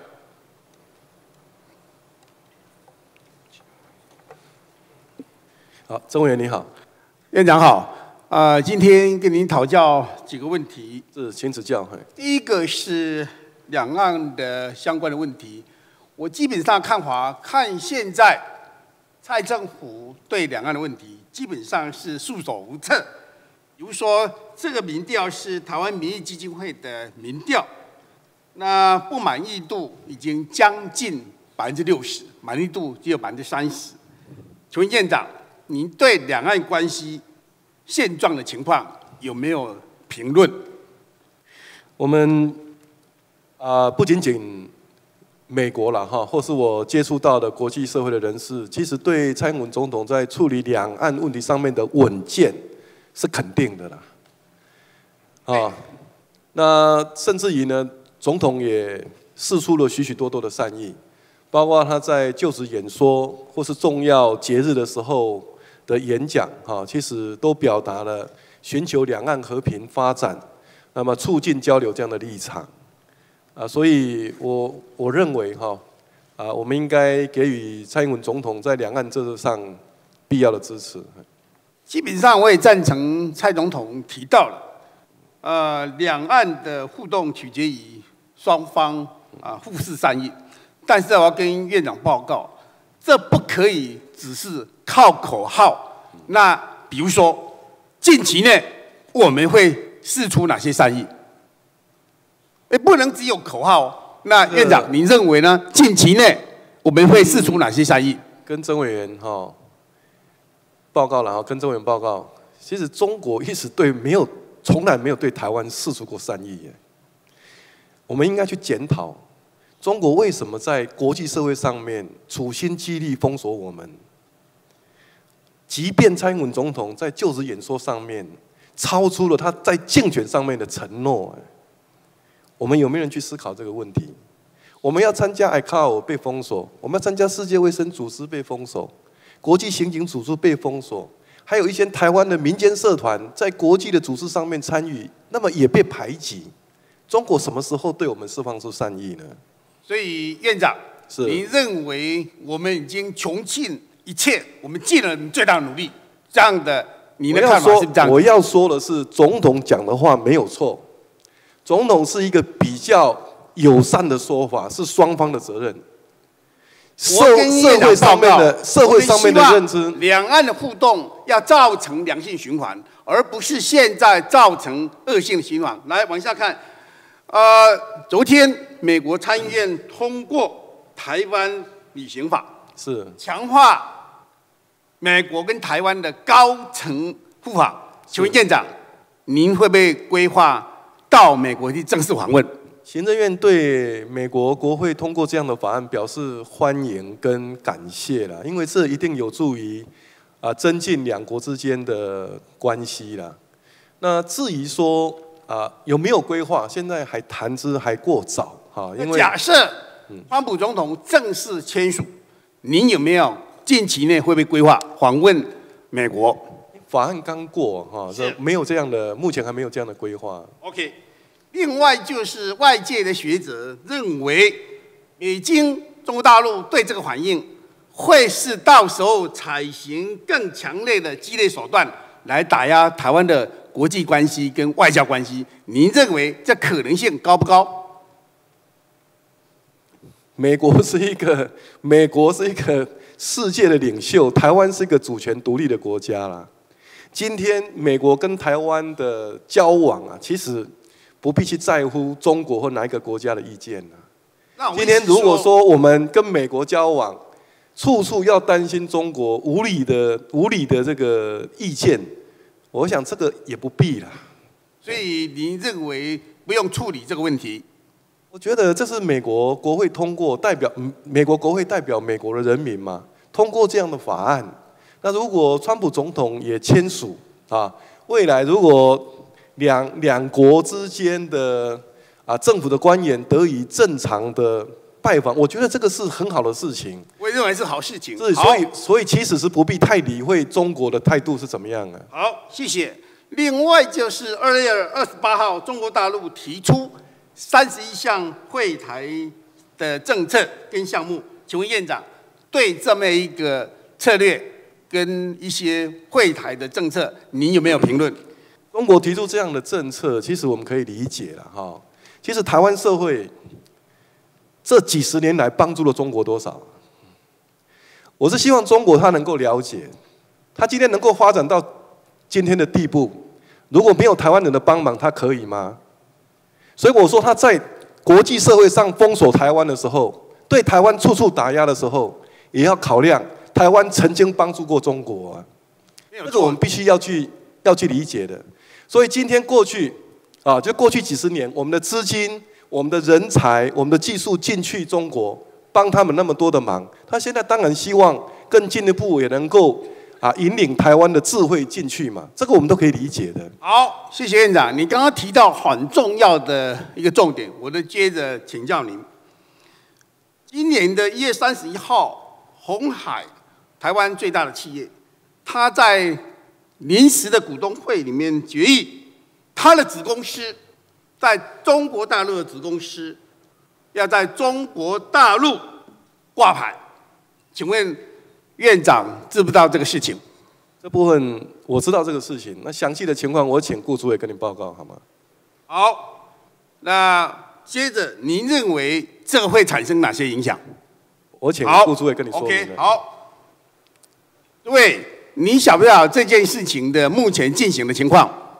呃，目前他们已经向这一个大陆申请嘛，没有错那正在正在审核当中。对，那主要是这一家公司注还是在大陆注册的一个红海的子公司啦。对哎，那为什么他不回来台湾注册，他要到中国大陆注册？呃，我想呃，现在呃，就在大陆上市的这个部分，现在呃，它开放的一个方向还是属于在大陆注册的公司，在大陆注册的公司。那么在大陆注册的公司选择在大陆上市，或者是说其他像本国母公司在本在我国，那么它的海外的子公司在选择在海外上市。我想这是一样的道理，这有它的一个商业上的一个判断，这样子。好，诸位，现在上市上柜加速总共有多少？呃，上市的部分大概九百多家嘛，连同上市柜大概一千六百多家，是一千五百四十三家。是。那我跟你讨教，这里面有多少家已经有到中国大陆去投资？这里面有多少家去大陆投资啊？大约就好，比例一千五百四十三家里边有多少家已经到中国大陆投资？呃，跟委员报告，我现在这边看到的数字是说，我们加起来是上市是九百一十家嘛，上柜是七百五十家，加起来应该是一千六百，差不多六十家左右了。那就他们已经有到这个呃大陆，您说大陆的家数有投资的一个家数是不是？对还是说大约比例就好大陆的金额？比例我，我手上现在没有相关的比一个例是将近所有上市上柜公司里边到中国大陆投资设子公司或者顺公司的，高达百分之七十六。您说有设子公司是不对是？哦，也就是将近八成的台湾上市公司到中国大陆去投资，总金额这是我知道第三季、第四季还没出来，是两兆两千八百三十七亿。那请问主委，假设这将近八成的在中国大陆的子公司都到中国大陆去上市，您认为会怎么样？呃，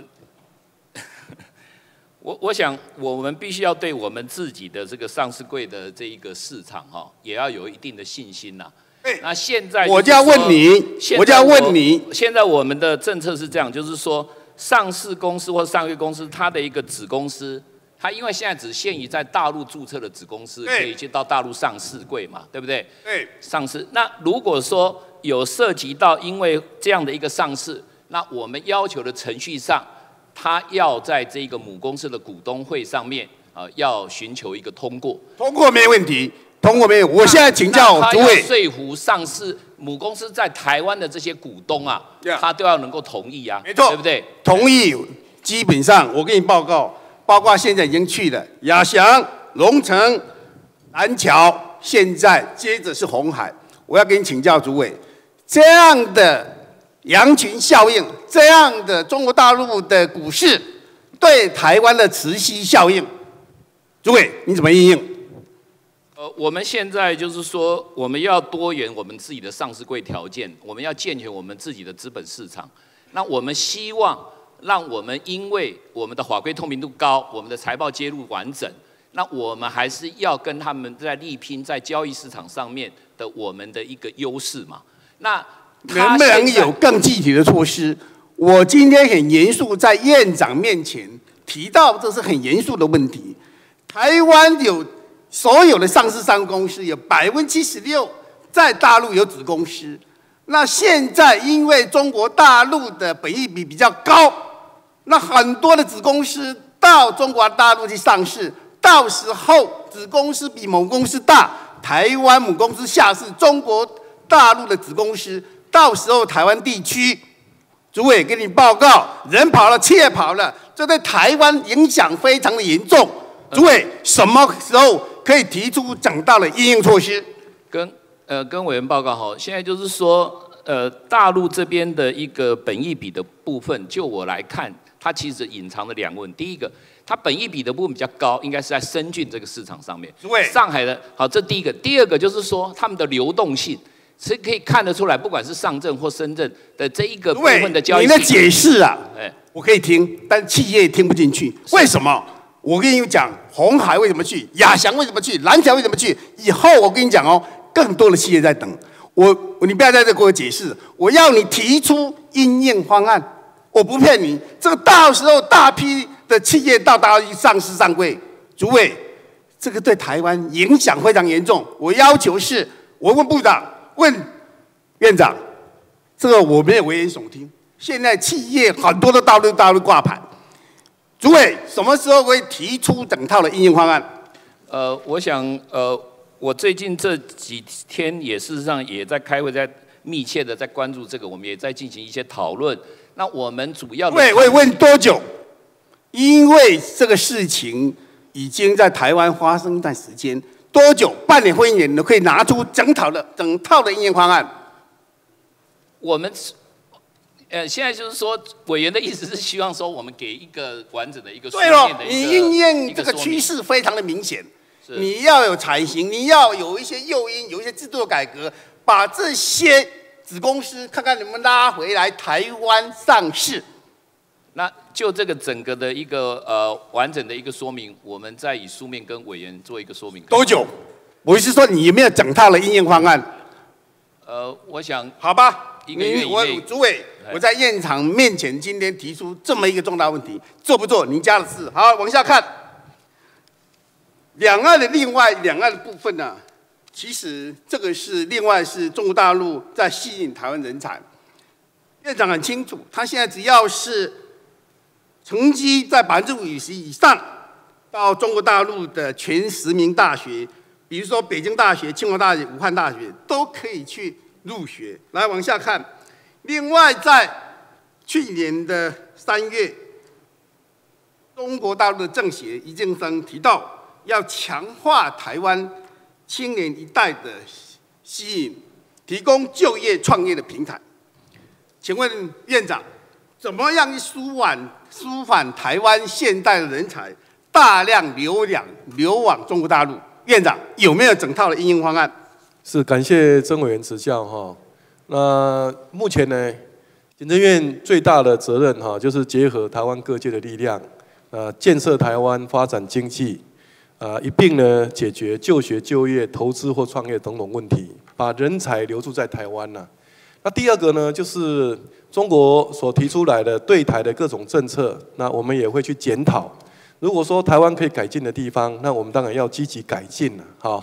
让人才可以留得下来，我想我们主要啊会朝这两个方向来做。好，谢院长，你刚刚讲说要改善台湾经济的情况，蔡总统也提到说今年要彻底解决低薪的问题，这个是另外一个民调，就是民进党政府上来之后拼经济，拼经济其实不满意度也高达也高达啊将近六成。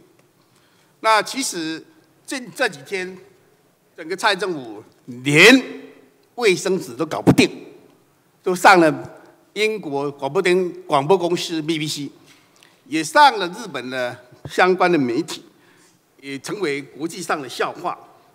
那请问院长，电价会不会涨？我们行政院呢会。责无旁贷的哈，去稳定包括电价在内的各种民生物质的价格，啊，让国人呢能够很平顺的啊生活，这是我们那今年四月会不会涨涨？电价会涨？电价会不会涨？哈，因为四月份，因为每年法律规定嘛，四月份跟十月份，电价审议委员会会开会讨论。那我是认为，我们行政院也好，或是立法院也好，其实都应该充分尊重。这个电价审议委员会哈，不必提前去揣测会不会涨价，因为有时候会引起没有必要的误解。那假设从最近的油价上涨的情况，那我跟院长报告，四月份电价确定会上涨。来往下看，另外您在二月二十二号的时候特别提出来，有三大施政目标，包括安居乐业、均衡台湾、生生不息。那里面发展经济的部分，特别是要解决低薪的问题。我要请教，来我们往下看，台湾的低薪跟每个国家比较，非常的低薪非常严重。到台湾一百零五年底的时候是只有四万八千七百九十元，那整个实质的薪资，实质的薪资一百零五年的实质薪资只有四万六千四百二十二元。比民国八十九年的时候还低，倒退了十六年，所以很多年轻的朋友都离开台湾。往下看，这依照统计，在八百九十八万的受薪阶级里边，不满三万的招高达百分之三十四，不满四万的高达百分之六十六。好，来往下看，请问院长，低薪，因为总统讲说今年要解决低薪的问题，他显然不了解低薪的最根本原因。请问院长，低薪的最根源的哪些是最根源的原因？院长晓不晓得？是在跟政委员报告之前呢，我们必须就你刚刚提供的数据里面呢，我们也做一个补充哈。第一个就是说，虽然呃薪水三万块以下占了百分之三十四。那不过它是从四十几趴开始往下掉。换句话说呢，国人呢在经济方面上面的努力也看到成果。那第二个呢，去年呢我们那个实质薪资啊，相较于去年啊，我们去年相较于前年其实还是有成长，并不是没有成长了百分之一点多啊。换句话说，努力的成果是有一些呈现啊。那第三个呢，就是说从十六年前，哈，大概两千年到二零一七年呢，其实我们有一些啊，包括鉴保会啦，哈，包括各种，其实啊，有一些增加了，哈。那换句话说呢，啊，变成让我们加薪的这个力道就受到影响。那不过呢，即便是这种状况，没有错哈，这个曾委员讲的没有错，就是说行政院应该要积极努力去解决低薪的问题。那请问院长，因为总统讲说今年。要彻底解决低薪，那行政院准备拿出哪些的应用方案？是第一个哈，可能还是要回到正本溯源的这个方法哈，还是要拼经济的哈。我想曾委员是经济学专家，今天如果投资不振啊，经济发展不好，我想这个薪资是不可能提高了。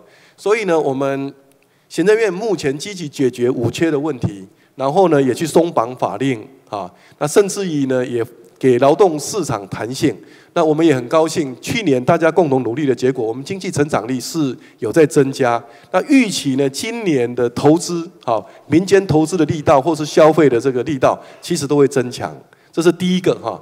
当投资增加，然后就业的机会增加的时候，薪资自然会增加。那第二个呢，我们也提供新创的机会，好，让年轻人看到未来。那我们也日前我们也开记者会，我们希望未来两年内啊，至少能够有第一只独角兽。那我们也去建立一个友善的新创环境，让年轻人可以去去创业哈。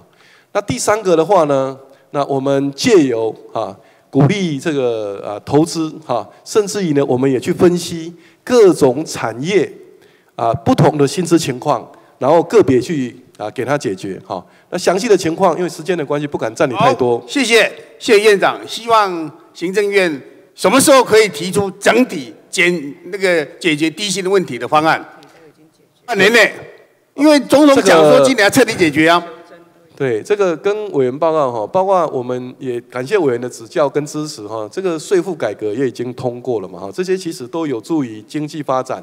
跟受薪阶层的负担，哈，税负的负担。院长，半年内能不能拿出整体的方案？这个可以，我们大概一季，谢谢。来，不用半年，我们大概一季内，三个月内，我们就可以开记者会跟社会报告。好，谢谢。接着是有关股市的问题。是，在今年二月五号，美国股市下跌了一千一百七十五点，所以国际上的投资机构还有相关的专家，大部分都不看好今年的股市。那隔天，台湾的股市下跌了五百四十二点。未来的股市，请问院长或者是主委，您看好未来的股市吗？我想股市终究还是要看基本面嘛，所以只要我们的经济维持一定的动能，我想股市长期来看就是会跟着经济的基本面好，基本面其实除了基本面以外，其实请问主委，现在外资现在外资累计在台湾现在存量多少？多少亿美元？两千亿出头啊，两千一百零一，跟上个月比较，上个月是二一三一，这个月呃二月份少了三十亿美元。那请问主委，每一天市场交易外资占的比例多少？在呃三成左右吧。哎，三成到三成五。请教您，因为这一次美国股市下跌，是因为因为大家惧怕 Fed 就是美国联邦会升息。那万一有个状况，为什么台湾跟着跌？因为台湾股市跟美国的股市高度联动。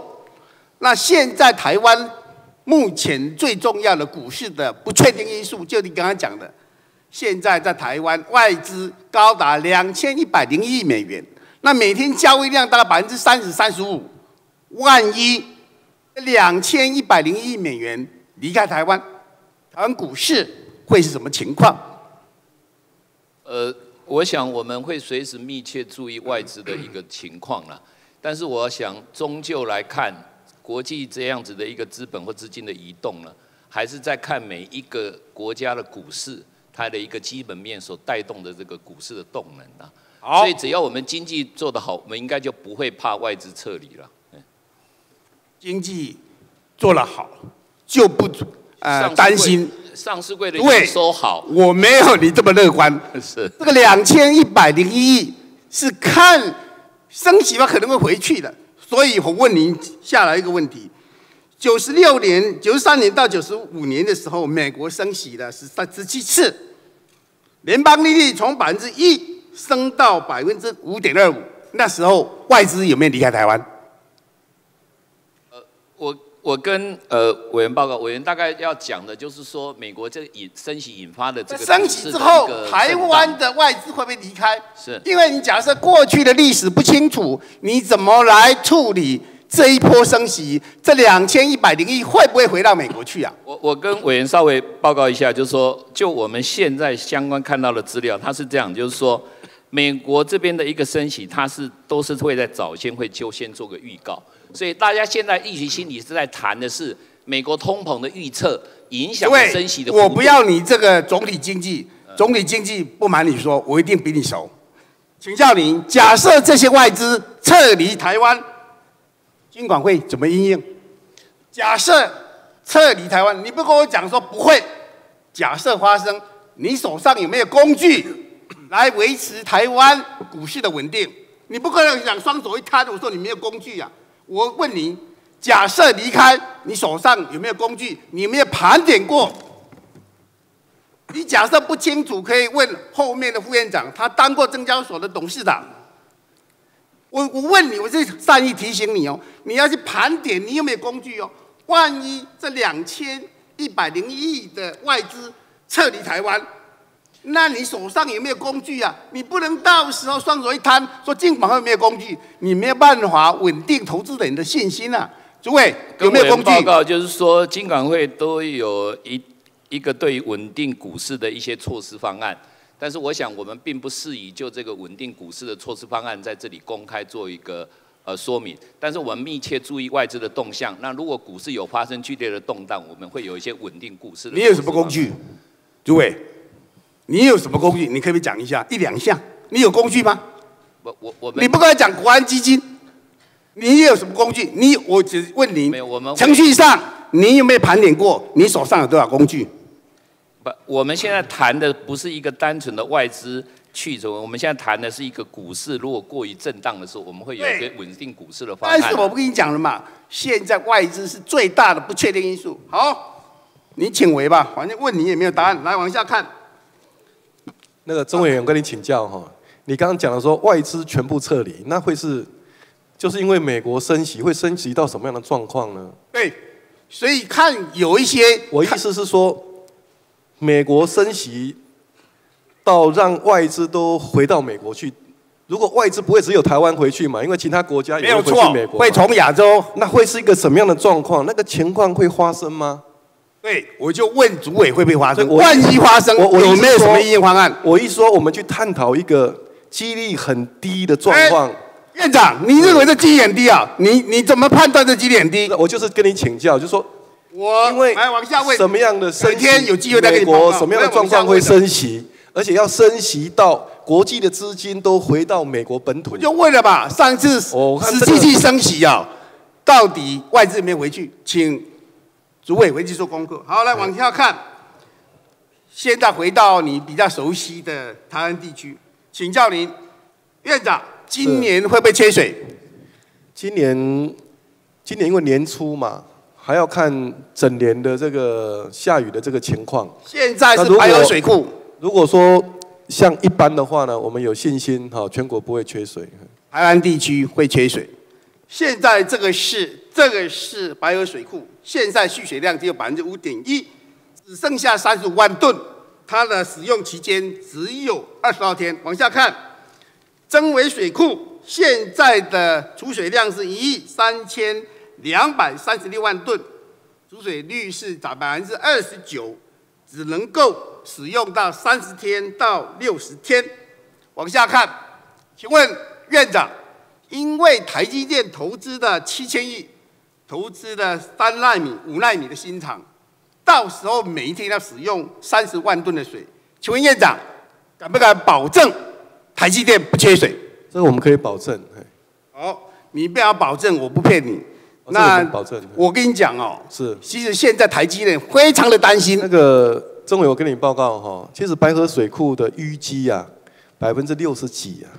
台南市的水水水的来源呢，不是靠白河水库，白河水库它基本上只是供应附近的连没有错农的用水没有错。现在我接着不是只有工业哦，对。所以台积电非常担心，他现在已经跟三百辆的水车签约，随时台积电可以调用这三十辆、三百辆的水车来供应水。中委，我再跟你报告哈，过去几年在台湾各地有缺水、限水的状况，台南都没有。对，我们连一期做、二期做都正常供应啊，好，所以台南市的的这个水资源的这个调度使用是没有问题的。好，正要跟你讨教这个问题，是您反应真的很快。今年台湾地区的春耕，农民会不会休耕？你刚刚讲，我就这个问题，你会不会缺耕？要不要休耕？春耕？目前目前这个水利署跟我报告，今年台南市也没有说要春耕要休耕的情况。确定？确定？农委会，你们你确定今年的水利署啊春耕这个是水利署负责。嗯不用休耕？对。副主委，你确不确定？真委员报告绝对不会休耕，因为今年只有在苗栗的地方呢，我们只有停灌一千公顷，其他全国第一期的耕作都没问题，而且也已经在插秧了。好，最后一个问题，请教院长。是。院长，是。你会年底会不会参与新北市或者北市市长的选举？你会不会参加？你先跟我讲，你会不会参加？报告报告院长，我不会参加，你会不会参加？我也不会参加。确定？你是怕我参加？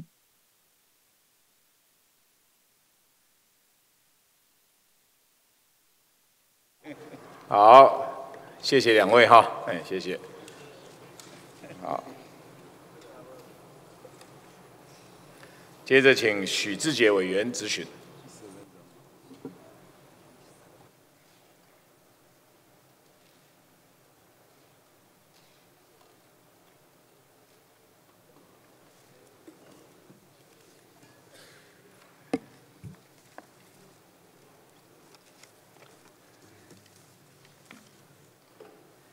啊，主席大家好，我们请院长。请来院长。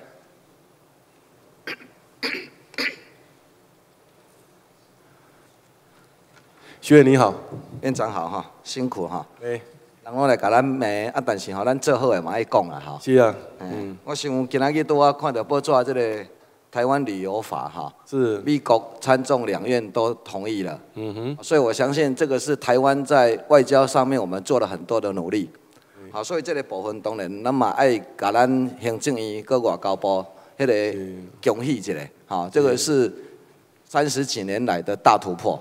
好，那也希望说将来我们外交可以再做得更好哈。好，那跟院长报告一下，其实我上个月去洪都拉斯跟秘鲁，是啊，那洪都拉斯我们也见到了他的副总统跟那个国会议长，跟我们有一些座谈。好，那秘鲁也见到相当层级的他们的很高层级的啊那个官员哈。啊，当然他们是说跟我们没有邦交国，那暂时也不能公布他们的名称。啊，不过呢，就是他们也非常的有意愿跟台湾将来有很多相关的合作，尤其是台湾软实力怎么样到我们总统所提倡的新南向政策，啊，甚至怎么样到中南美洲那个部分，其实我们还有很多开发的地方，啊，所以这个也是我们外交所做的努力了哈，也谢谢外交部跟哦我们行政院的努力哈。那再来呢，劳动部呢？劳动部，我们也谢谢我们的许部长哈，很快就带动劳检哈。好，那我一直强调就是劳基法去年修法，我们其实是很辛苦的。好，那院长也承受很大的压力。哦，阿东人，劳动部的劳检呢，最重要的是老虎的牙子。这个老虎如果没有牙子呢，就没有用。所以呢，劳动部其实最重要的是劳检这个区块。但是呢，我们也一直强调，就是说去年一开始刚实施劳基法的时候，这个劳检哈。我们不要去叨扰三老板，但是我们不要去放纵二老板，所以劳检在处理的时候，这个好坏之分哦，可能要花很多的心血，好，所以这个部分也要拜托劳动部跟行政院在这个部分能够多去注意，啊，尤其是劳检的恰当的运用，就可以提升我们台湾的经济，哈，这个也非常的重要，哈，那这个部分也跟院长跟部长鼓励一下了，哈，这个继续努力，哈。那再来就是上重要是变经济了哈，他都要保定毛讲啊，院长毛讲变经济变那变。那我也看了总统所宣示的三个重点，啊，就是加速创新、解决五缺跟扩展贸易。那加速创新是从一开始的五加二创新产业，大家都一直在努力。好，那解决五千也是从院长上任之后，啊，那开始来解决这个经济的问题。啊，那我现在想再问一下，就是。其实我去洪都拉斯跟秘鲁跟台湾的继职教育的比较，我发现说哈，这个继职教育他们都非常的缺乏，所以他们这一部分也没有概念，也没有基础，也希望说台湾在这部分可以去给他们多一点的协助。好，那当然我们要去协助国外，首先我们自己还有什么可以加强的地方？我想我们也必须要检讨一下哈。所以我想问一个简单的问题，就是我们的台湾之光哈。我们的台湾之光，不知道院长有没有认识哪一些人？他是台湾的机制交易所培养出来的人才。这四位是哪一位是我们机制教育培养出来的人才？院长知道吗？吴宝春。吴宝春其实他是国中毕业，所以他没有受到我们台湾机制教育的洗礼。还有谁？还是部长知道吧？那个杨德昌是哪一位杨德昌啊？杨德昌他是很知名的导演，真的是不简单。不过他是交大控制工程师毕业的。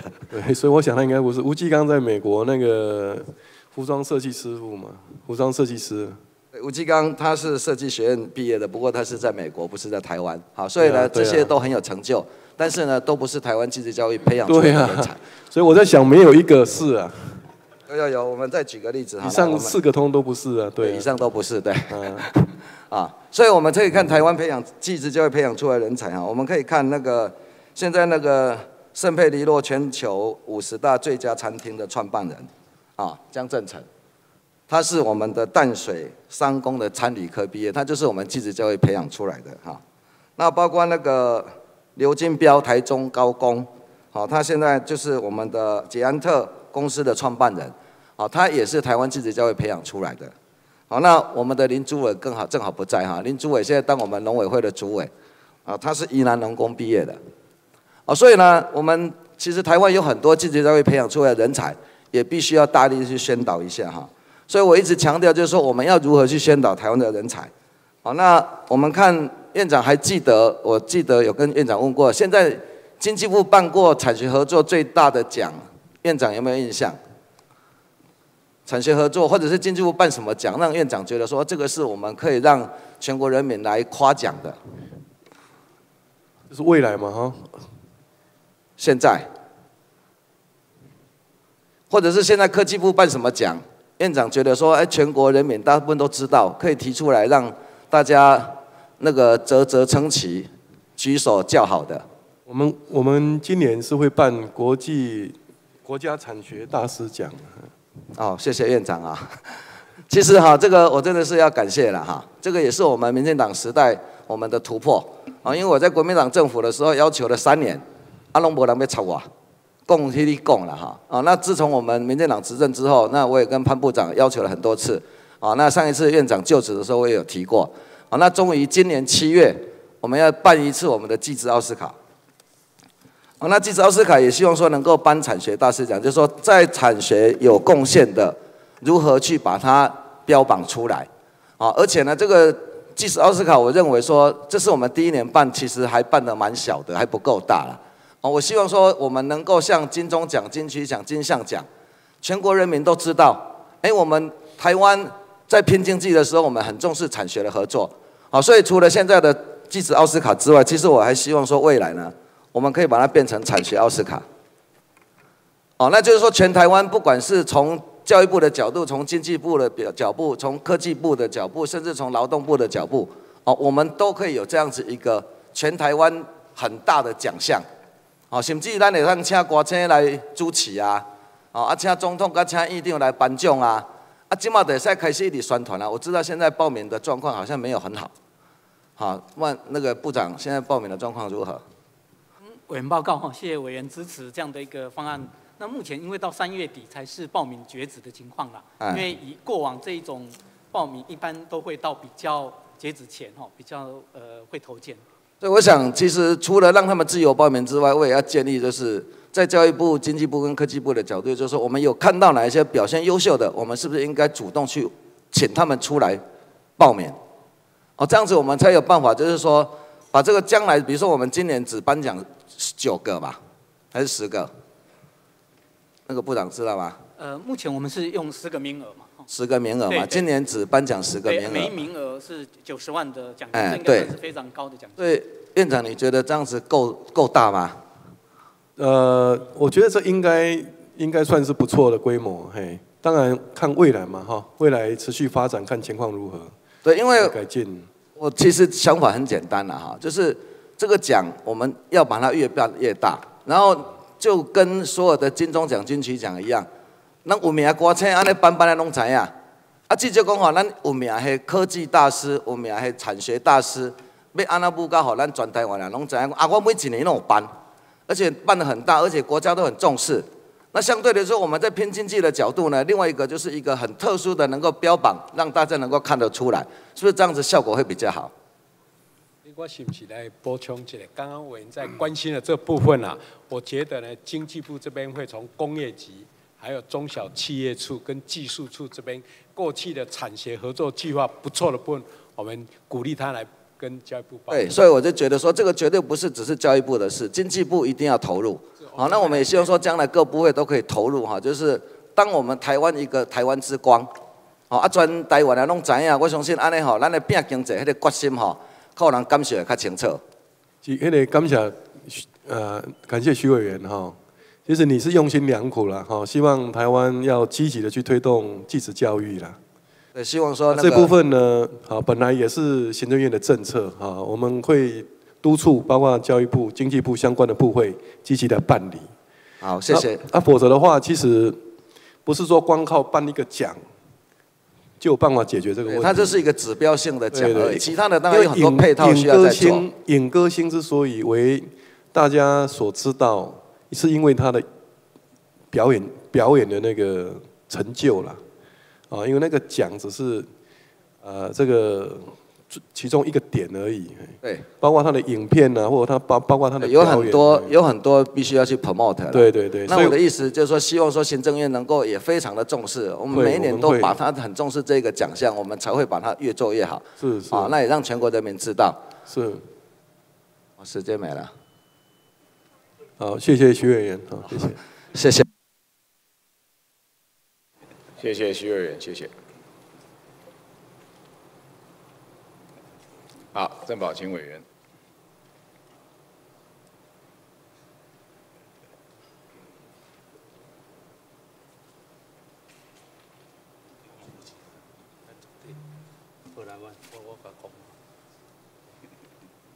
呃，呃，主席，请院长好吗？请赖院长。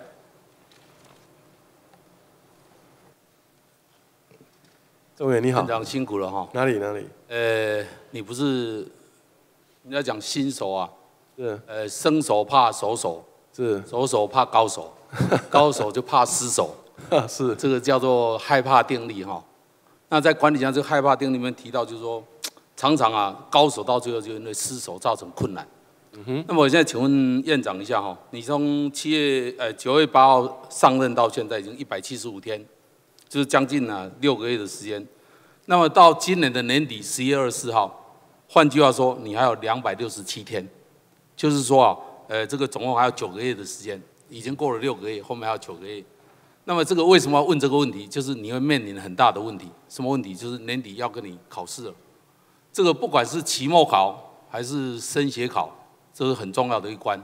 刚刚你讲说你不参选，所以这一关就对你格外的重要。如果今天考试不及格，那么就是换句话说，民长在这个县市长啊，呃大失血的情况底下，我想你就要承担政治责任。当然，如果可以平反甚至更好，那么我相信啊，啊大家这是大家期待。那么请问院长一下，对年底这个，我们现在民进党啊有十三席啊，这个县市首长，国民党有六位，会这个所谓的五党籍有三位。那么院长预估，民进党在这方面会增加还是会减少？感感谢郑委员哈，给我任期的保障哈。其实政务官是没有任期的保障，我知道啊我跟我的团队我跟10月20号我跟我的团队都把每一天当做最后一天，是积极做事情，啊，解决台湾的问题，希望台湾能够进步。我啊想你这段时间大家是肯定的了哈。那你有没有预估一下？对那至年底会增加还是会减少？我我是觉得这个部分，我们就行政院就政务啊，好好来推动啊，让国人可以感受到国家的进步，那自然而然了哈，我们执政团队就可以得到支持。那至于说去预估，这个行政团队会影响到整个县市长的选啊，举。对，至于说去预估会多几席少几席，这交给啊党。但是你期待交给党去负责领导好，让我们的席次增加，对不对？这个就是我们责无旁贷的责任。路旁人好，我们希望能够加油了哈。那么上个会期，我特别请教你交通建设，是。因为所有的经济建设需要投资，在所有投资里面，交通建设是所有经济发展之母。嗯嗯，没有交通建设就没有其他。是。那么我现在请教呃院长一下，那么你在去年十月承诺说所有的交所有的这个重大建设啊都会如期完成，那么请教一下哈，这个桃园现在啊在一百零六年七月三十一号先核定了要做铁路地下化，是。长你知道这个代志知无？我知道嘿。啊，你知影绿色捷运，你嘛是第一百空五年四月份核定啊，你知道？当然这核定不是我们执政的任内，是国民党时代的。我们详细的情况，请王次长跟你说明一下吧。呃，跟政委报告哈，铁路地下化现在在做综合规划，所以这个明预定明年底哈，这个台湾铁路地下就可以动工。我知道这时间我都知道。我现在要问院长的就是，这个总工程大概都要八年左右。我记得啊，上次去台南地下化开工的时候，我去参加了。是是，感谢你那时候总招交通委员会总招，谢谢你。是，我在说特别啊，提到讲说啊，我们那个地方只有八公里花七年，我说这个都不是我们在做事的效率啊，因为效率很果断去完成一件事情，坏事情是变好事情；如果寡断的情况底下，好事情都会变坏事情。所以我现在请问院长，这两个工程会不会如实如期完工？这是你的承诺。我就行政行政院的部分是没有问题，会全力支持。其实日前我到桃园跟郑市长郑市长的团队座谈，也感谢郑郑委员哈全场莅临指导。其实我非常佩服郑市长跟团队为桃园市的规划。对，我想我倒比较不担心呃所谓的地方的建设，因为郑文灿做事情非常有效率，非常有魄力，非常积极，对，很积极。那么现在我们在担心的是，我们中央的部分是不是能够依照这个时间来完成？中央有政委员在监督，这不用不用 担心。院长你要领导，不是我监督啊，你要领导啊。行政院会全力以赴，全力，我们希望能够如期完成，好不好？市长可以吗？可以，好了。我来，我跟你讲哦，今晚台湾就讲到这了，发生一个足奇怪的代志了吼，就是说，哎，BBC 说很奇怪，全世界都没有人在报道说卫生纸会涨价，虽然物价有稍微的调升，但是全世界都没有在涨价，为什么台湾会抢购卫生纸啊？目前目前 BBC 啊认为说不可思议，你知道什么玩意？呃，目前我们行政院相关部位在查处啊，因为我们也觉得，因为供应无虞嘛，二月二十三号还有某大卖场在促促销了，二月二十五号还有某大卖场在促销。买促销不是只有台湾在，美国一啊通通在促销啊，美国对，通通我是在促销。台湾还有卖场在促销卫生纸，买一送一。是结果没多久之后呢，哎，就有消息传出来说，呃，这个缺货要涨价对，会缺货，要要涨价。是那这个，但是目前站在这个时间点来看，这一些都是啊、都都不是事实嘛，哈。所以目前公平会或消保处，甚至于呃法务部也都介入在调查。对我看到哦，美国说他们前所有大卖场都在打折扣了。嗯，问题是那个卫生纸的品牌忠诚度非常低，擦屁股所以不需要品牌忠诚度啊，所以什么纸都可以擦，便宜就好了，所以它涨价的机会变成不大，但是台湾变成抢购，变成全世界啊非常惊奇的事情了哈。那我们可以看到最新的这个统计了哈，这是各卖场，我们可以看到哈，这个家乐福、前年、爱买、大众花、顶好跟奥斯多，他们通通表示供货无虞。而且价格还在打折，不是涨价，是在打折。那我请问院长一下，院长你是不是可以承诺一下，我们卫生纸的价格一定是在呃非常平稳的状况底下？定，就是说我跟我利用这个机会哈，跟全国的民众报告，卫生纸的量绝对供应无虞啊，可从这个众委员的资料也可以看得出来，是，价格呢也一定是稳定合理，所以不会涨价，呃，没有大波动，呃不会涨价。哈。嗯所以尤其啊，这个民生物品啊，只要一哄抬，那就造成百姓的恐慌。今年是选举年了哈，对，所以有时候有一些风吹草动的讯息，那我们也请国人哈特别留意哈。对，我们希望呃行政院能够特别注意这些事情的发生，能够及早抑制。而且况且这种事情还不是事实，全世界都在降价，台湾怎么有涨价的可能？好，来，院长，我再请请问你一下哈，这个中台美断交三十七年来，第一次有这个所谓的台湾旅行法同意啊啊两岸呐、呃台湾台美之间呐、的元首跟院长级啊，所有政府官员都能够赴访了哈。那当然，这个我想啊，不是只有这样。那国防授权法也同意军舰之间互访。那么这个大概是历史上啊，台湾跟美国友好关系新高，历史的新高，大概打破纪录了。我想这一点呢，要谢谢总统跟院长的努力。那么既然有这个机会，我请问院长一下，有没有考虑要积极来推动这个台湾跟美国之间元首跟院长级的互访计划？有没有打算积极推动？是我我想我们借这个机会哈，呃，应该要肯定蔡英文总统在外交政策上面的成的这个成功了哈。是，因为刚刚郑委员特别提到了，不管是呃台湾旅游法或是国防授权法案，是那又或者是美国啊各界对台湾在两岸问题的处理上面的文件，其实都多所肯定。是啊是是啊，所以这一部分是很好的事情，国人应该要对政府有信心啊，一定会妥善处理台湾的国际外交关系，还有两岸的问题。那希望行政院能够积极来推动两岸之间，呃，这个台美之间之间的互访。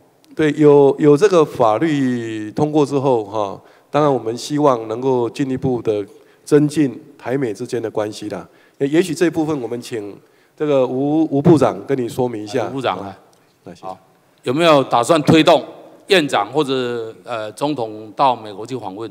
啊，谢谢委员的正式的访问个问题哈。其实台美关系的成长或者是改善哈，啊，是我们全民的期待。那既然这个法律通过之后，要如何确实来落实啊这些相关的法律，还是要靠我们政府和美国的政府行政部门之间呢来磋商。那我们会积极的跟美方来磋商，看如何来改善台湾最短时间什么时候会完成？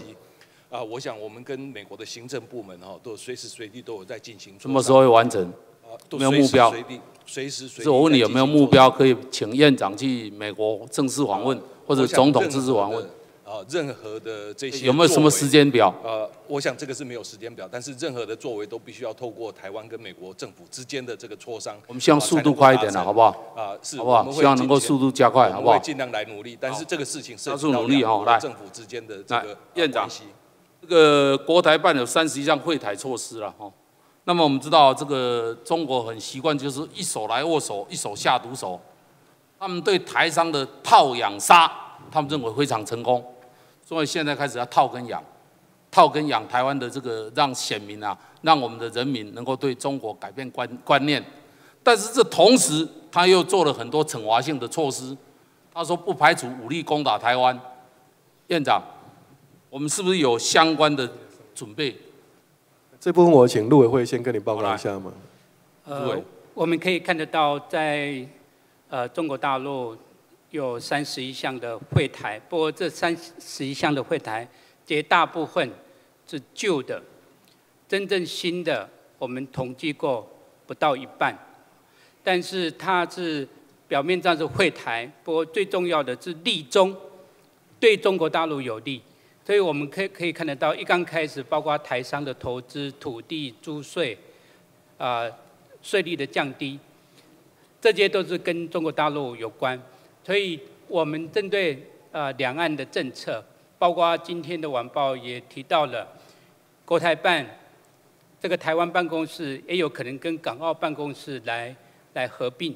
我们会即将看到中国大陆在未来这一两个礼拜有一个很大的变局。这个变局包括国家主席习近平，他可能打破两任的任期，然后我们可以看得到，中国大陆现在将近有四十个部会，会收缴到二十个部会左右，所以有很多呃我们过去所熟悉的这些的部会，还有人事的变革，甚至包括呃习近平他本身，我们都是我们密切观察的一个重点。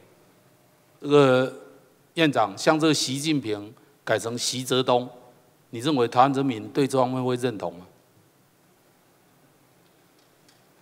请郑郑委员在你你的问题再讲清楚一点呢。我是说，他说他等于没有任期的限制，变成终身当这个国家的领导，这种台湾人民像这种制度，台湾人民会认同吗？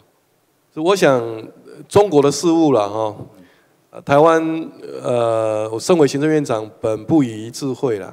啊，不过因为中国的任何一个改变呢、也会影响到台湾啊，所以原则上我相信台湾的人民会希望中国不要走回头路啊，啊，应该要持续往前。好，啊，院长，最后请教你一个问题：这次的内阁改组，我们看到都是属于总统之前的外交、两岸啊，或者是国防，反而是你的改组非常少。嗯，院长，我请问一下，我说上换下不换，难有新气象？在其他的部部位会不会有第二次的改组？政委，我跟你报告哈，就是说行政院各部位的首长啊、都学有专精，是有些是来自学界，有些是专家，有些是啊、有政府的历练，那也有是民意代表啊。那经过一年多的时间，对本身的执掌其实都相当娴熟，跨部会之间的默契也已经都建立。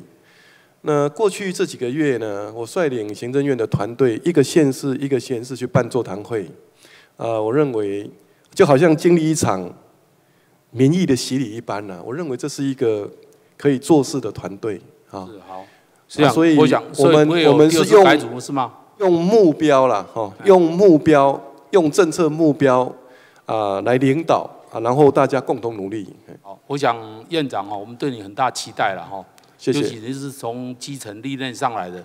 那么我看这短短的几个月之内，我看拿拿出了非常好的绩效。谢谢。但是我想我们的努力就是希望能够让下一代建立希望跟未来。是。诺亚不是看到下大雨才造方舟，没有下大雨我们就准备开始要造方舟，才可以让我们的年轻人在这里看到希望。所以我们对我们的赖内阁有非常大的期待，谢谢希望能够赖内阁能够戮力成功，能够真正把台湾带向一个正面的发展的方向，能够造就台湾更好的未来。我们会持续努力。好，谢谢你。好，谢谢，感谢郑委员。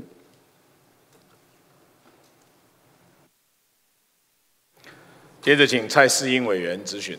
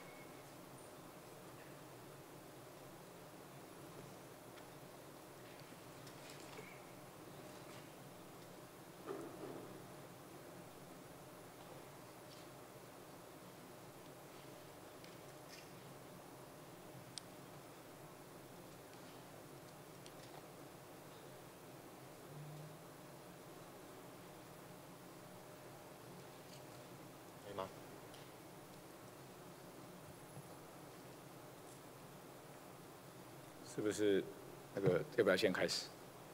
那个院长，能不能请我们呃院长还有我们国防部长、退辅会主委新就国防部备询台，谢谢。严部长、退辅会邱主委。蔡委你好。好，院长早安吼，呃，我午安，不好意思，首先我要非常的感谢院长吼，在前阵子能够带领我们的那个团员到基隆去访问吼，那这是我当立委来第一次看到我们内阁的官员这么大规模、大阵仗的到基隆跟基隆市政府的官员能够做面对面的座谈会哦，呃，事后基隆市政府的官员都告诉我说，他们非常高兴有这样一个机会。能够跟院长做很好的沟通哦，相信对未来呃中央各地方的很乘坐，我相信未来会做得更好。那首先今天我的咨询还是要先延续刚刚几个委员提到的军人年改的部分哦，因为第一个事情我有看到我们的部长严德发哦，您讲了一个说这是个军改的争议是个国安危机哈，我看完之后我不是很清楚部长你的看法哈，因为我想院长其实也讲了军人年改许多事情了，部长您所谓的国安危机是指？军人年金改革是国安危机，是不改是危机，还是改是危机啊？有我讲的话的用意是，因为军人不管是现役跟退役，他是国家安全的一个基础，所以这件工作必须要审慎的规划。那尤其是退伍制度，是不管是现役跟退役都非常关心的。所以你，所以我的意思就是说，你认为现阶段没改，它有国安危机的问题，还是改的时候会有国安危机的问题？我们是希望它改，能改得很好，大家都能够接受。那如果不改的话呢？有没有国安危机的问题？没有改就崩盘啦，那更是危机。好，所以部长的意思就是说，你认为没有板、没有没有改的话，会有崩盘的问题，所以你认为改是有一个必要性，但是要怎么改嘛？好，第二个哈，这里有一张照片哦，这是在我们的邱国正邱主委，你二月二十号之前有去参与这样的一个参训哦。我想请教一下哈，您在参加这个参训的时候，你知不知道这个相关人士有征询你接任退伍会主委啊？没有，那个时候我不光参加这个参训，我事实上去年五月退伍了以后，我参加很多同学会，还有跑者的会，但主要的用意在哪里？就是说，毕竟我们是一伙的，这一伙我在在相处当中，我发觉，其实他们对于一个爱国家、爱百姓的概念，绝对是很坚定的。所以你认为，叫即便是八百壮士的这样的一个参叙，也是爱国家、爱百姓的没有问题就对了。我觉得想问一下你的看法。基本上当时维护自己的权益，是，但这个权益也是有关于当初国家给他的一个保证。那我想请教一下哈，礼拜二那一天，呃，有一些团体到立法院有一些抗争的行为，然后其中有一位上校因此而受伤嘛哈。我想院长也表达说对这个事情感到非常的遗憾哦。我听说啊，他们在二月二十号参叙的时候就有讨论要来抗议，诸位你知道吗？我是没有听到过，所以你是没有参与的哦报告。我我要讲这很清楚单哦纯的一个哎聚餐，是就是好像跟同学或跑者之间一个碰面，后来去用餐的也刚好中午了。原则上我在另外一个地方，我跟同学已经讲好了，但那天是因为他们讲说，哎，阶层你刚从军中退伍啊，讲你加入的话，会给大家带一哎，我们讲用鼓舞。所以在这个现场中有讨，你没有参与讨论就对了。呃，这个很重要，为什么？因为过了一个礼拜之后，您就就任了退伍会主委，而在立法院这边就爆发了军人团体到立法院来表达抗议的这件事情嘛。所以我要问的问题就是说，我有听说二月二十号的时候，他们就有讨论说，立法院开的时候不要让院长来做施政报告。那因为你在现场，所以这就很尴尬的一个事情，就是说，因为一个礼拜后你是退伍会主委啊，所以我才会问，所以我也希望主委你正式的说清楚。就你的知道来讲，当天的参会有没有谈到说要来背个行政院长第一次施政报告这个事情，你知不知道？还是你有听到了，你有参与，还是你从头到尾都不知情？这个委员把这个事情让我弄得太复杂，我没有那么复杂。嗯，当初参会，我吃两道菜就离开，为什么？因为同学还等我，就那么简单，所以没有参与任何讨论。假如说那天讨论到，哎，过完年有有什么或啊，就什么什么动态，这个那就未免太。所以主委你就讲，就是没有参与任何的讨论嘛。没有没有，好我也没有听那。接下来一个事情就是要请教哈，就是说，因为现在这几天的争议里面，包括林万亿、林这个政委有跟很多的人在讨论关于年金改革的部分，部长跟主委也有找了许多人在讨论嘛哈。那其中几个关键的一个议题，包括就是一个楼地板的部分哈，我想部长跟主委都有提到哈。那现在的状况里面，你们认为这样的一个楼地板的部分呢、啊你觉得你觉得到底你们的版本是什么样？呃，所谓版本就就是说，它现在到底是三万八千九百九这个部分，你觉得 OK 吗？因为有人说太高，有人说太低嘛。是我跟委员报告，这个就我在第一第一天我跟很多同仁讲到，这高低是个人认知的问题。我们今天得到一个结论，就是说去年啊，十一月到十二月之间做了一个调查，调查它呢当然有个数据把它归纳，六千多条意见，但里面有法治的、有制度的跟基金的，而且以法治跟制度占大宗。但我们得到一个概念，就讲说，你这假如说你这楼地板越低的话，受影响的人会越多。所以，主委，你认为说这个三八九九零这样的一个提高。那像目前行政院也很考虑啊，就退伍军人呢，他当初的时候为国家啊所付出，所以比一般公务员要高。那这个这个是个起点，我认为这个很合理。那在这个起点上，我还期望那我想好，那我想请问一下主主委喽，你认为这个起点合理啊？现在因为你当退辅会主委，所以你在这个国会殿堂讲的这句话，你认为这个金额是合理的嘛？好那我想请问一下，在你还没有就任退辅会主委之前，你看到李祥宙之前退辅会主委讲讲这个金额的时候，你觉得这个金额是不是一样一致？你认为合理的？就是不论你是不是当退辅会主委，你都认为这个楼地板的金额是合理的，是不是如此？呃不是这样子啊，因为说楼地板是一定要有。对啊，我我就问一下主委嘛，因为你我为什么这样讲？因为你去参加了八百壮士的参会，所以我因为八百壮士的许多人表达对这个有不同的看法嘛。那我现在问一下主委说，因为你有做这个沟通的一个责任，刚才你在国会殿堂回答本席的回答说，你认为这样的一个金额，就你退辅会主委来看，你认为合理的嘛？不是这样子啊。哎你刚才是这样讲的开头有个三二一六零，是那时候公务员啊，以公务员的这种水准来看，后来因为大家之间考虑哦，军人他的职业特殊，我了解啦所以提我所以我现在问你就是说帮我们考量是合理的。呃，主委，我现在问你，就是说现在的三八九九零的这样的一个军人年改的楼地板，就你退伍会主委立场来看，你认为合理吗？我是站在这个基础点。哎，我了解，所以你刚才你已经讲合理了，我只要请教你的是说，当你还不是退伍会主委的时候，你觉得这个版本合理吗？我坦白跟委员报告，我还没有当这个主委之前，我不知道这一段。不知道我离开军中了。啊，这个涉及到每个啊，这个我们历前任的部长跟退伍会主委说，一直有在跟许多的退伍军人在做沟通啊，所以你认为他沟通不够喽？不是，我我们讲他们对他们退伍的人员沟通也是应该的，但没有跟我沟通，因为我不知道，我也没有主动去好问。，OK，那我希望吼，刚才我想院长你也听到，因为院报告院长，这个是你的部长的，这个是最重要一件事情，是这个会期其中一个重要的军人年改的法案然后。那许多的军人团体都一直认为，希望强调沟通、沟通再沟通。我也拜托部长跟主委一定要加强去沟通。那像如同刚才主委讲的，你觉得这个版本你觉得合理，但我希望你能把这个意见让更多的人能够知道。那除了楼地板的版本之外，另外还有退休起资的奉点等等的争议，我想媒体都有报道出来。我也拜托我们的部长跟我们的主委，在这个部分也要跟许多的实质上会受到影响的人，要让他加强沟通哦。我们不希望再有这样，因为我最近听说他们又要再来抗议，又要再来抗议。那这样的一个抗议会让我们的整个立法院的运作就没办法很顺利嘛，包括院长的很多关心的重大法案不能通过。我们希望他能够顺利的通过。在这个状况之下，我认为部长跟主委居然在这个在院长的邀请之下担任了我们的部长跟主委之后，我认为你们有责无旁贷的责任去解决这个沟通的问题。我想这是应该要做的事情啦。是应该的。哦，蔡委员，我来就沟通的问题，我跟你报告几个事情哈。是。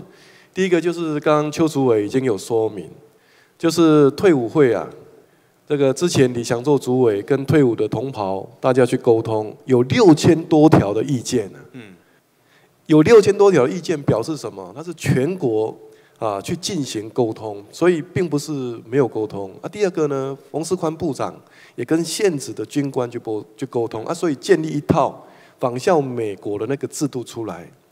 啊，第二点就是说，你看嘛哈，本来是从三二一六一六零，嗯，后来提高到三七八五零，啊，甚至到现在的三八九九年，也可以看出林万益政委啊，在这个事情上面啊，也花了很多功夫。所以当然沟通不嫌多啦，哈。但是呢，如果说啊，过去林万益政委或是冯世宽部长、李祥洲主委没有沟通，所以产生这样的问题，我想这样也不公平呐、那后续呢，为了事情的顺利呢，啊，我会请严部长跟邱主委啊，也能够多花点心思，持续在沟通。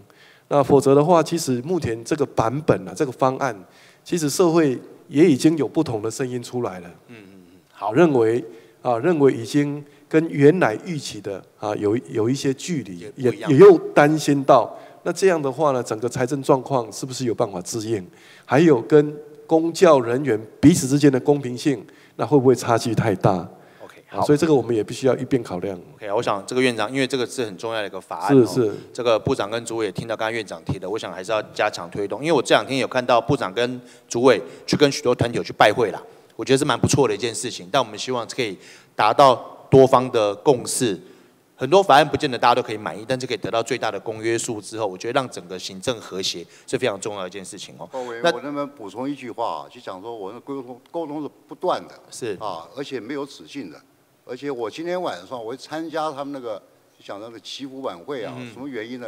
这也是沟通的环道。没错啊，好啊，那就是要拜托我们的主委了。好，那接下来有一件事情就是要跟我们院长来就教，也请两呃部长跟主委先请回哦。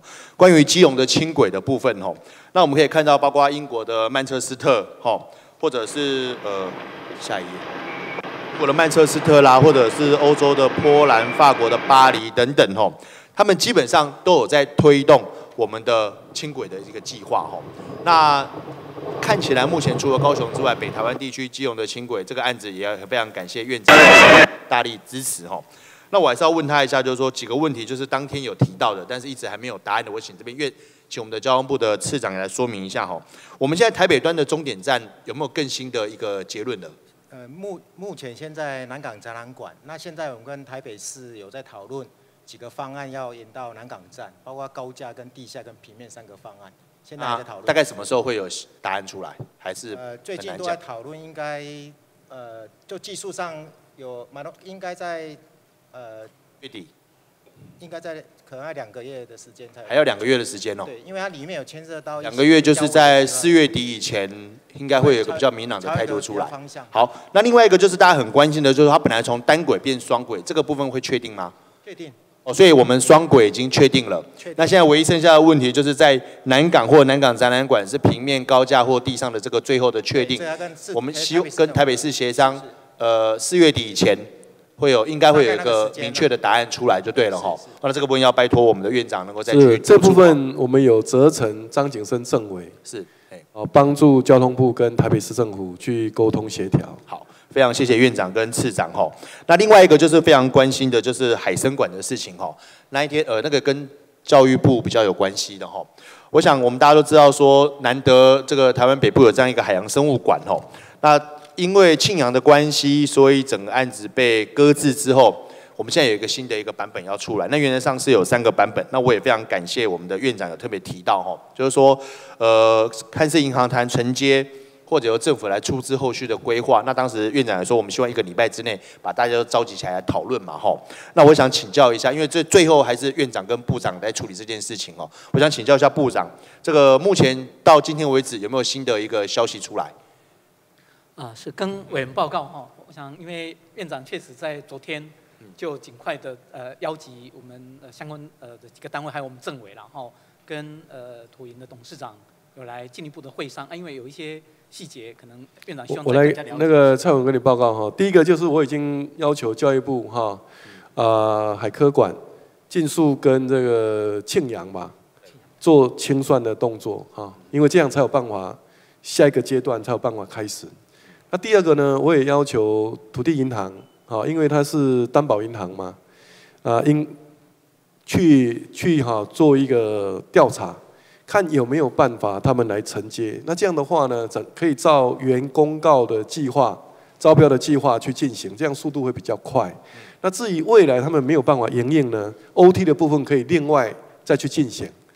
那我希望他们两个礼拜内给我消息，如果没有办法的话，那政府要进场，那就一定要进场。OK，那我想最后三十秒的时间哦，可以听到院长对这个做出重大的裁示，我觉得对于整个。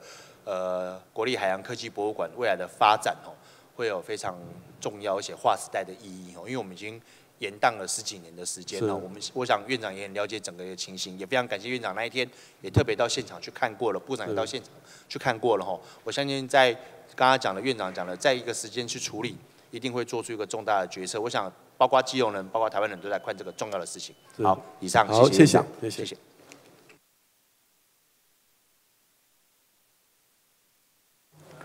报告院会，本日排定咨询的委员均已咨询完毕，谢谢赖院长、司副院长及各部会首长列席备询。三月六号星期二上午九时继续开会，进行施政方针及施政报告之咨询。现在休息。